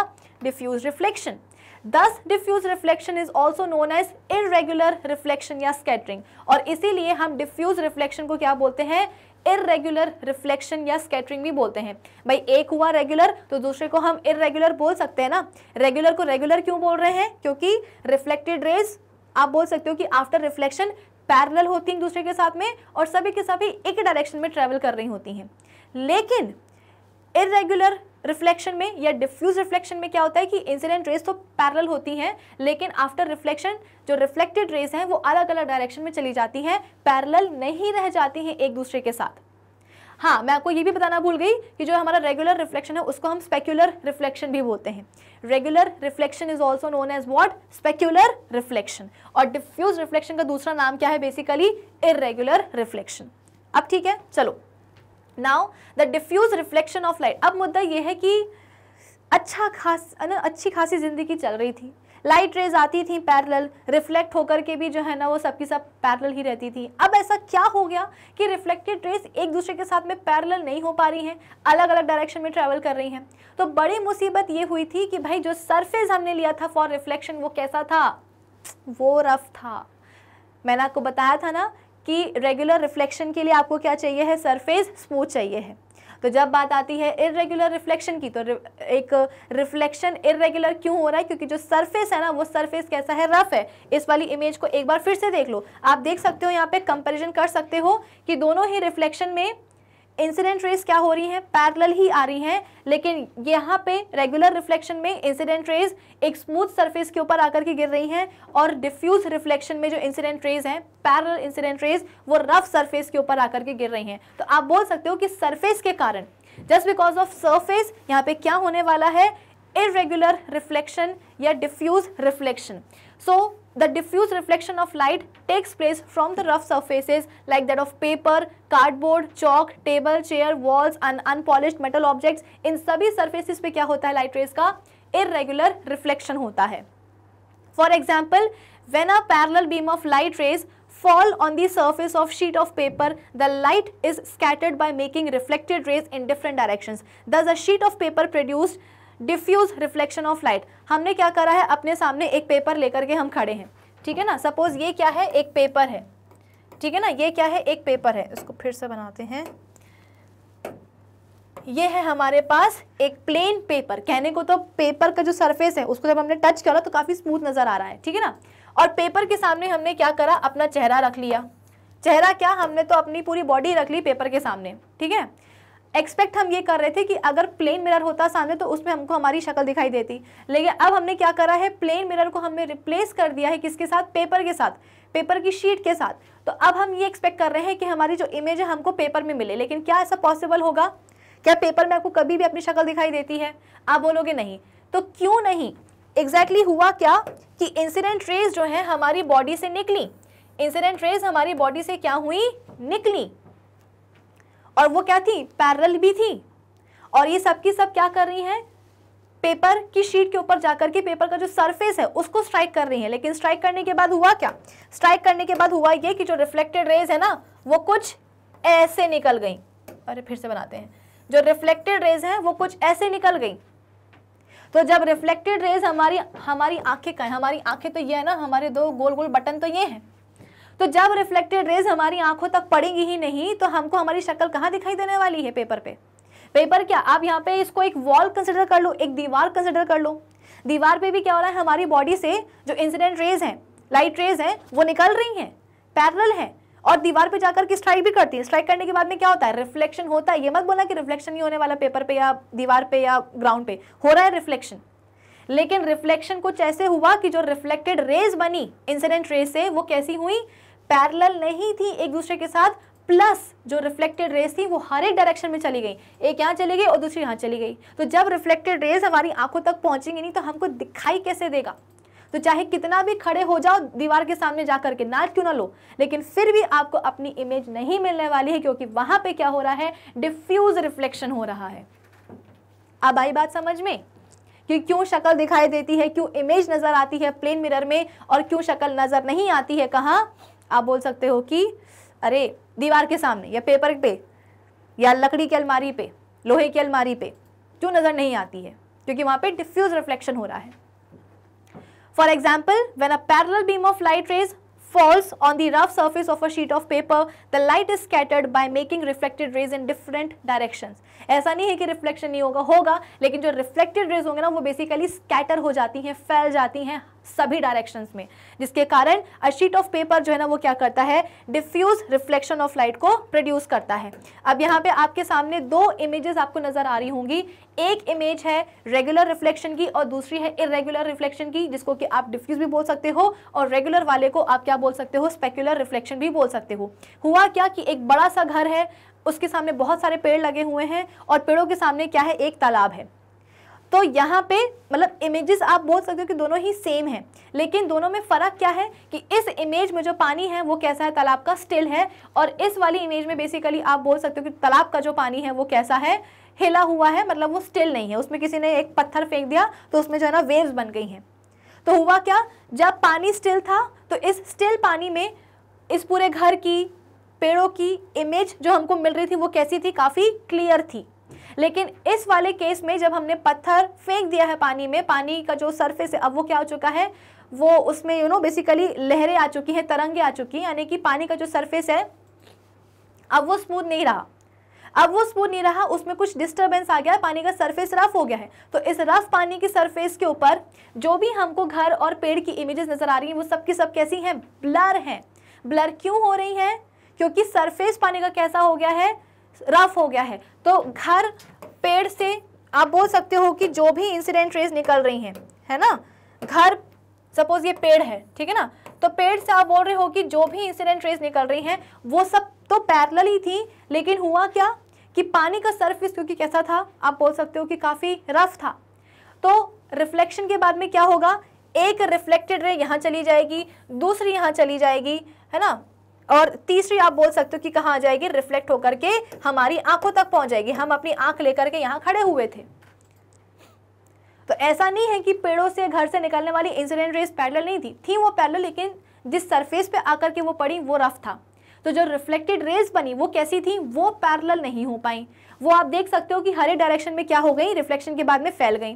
तो अब क्योंकि कम रिफ्लेक्टेड रेज हमारी आँखों तक पहुँच रही है तो इसीलिए जो आपको इमेज नज़र आएगी पानी में वो कैसी होगी? काफ़ी ब्लर होगी धुंधली होगी। आई बात समझ में? चलिए। No image is formed in diffuse reflection of light आप बोल सकते हो कि इमेज जो है ना बनती ही नहीं है डिफ्यूज uh, रिफ्लेक्शन में। For example a rough surface like that of paper does not produce an image of the object due to diffuse reflections of light. अगर पेपर पे आप किसी भी ऑब्जेक्ट की अपने मुँह की अपने हाथ की अपने आप बोल सकते हो कि पेन की इमेज बनवाना चाहोगे तो पेपर कभी नहीं बनवाएगा। क्यों? क्योंकि उसका सरफेस इतना रफ होता है कि वहाँ पे डिफ्यूज रिफ्लेक्शन हो जाता है और डिफ्यूज रिफ्लेक्शन में क्या होता है कि जो भी इंसिडेंट लाइट रेज आ रही हैं, वो आफ्टर रिफ्लेक्शन जो रिफ्लेक्टेड रेज बनती हैं, वो हर एक डायरेक्शन में फैल जाती हैं। हमारी आँखों तक पड़ती ही नहीं है। जब पड़ेंगी नहीं, मिलेंगी नहीं तो फिर आप बोल सकते हो कि इमेज का फॉर्मेशन कैसे होगा? Actually the light rays falling on the rough surface of the paper are scattered in all the directions and hence no image is form जैसे कि मैंने आपको बताया कि हर डायरेक्शन में क्या होगा light rays reflected light rays scatter हो जाएँगे तो इमेज का फॉर्मेशन नहीं होगा the diffuse reflection of light from a rough surface can be explained as follows. The particles of rough surface, like that of paper, are all facing in different directions.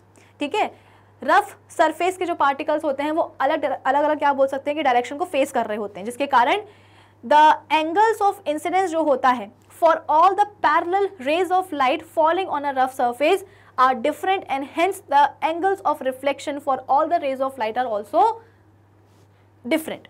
अब कुछ बच्चों के दिमाग में ये आएगा कि मैम रेगुलर रिफ्लेक्शन में क्या हो रहा था?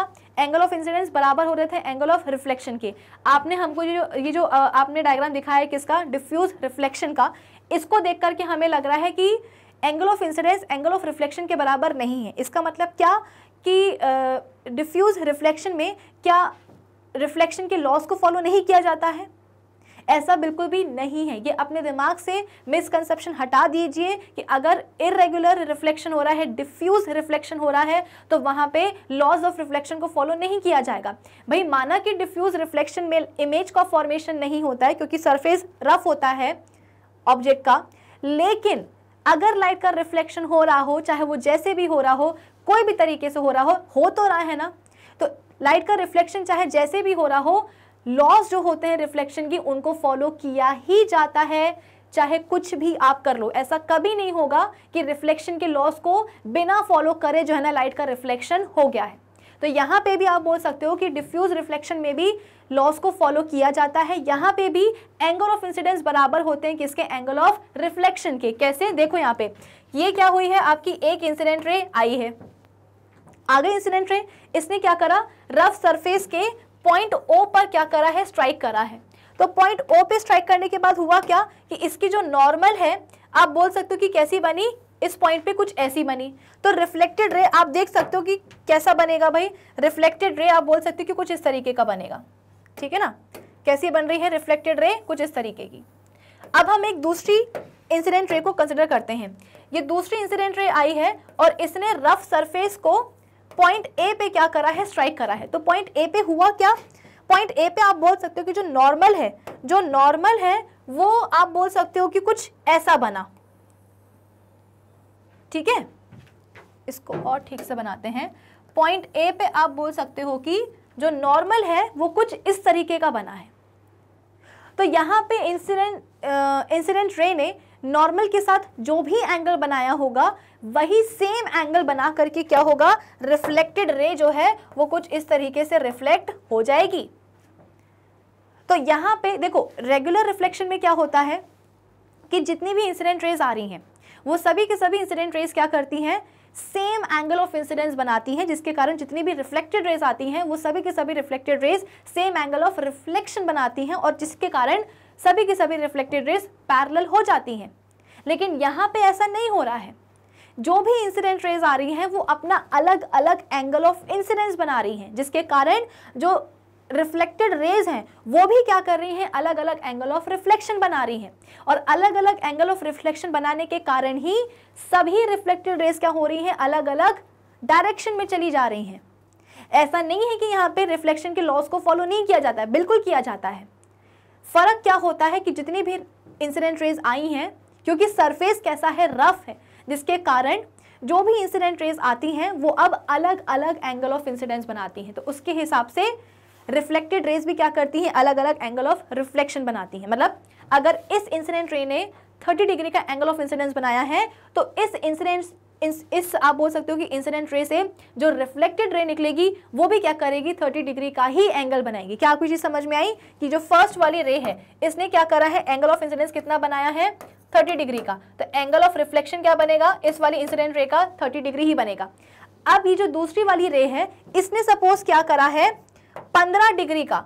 15 डिग्री का क्या किया है? एंगल ऑफ़ इंसिडेंस बनाया है। तो इस इंसिडेंट रे का जो रिफ्लेक्टेड रे होगा, वो भी क्या करने मतलब जो इस इंसिडेंट रे की जो रिफ्लेक्टेड रे होगी, वो भी क्या करेगी? एंगल ऑफ़ रिफ्लेक्शन कितना बनाएगी? 15 डिग्री का बनाएगी। तो माना कि इंसिडेंट रेज आपस में क्या कर रही हैं? अलग अलग एंगल ऑफ़ इंसिडेंस बना रही हैं। तो जिसके कारण जो रिफ्लेक्टेड रेज होंगी, वो भी आपस में अलग अलग एंगल ऑफ़ रिफ्लेक्शन बनाएँगी। लेकिन लॉस तो यहाँ पे फॉलो किए ही जाएँगे।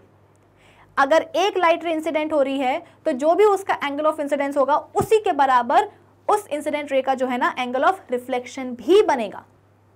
तो अपने दिमाग से ये मिसकंसेप्शन हमेशा के लिए हटा देना कि डिफ्यूज रिफ्लेक्शन में आ, जो लॉज होते हैं रिफ्लेक्शन की उनको फॉलो नहीं किया जाता। बिल्कुल किया जाता है।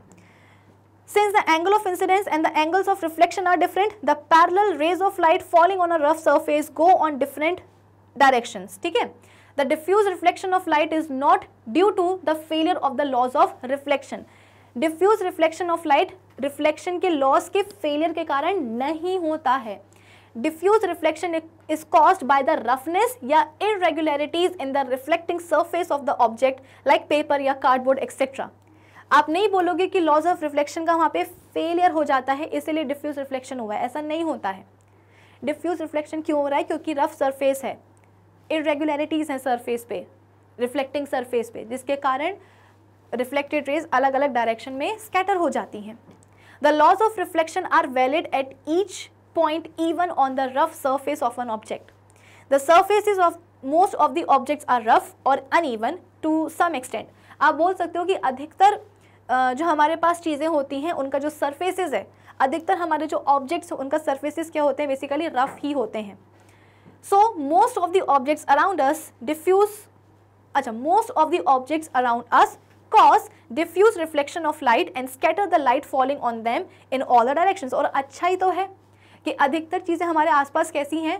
उनका सरफेस कैसा है? रफ है। अदरवाइज़ क्या होता कि आप जहाँ से निकलते, वहाँ पे आपका रिफ्लेक्शन बनता, वहाँ पे आपकी इमेज बनती कि आपने अपने रूम में एंटर किया है तो दीवार पे भी इमेज बन रही है बेड पे भी इमेज बन रही है बेडशीट पे भी बन रही है ग्राउंड पे भी बन रही है, फर्श पे भी बन रही है मिरर पे तो बनेगी ही बनेगी। पढ़ने के लिए बैठे हो तो किताबों पे किताबों के जो पन्ने हैं उस पर भी आपका जो है रिफ्लेक्शन आ रहा है उसमें भी आपकी इमेज बन रही है। तो अच्छा ही है कि हमारे पास अधिकतर जो चीज़ें होती हैं जो ऑब्जेक्ट्स होते हैं उनका सर्फेस क्या होता है रफ होता है तो वहाँ पे डिफ्यूज रिफ्लेक्शन होता है जिसके कारण हमारी इमेज नहीं बनती है। In fact, we can see the objects only because they scatter light rays falling on them in all the directions. और आप बोल सकते हो कि हमको एक ऑब्जेक्ट कब दिखाई देता है? In fact, we can see these objects only because उन पे पड़ने वाली जो भी लाइट रेज हैं वो क्या हो रही हैं? स्कैटर हो रही हैं in all the directions for example a book lying on a table can be seen from all parts of the room due to diffuse reflection of light from its surface तो अगर table पे एक book रखी हुई है तो उस table पे रखी हुई बुक को आप क्या कर सकते हो? आ, हर एक डायरेक्शन से क्या कर सकते हो? देख सकते हो। जैसे कि टेबल ये रखी है उसके ऊपर बुक रखी हुई, है ना? तो बुक को आप यहाँ से भी देख सकते हो। बुक को आप क्या कर सकते हो? यहाँ से भी देख सकते हो। ऐसा क्यों? क्योंकि जैसे कि यहाँ पे मैंने बोला कि ये एक क्या है? बुक है, ठीक है ना? यहाँ पे क्या हुआ है? बल्ब आपका जल रहा है। तो बल्ब से निकलने वाली जो आप बोल सकते हो कि, फिर से बनाती हूँ। बल्ब से निकलने वाली जो भी इंसिडेंट लाइट रेज होंगी, वो बेसिकली क्या होंगी? इस बुक के सरफेस पे आएँगी। स्ट्राइक करेंगी। अब बुक का सरफेस कैसा है भाई? रफ है। बुक का सरफेस रफ है कि नहीं रफ है? तो क्या होगा, यहाँ पे डिफ्यूज रिफ्लेक्शन होगा, जिसके कारण जो रिफ्लेक्टेड रेज हैं, वो क्या हो जाएँगी? अलग अलग डायरेक्शंस में स्कैटर हो जाएँगी। तो अगर हम यहाँ खड़े हैं तो यहाँ खड़े होते हुए भी क्या होगा? हम सपोज़ यहाँ खड़े हुए हैं, ये क्या है हमारी आँख है? तो हमारी आँख तक क्या होगा? इस बुक से निकलने वाली जो लाइट रे होगी, वो पहुँच जाएगी। तो यहाँ पे खड़े खड़े हमको ये बुक दिखाई दे जाएगी। अगर हम यहाँ खड़े हैं तो यहाँ पे खड़े होने से क्या होगा? यहाँ पे खड़े होने के बावजूद बुक से निकलने वाली जो लाइट रे है, वो क्या होगी? हमारी आँखों तक पहुंचेगी। तो अगर हम यहाँ पे खड़े हैं तो हमको यहाँ पे खड़े होते हुए भी क्या होगा? ये बुक नज़र आ जाएगी।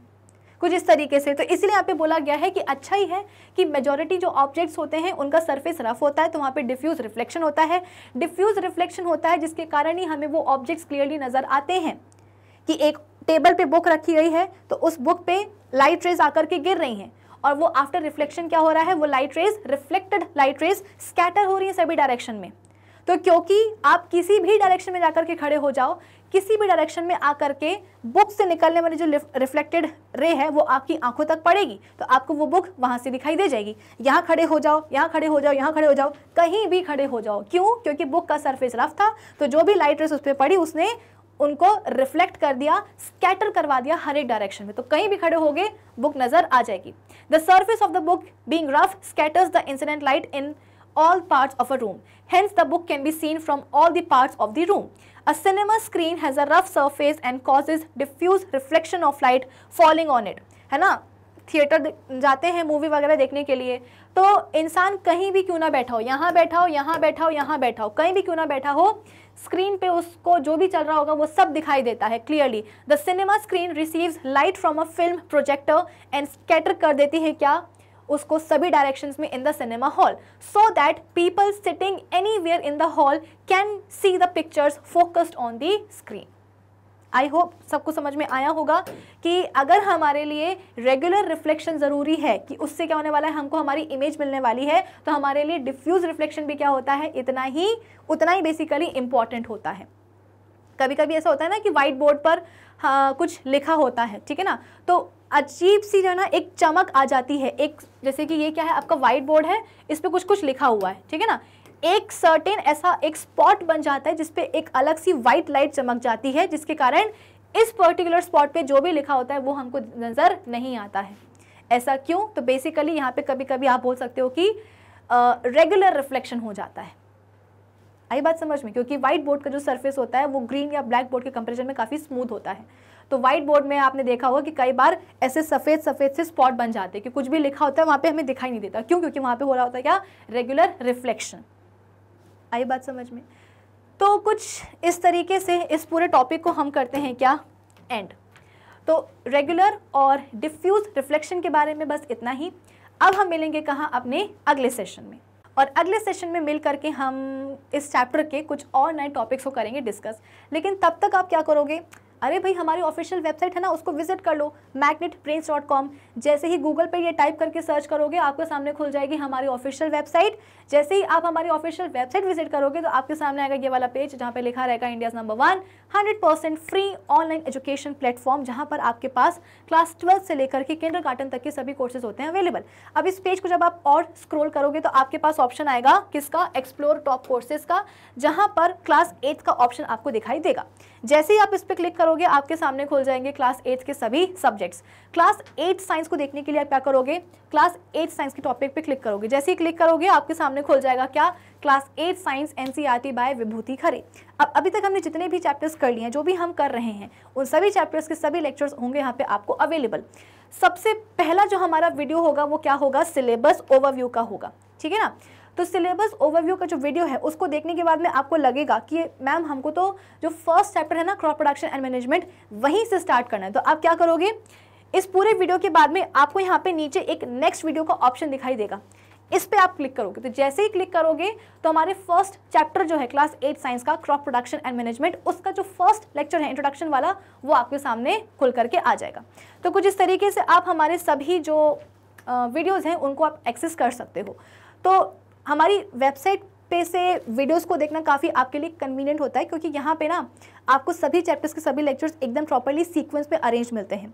सभी टॉपिक्स के नोट्स भी अवेलेबल होते हैं प्लस यहाँ पे कोई एड्स कोई ब्रेक्स वगैरह भी नहीं आते हैं। So do visit our official website कौन सी वाली यही वाली Magnet Brains dot com till then keep learning with Magnet brains. Thank you for watching